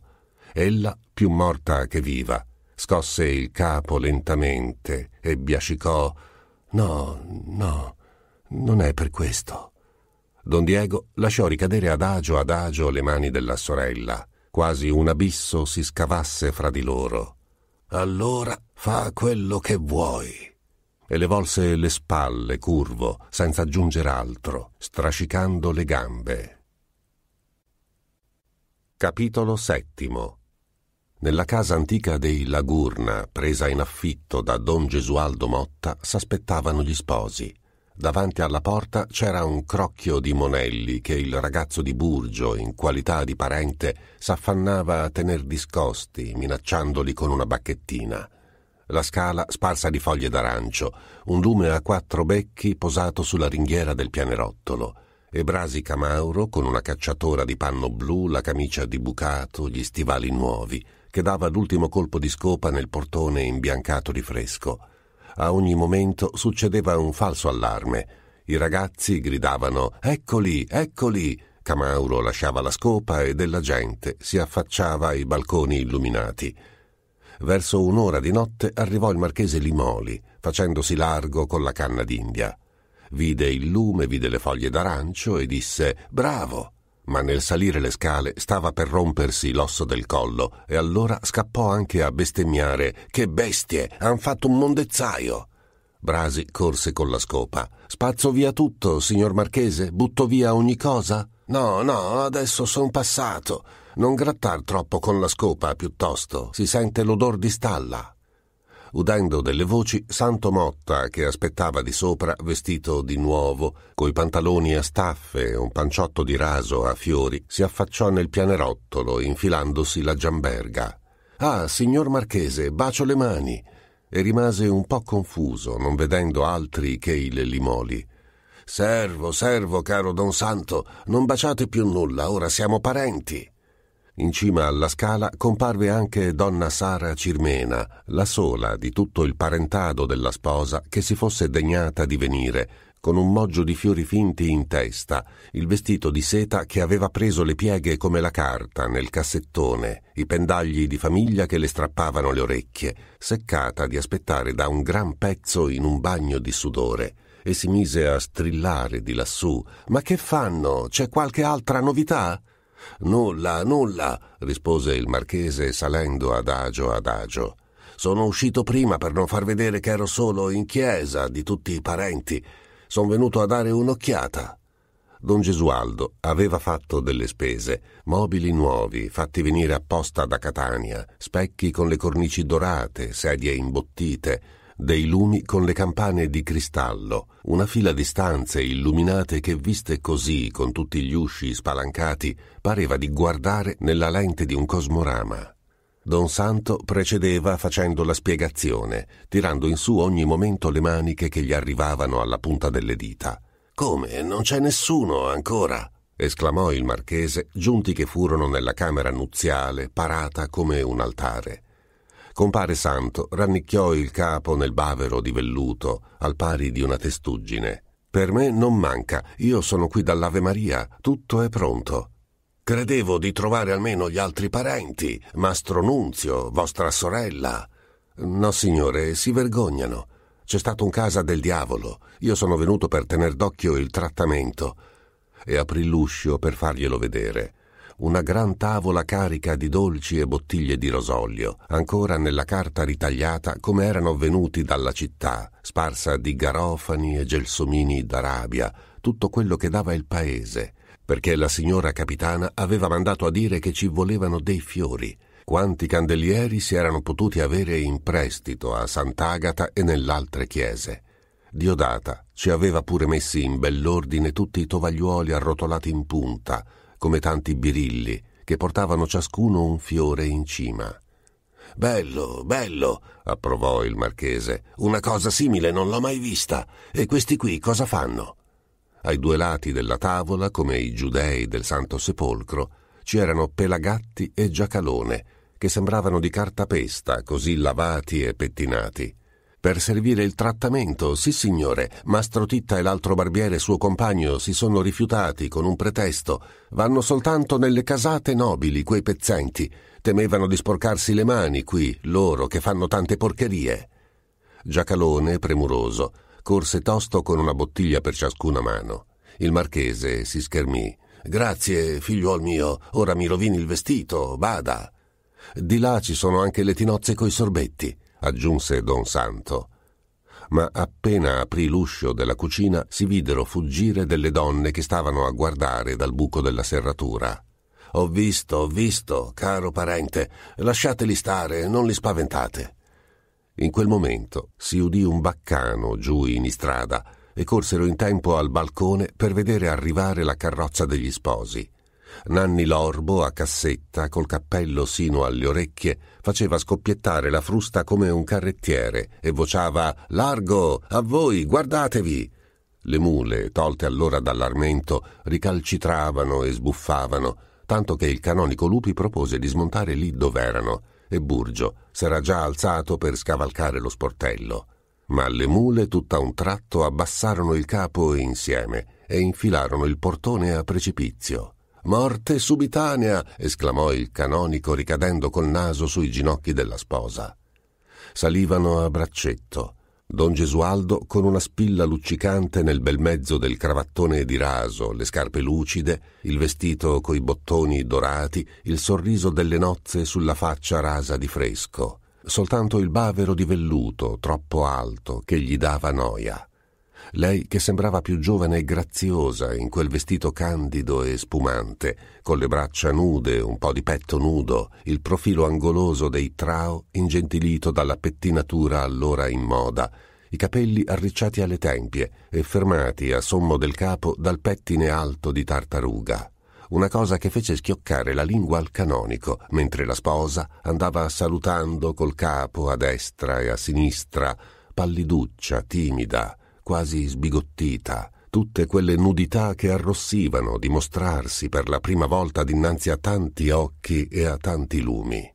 Evviva gli sposi! Evviva gli sposi! si mise a gridare il canonico messo in allegria, sventolando il fazzoletto.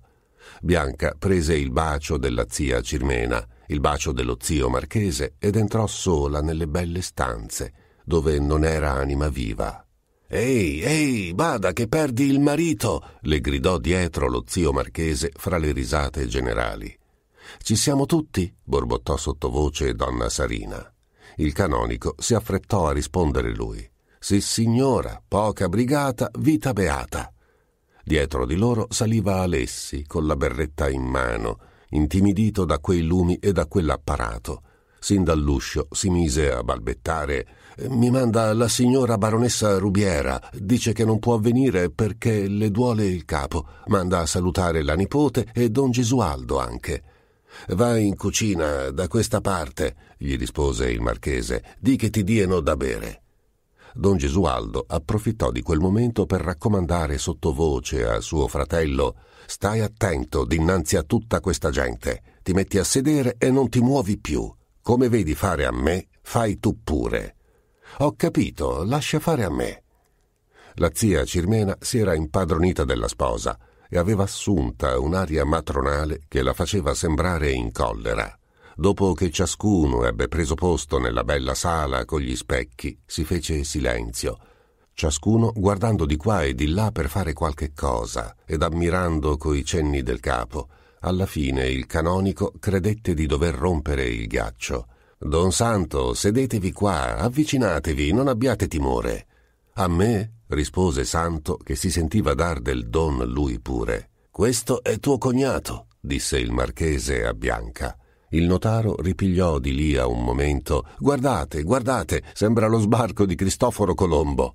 Vedevasi sull'uscio dell'anticamera un mucchio di teste che si pigiavano fra curiose e timide, quasi stesse per scoppiare una mina. Il canonico, fra gli altri monelli, scorse Nunzio, il nipotino di don Gesualdo, e gli fece segno d'entrare, ammiccandogli.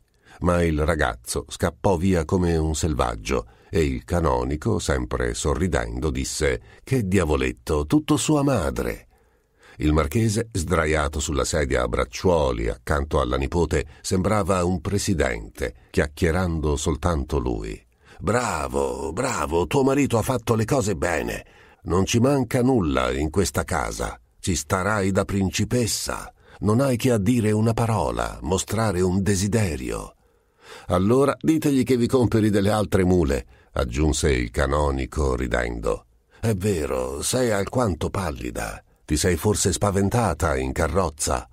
Sono mule troppo giovani, appena tolte dall'armento, non ci sono avvezze, ora usano dei cavalli per la carrozza, disse il canonico.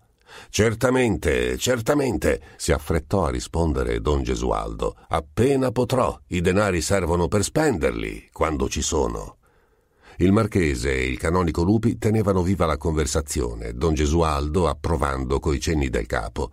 Gli altri ascoltavano. La zia Cirmena con le mani sul ventre e un sorrisetto amabile che faceva cascare le parole di bocca, un sorriso che diceva bisogna pure, già che son venuta, valeva proprio la pena di mettersi in gala. Bianca sembrava un'estranea in mezzo a tutto quel lusso e suo marito, imbarazzato anche lui fra tanta gente, la sposa, gli amici, i servitori, dinanzi a quegli specchi nei quali si vedeva tutto vestito di nuovo, ridotto a guardare come facevano gli altri, se voleva soffiarsi il naso. Il raccolto è andato bene, disse il marchese a voce più alta, perché gli altri lo seguissero dove voleva arrivare. Io ne parlo per sentita dire, eh? Eh, Massaro Fortunato? Sì, signore, grazie a Dio, sono i prezzi che non dicono. Ci sarà tanto da fare in campagna, nel paese non c'è più nessuno. La zia Cirmena allora non poté frenarsi. Ho visto al balcone la cugina Sganci. Credevo che venisse, anzi. Chissà, chissà, quella pioggerella che è caduta ha ridotto la strada in una pozzanghera. Io stavo per rompermi il collo, però dicono che fa bene alle vigne, eh? Eh, Massaro Fortunato. Sì, signore, se vuol Dio. Saranno tutti a prepararsi per la vendemmia. Noi soli no, donna Sarina. Noi beviamo il vino senza pregare Dio per l'acqua. Bisogna condurre la sposa a Giolio per la vendemmia, don Gesualdo. Vedrai che vigne bianca. Certo, è la padrona, certo. Un momento, esclamò il canonico balzando in piedi. Mi pare di sentir gente. Santo, che stava allerta con gli occhi fissi sul fratello, gli fece segno per sapere se era ora di incominciare il trattamento ma il canonico rientrò dal balcone quasi subito, scuotendo il capo. No, son villani che tornano in paese. Oggi è sabato e arriva gente sino a tardi. Io l'avevo indovinato, rispose la Cirmena. Ho l'orecchio fine. Chi aspettate voi? Donna Giuseppina Alosi, per Bacco, quella almeno non manca mai. L'avrà trattenuta il cavaliere, si lasciò scappare il marchese perdendo la pazienza. Santo, che s'era già alzato, tornò a sedere mogio mogio.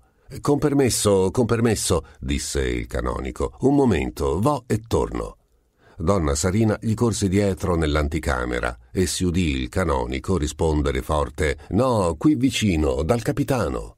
Il marchese, che stava con l'orecchio teso, fingeva d'ammirare ancora i mobili e le stanze e tornò a dire Belli, belli, una casa signorile. Siete stati fortunati di potervi cacciare nel nido dei Lagurna. Eh, se ne videro qui delle feste, in questo stesso luogo. Mi rammento pel battesimo dell'ultimo Lagurna, Corradino. Adesso sono andati a stare a Siracusa, tutta la famiglia, dopo aver dato fondo a quel po' che rimaneva. Mors tua, vita mea. Qui starete da principi, eh, son vecchio, e la so lunga. Ci staremmo bene anche noi, eh, donna Sarina, eh? Donna Sarina si dimenava sulla seggiola per tener la lingua in freno. Quanto a me, disse poi, grazie a Dio, la prova è che il ragazzo Lagurna, Corradino, viene da me per la villeggiatura. Lui non ci ha colpa, povero innocente. No, no, è meglio star seduti in una bella sedia soffice come questa che andare a buscarsi il pane di qua e di là come i Lagurna, quando si può buscarselo anche, e avere una buona tavola apparecchiata e la carrozza per far quattro passi dopo, e la vigna per la villeggiatura e tutto il resto. La buona tavola, soprattutto. Son vecchio e mi dispiace che il marchesato non possa servirsi in tavola. Il fumo è buono soltanto in cucina, la so lunga. C'è più fumo nella cucina che arrosto sulla tavola in molte case, quelle che ci hanno lo stemma più grosso sul portone e che arricciano più il naso. Se torno a nascere voglio chiamarmi Mastro Alfonso Limoli ed essere ricco come voi, nipote mio, per godermi i miei denari fra me e me, senza invitar nessuno. No. Tacete, sento il campanello, interruppe donna Sarina. È un pezzo che suonano mentre voi state a predicare.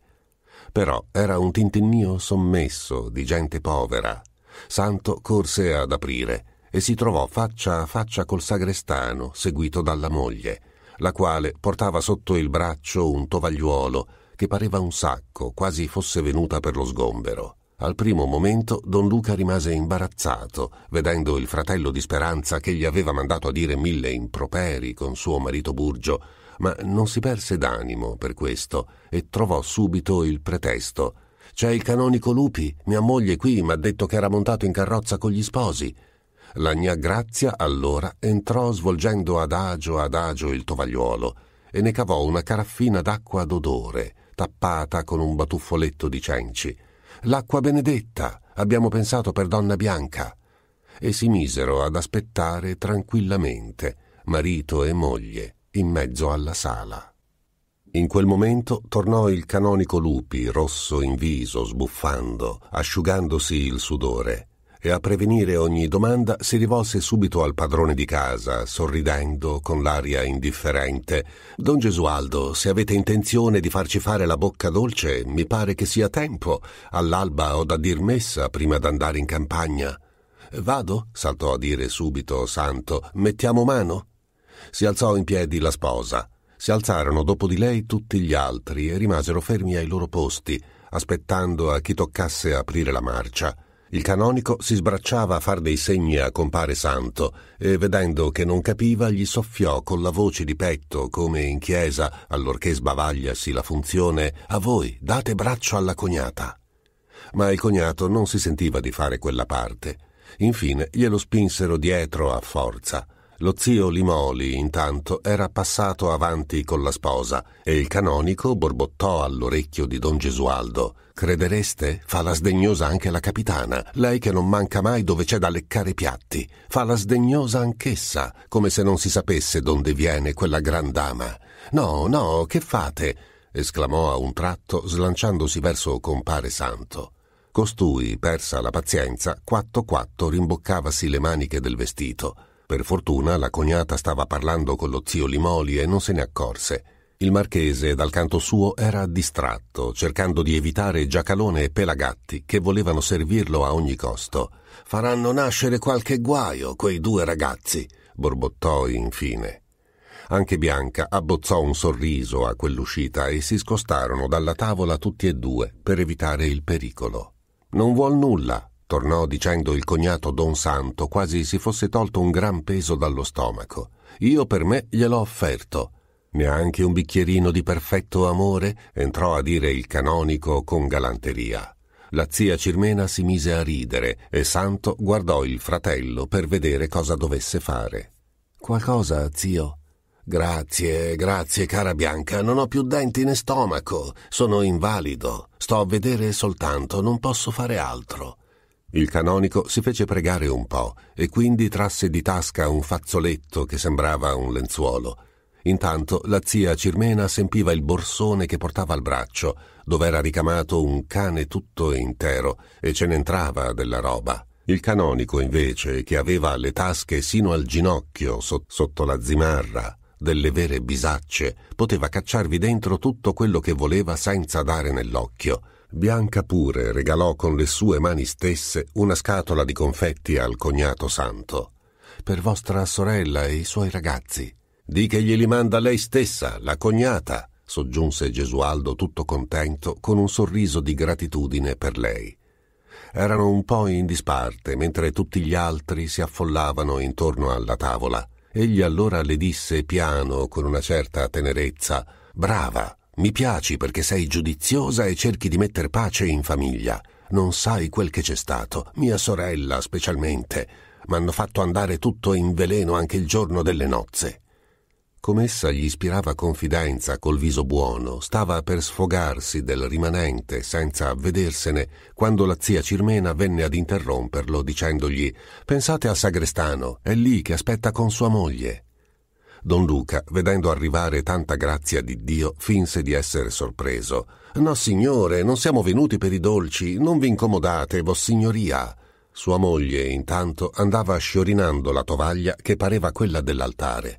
Lui invece, per dimostrare la sua gratitudine, fingeva di guardare in aria, inarcando le ciglia dalla sorpresa. Guarda, grazia, quanta roba! Ce ne sono stati spesi dei denari qui. Poscia, appena don Gesualdo volse le spalle, aiutò ad insaccare anche lui. Par d'essere appestati, borbottò donna Sarina che rientrava col borsone pieno insieme al canonico Lupi. Neppure i suoi fratelli son venuti. Avete visto? Poveretti, poveretti, rispose l'altro, agitando la mano dinanzi alla fronte come a dire che coloro non ci avevano più la testa a segno. Poi si guardò intorno, abbassando la voce. Sembrava che piangessero il morto quando siamo andati a prendere la sposa. Due gufi, tale e quale. Si rintanavano di stanza in stanza, al buio. Due gufi, tale e quale. Donna Bianca, invece, voleva fare le cose con bella maniera, almeno per i riguardi umani. Infine, se si è indotta a questo passo, fece un altro segno con l'indice e il pollice in croce sulla bocca e sbirciando con la coda dell'occhio che rientravano in sala anche Bianca e suo marito, disse forte, come in seguito di un altro discorso, mostrando il fazzoletto pieno, sono le mie propine, frutti di stola. La moglie del sagrestano, che non si era accorta della sposa, aggiunse Sono ancora lì tutti e due, dietro i vetri della finestra, al buio, a guardare in piazza dove non c'è nessuno, come due mummie, addirittura. Donna Bianca, nel passare, udì quelle parole. Tanta salute, interruppe il sagrestano vedendo la signora. Sarà una festa per quei ragazzi quando arriveremo a casa. Cinque figliuoli, donna Bianca. Poi, voltandosi verso la moglie che se ne andava barcollando con quell'altro fardello sulla pancia, salute e figli maschi, la roba ce l'avete, ora pregheremo il Signore di darvi i figliuoli. Vogliamo vedervi come grazia fra nove mesi. Il marchese, per tagliar corto, l'accomiatò. Va bene, buonasera, caro Don Luca. Nell'altra stanza, appena furono usciti gli invitati, si udì un baccano indiavolato. I vicini, la gente di casa, Brasica Mauro, Giacalone, Nanni Lorbo, una turba famelica, piombò sui rimasugli del trattamento, disputandosi i dolciumi, strappandoseli di mano, accapigliandosi fra di loro e compare Santo, col pretesto di difendere la roba, abbrancava quel che poteva e se lo ficcava dappertutto, in bocca, nelle tasche, dentro la camicia.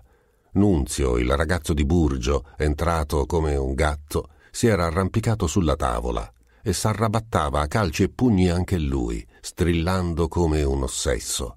Gli altri monelli carponi sotto. Don Gesualdo, infuriato, voleva correre col bastone a far cessare quella baraonda ma lo zio marchese lo fermò pel braccio. Lasciateli fare, tanto. La zia Cirmena, che si era divertita almeno un po', si piantò nel bel mezzo della stanza guardando in faccia alla gente, come a dire che era ora d'andarsene. In quel frattempo tornò di corsa il sagrestano, ansante, con un'aria di gran mistero. C'è qui tutto il paese, giù in istrada che stanno a vedere il barone Zacco, i Margarone, la moglie di Mendola anche, tutti i primi signori del paese. Fa chiasso il vostro matrimonio, don Gesualdo. E se ne andò com'era venuto, frettoloso, infatuato. La zia Cirmena borbottò che seccatura, ci fosse almeno un'altra uscita. Il canonico, invece, curioso, volle andare a vedere. Di rimpetto, alla cantonata di San Sebastiano, c'era un crocchio di gente si vedevano biancheggiare dei vestiti chiari nel buio della strada. Altri passavano lentamente, in punta di piedi, rasente al muro, col viso rivolto in su. Si udiva parlare sottovoce, delle risa soffocate anche, uno scalpiccio furtivo. Due che tornavano indietro dalla parte di Santa Maria di Gesù si fermarono, vedendo aprire il balcone, e tutti sgattaiolarono di qua e di là, rimase solo Ciolla che fingeva d'andare pei fatti suoi, canticchiando Amore, amore, che m'hai fatto fare. Donna Sarina e il marchese Limoli si erano avvicinati anch'essi al balcone. Quest'ultimo allora disse Adesso potete andarvene, donna Sarina, non c'è più nessuno laggiù. La zia Cirmena scattò su come una molla. Io non ho paura, don Alfonso. Io fo quel che mi pare e piace, son qui per far da mamma a Bianca, giacché non c'è altra parente prossima. Non possiamo piantar la sposa quasi fosse una trovatella, pel decoro della famiglia almeno. Ah, ah, sogghignava intanto il marchese. Donna Sarina gli ribatté sul muso, frenando a stento la voce. Non mi fate lo gnorri, don Alfonso. Lo sapete meglio di me. Deve premere anche a voi che siete della famiglia. Bisogna farlo per la gente, se non per lei. E infilò l'uscio della camera nuziale, continuando a sbraitare. Va bene, va bene, non andate in collera. Vuol dire che ce ne andremo noi, eh, canonico? Mi par che sarebbe tempo d'andarcene. Un po' di prudenza. Ah, chiocciava il canonico. Buonanotte, nipoti miei. Vi do pure la benedizione che non costa nulla. Bianca s'era fatta pallida come un cencio lavato. Si alzò anche lei, con un lieve tremito nei muscoli del mento, coi begli occhi turchini che sembravano smarriti, incespicando nel vestito nuovo, e balbettò Zio, sentite, zio, e lo tirò in disparte per parlargli sottovoce, con calore. Sono pazzi! Interruppe il marchese ad alta voce, accalorandosi anche lui. Pazzi da legare! Se torno a nascere lo dirò anche a loro. Voglio chiamarmi Mastro Alfonso Limoli. Bravo, sghignazzò il canonico. Mi piace quello che dite. Buonanotte, buonanotte, non ci pensare. Andrò da loro domattina e fra nove mesi, ricordati bene, voglio essere invitato di nuovo per il battesimo. Il canonico Lupi e Dio, noi due soli. Non ci sarà neppure bisogno della cugina Cirmena. Poca brigata, vita beata conchiuse l'altro. Don Gesualdo li accompagnò sino all'uscio, solleticato internamente dai complimenti del canonico, il quale non finiva dal dirgli che aveva fatto le cose a modo. Peccato che non siano venuti tutti gli invitati, avrebbero visto che spendete da Cesare. Mi sorprende per la signora Sganci. Anche la baronessa Rubiera sarebbe stata contenta di vedere come le rispettate la nipote, che non siete di quelli che hanno il pugno stretto, giacché dovete essere soci fra poco. Eh, rispose don Gesualdo, che si sentiva ribollire in quel punto i denari male spesi. C'è tempo, c'è tempo. Ne deve passare prima dell'acqua sotto il ponte che non c'è più. Diteglielo pure alla signora baronessa. Come, come? Se era cosa intesa se dovete essere soci. I miei soci sono questi qua, ripeté don Gesualdo battendo sul taschino. Non vorrei che la signora baronessa Rubiera avesse a vergognarsi d'avermi per compagno. Diteglielo pure. Ha ragione, aggiunse il marchese fermandosi a metà della scala. Ha l'amor proprio dei suoi denari, che diavolo! La cugina Rubiera avrebbe potuto degnarsi. Non si sarebbe guastato il sangue per così poco, lei. Chissà, chissà perché non è venuta. Ci deve essere qualche altro motivo. Poi gli affari è un'altra cosa. Pensateci bene. Vi mancherà un appoggio. Li avrete tutti nemici allora. Tutti nemici. Oh bella, perché? Per i vostri denari, caspita. Perché potete mettere anche voi le mani nel piatto. Poi vi siete imparentato con loro. Uno schiaffo, caro mio, uno schiaffo che avete dato a tutti quanti. Sapete cosa ho da dirvi? Si mise a strillare allora il marchese levando il capo in su, che se non avessi il vitalizio della mia commedia di Malta per non crepare di fame, sarei costretto a dare uno schiaffo anch'io a tutta la nobile parentela. Sarei costretto a scopar le strade. E se ne andò borbottando. Don Gesualdo, disse Nanni Lorbo facendo capolino dalla cucina. Son qui i ragazzi che vorrebbero baciar la mano alla padrona, se non c'è più nessuno. Spicciatevi, spicciatevi, rispose lui infastidito. Prima s'affollarono sulla soglia simili a un branco di pecore. Poscia, dopo Nanni l'orbo, sfilarono dietro tutti gli altri, col sorriso goffo, il berretto in mano, le donne salutando sino a terra come in chiesa, imbacuccate nelle mantelline. Questa è Diodata, disse Nanni l'orbo, una povera orfanella che il padrone ha mantenuto per carità. Sì, signora, tanta salute e Diodata non seppe più che dire. Un cuore tanto fatto, don Gesualdo, seguitò l'orbo accalorandosi. Gli ha fatto anche la dote. Domeneddio l'aiuta per questo. Don Gesualdo andava spegnendo i lumi. Poi si voltò, tutto di nuovo vestito, che Diodata non osava nemmeno alzare gli occhi su di lui e conchiuse Va bene, siete contenti?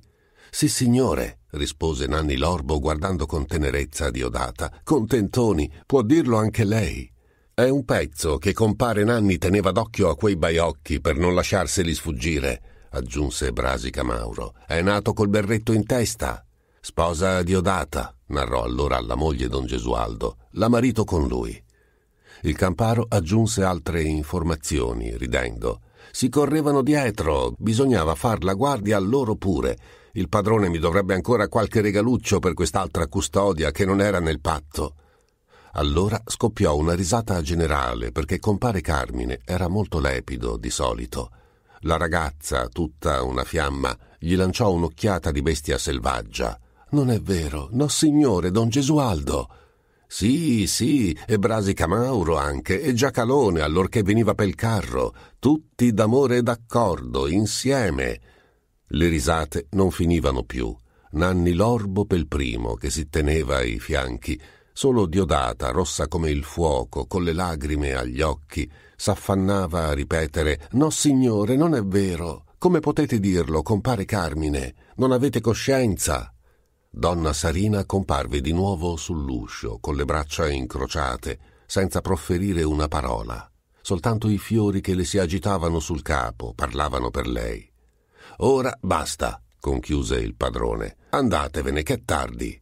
Essi salutarono un'altra volta, inchinandosi goffamente, balbettando confusamente in coro, urtandosi nell'uscire, e se ne andarono con un calpestio pesante di bestiame grosso. Appena fuori cominciarono a ridere e scherzare fra di loro. Brasi Camauro e Pelagatti dandosi degli spintoni. Nanni Lorbo e compare Carmine barattando parolacce e ingiurie atroci, con le braccia l'uno al collo dell'altro, come due fratelli messi in allegria dal vino bevuto. Una baldoria che fece ridere anche lo stesso don Gesualdo. Son come le bestie, diss'egli rientrando. Non dar retta, cara Bianca. Un momento, strillò la zia Cirmena respingendolo con le mani quasi egli stesse per farle violenza. Non potete entrare adesso, fuori, fuori. E gli chiuse l'uscio sul muso. Diodata risalì di corsa in quel punto, scalmanata, con le lagrime agli occhi. Don Gesualdo, non vogliono lasciarmi andare per i fatti miei, li sentite laggiù, compare Nanni e tutti gli altri.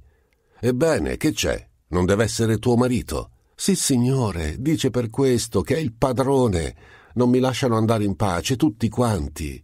Aspetta, aspetta che piglio un bastone. No, no, gridò Nanni dalla strada. Ce ne andiamo a casa, nessuno la tocca. Senti, nessuno ti tocca. Vattene, che fai adesso? Essa, stando due scalini più giù, gli aveva preso la mano di nascosto e andava baciandola come un vero cane affezionato e fedele. Benedicite, benedicite. Ora ricomincia il piagnisteo, sbuffò lui. Non ho un momento di pace questa sera.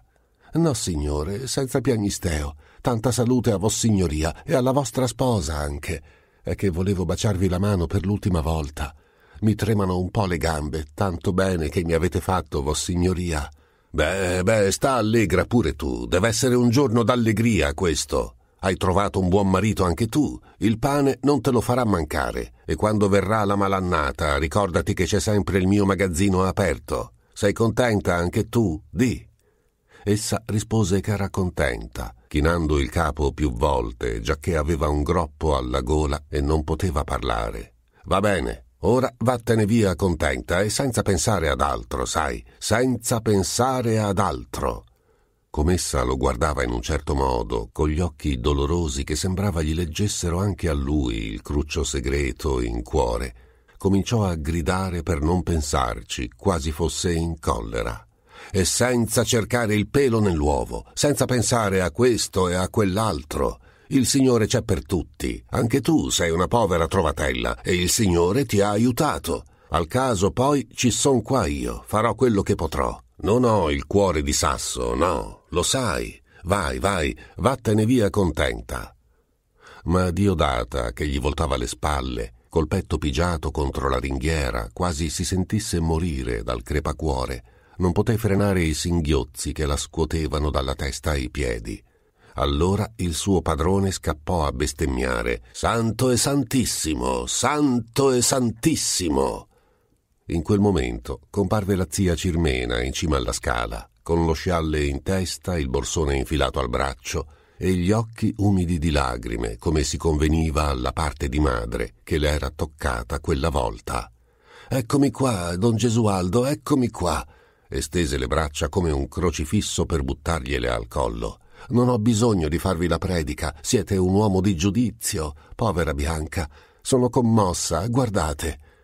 Cercò nel borsone il fazzoletto di Battista fra la roba di cui era pieno e si asciugò gli occhi. Poi baciò di nuovo lo sposo, asciugandosi anche la bocca con lo stesso fazzoletto, e chiamò il servitore che aspettava giù col lampione. Don Camillo, accendete, che è ora di andarsene. Don Camillo, ehi, cosa fate? Dormite? Dalla strada rispose Ciolla, ripassando col chitarrino. Amore, amore, che m'hai fatto fare? E degli altri sfaccendati gli andavano dietro, facendogli l'accompagnamento coi grugniti.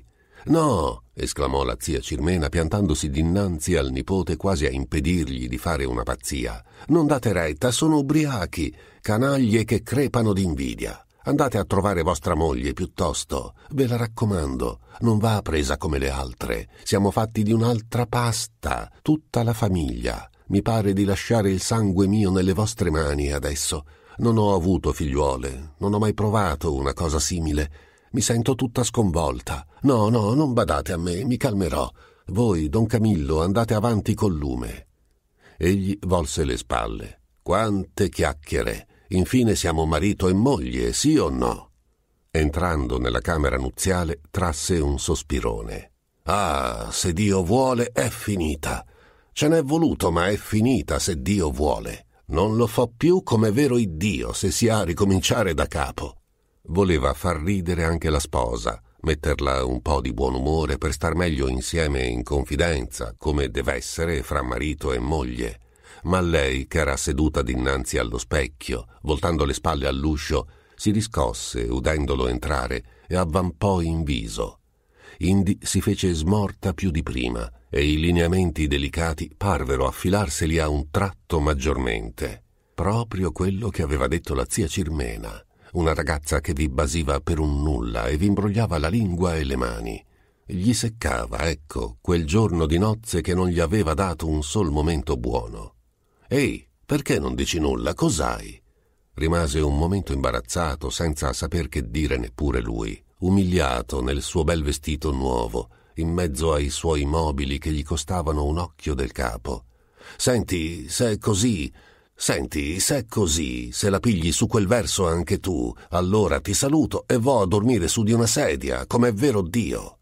Essa balbettò qualche parola inintelligibile, un gorgoglio di suoni timidi e confusi, e chinò il capo ubbidiente, per cominciare a togliersi il pettine di tartaruga, con le mani gracili e un po' sciupacchiate all'estremità, di ragazza povera, avvezza a far di tutto in casa.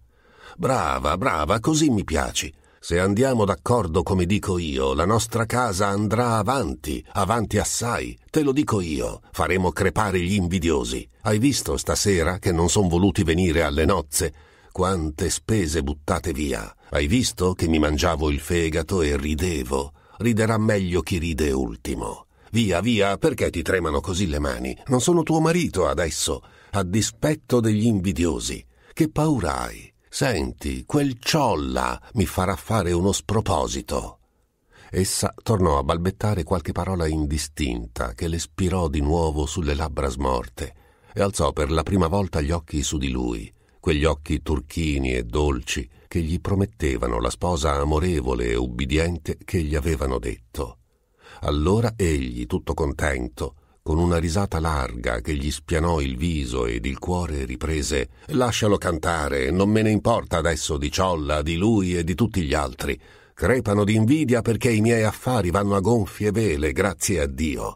Non te ne pentirai, no, di quello che hai fatto. Sei buona, non hai la superbia di tutti i tuoi. In cuore gli si gonfiava un'insolita tenerezza mentre l'aiutava a spettinarsi proprio le sue grosse mani che aiutavano una trao e si sentivano divenir leggere leggere fra quei capelli fini. Gli occhi di lui si accendevano sulle trine che le velavano gli omeri candidi e delicati, sulle maniche brevi e rigonfie che le mettevano quasi delle ali sulle spalle. Gli piaceva la peluria color oro che le fioriva agli ultimi nodi delle vertebre, le cicatrici lasciatele dal vaccinatore inesperto sulle braccia esili e bianche, quelle mani piccole che avevano lavorato come le sue e tremavano sotto i suoi occhi, quella nuca china che impallidiva e arrossiva, tutti quei segni umili di privazioni che l'avvicinavano a lui. Voglio che tu sii meglio di una regina, se andiamo d'accordo come dico io. Tutto il paese sotto i piedi voglio metterti. Tutte quelle bestie che ridono adesso e si divertono alle nostre spalle. Vedrai, vedrai. Ha buon stomaco, mastro Don Gesualdo, da tenersi in serbo per anni ed anni tutto quello che vuole, e buone gambe pure, per arrivare dove vuole. Tu sei buona e bella, roba fine, roba fine sei. Essa rannicchiò il capo nelle spalle, simile a una colomba trepidante che stia per esser ghermita. Ora ti voglio bene davvero, sai. Ho paura di toccarti con le mani. Ho le mani grosse perché ho tanto lavorato, non mi vergogno a dirlo. Ho lavorato per arrivare a questo punto. Chi me l'avrebbe detto? Non mi vergogno, no. Tu sei bella e buona. Voglio farti come una regina, tutti sotto i tuoi piedi, questi piedini piccoli. Hai voluto venirci tu stessa con questi piedini piccoli nella mia casa. La padrona, la signora bella mia. Guarda, mi fai dire delle sciocchezze. Ma essa aveva l'orecchio altrove. Pareva guardasse nello specchio, lontano, lontano. A che pensi? Ancora al ciolla? Vo a finire in prigione la prima notte di matrimonio. No, s'interruppe lei balbettando con un filo di voce. No, sentite, Devo dirvi una cosa. Sembrava che non avesse più una goccia di sangue nelle vene, tanto era pallida e sbattuta. Mosse le labbra tremanti due o tre volte. Parla, rispose lui, tutto quello che desideri, voglio che sii contenta tu pure. Com'era di luglio e faceva un gran caldo, si tolse anche il vestito, aspettando. Ella si tirò indietro bruscamente, quasi avesse ricevuto un urto in pieno petto, e si irrigidì, tutta bianca, con gli occhi cerchiati di nero. Parla, parla, dimmelo qui all'orecchio, qui che nessuno ci sente. Rideva tutto contento, con la risata grossolana, nell'impeto caldo che cominciava a fargli girare il capo, balbettando e anfanando in maniche di camicia, stringendosi sul cuore che gli batteva fino in gola quel corpo delicato, che sentiva rabbrividire e quasi ribellarsi, e come le sollevava il capo dolcemente, si sentì cascar le braccia. Ella si asciugò gli occhi febbrili, col viso tuttora contratto dolorosamente. Ah, che gusto! Aveva ragione la zia Cirmena. Bel divertimento, dopo tanti stenti, tanti bocconi amari, tante spese fatte. Si dovrebbe essere così contenti qui, due che si volessero bene. No, signore, neanche questo mi tocca neanche il giorno delle nozze, santo e santissimo. Dimmi almeno che hai. Non badate a me, sono troppo agitata. Ah, quel ciolla, ancora. Com'è vero Dio, gli tiro addosso un vaso di fiori adesso. Voglio far la festa anche a lui, la prima notte di matrimonio.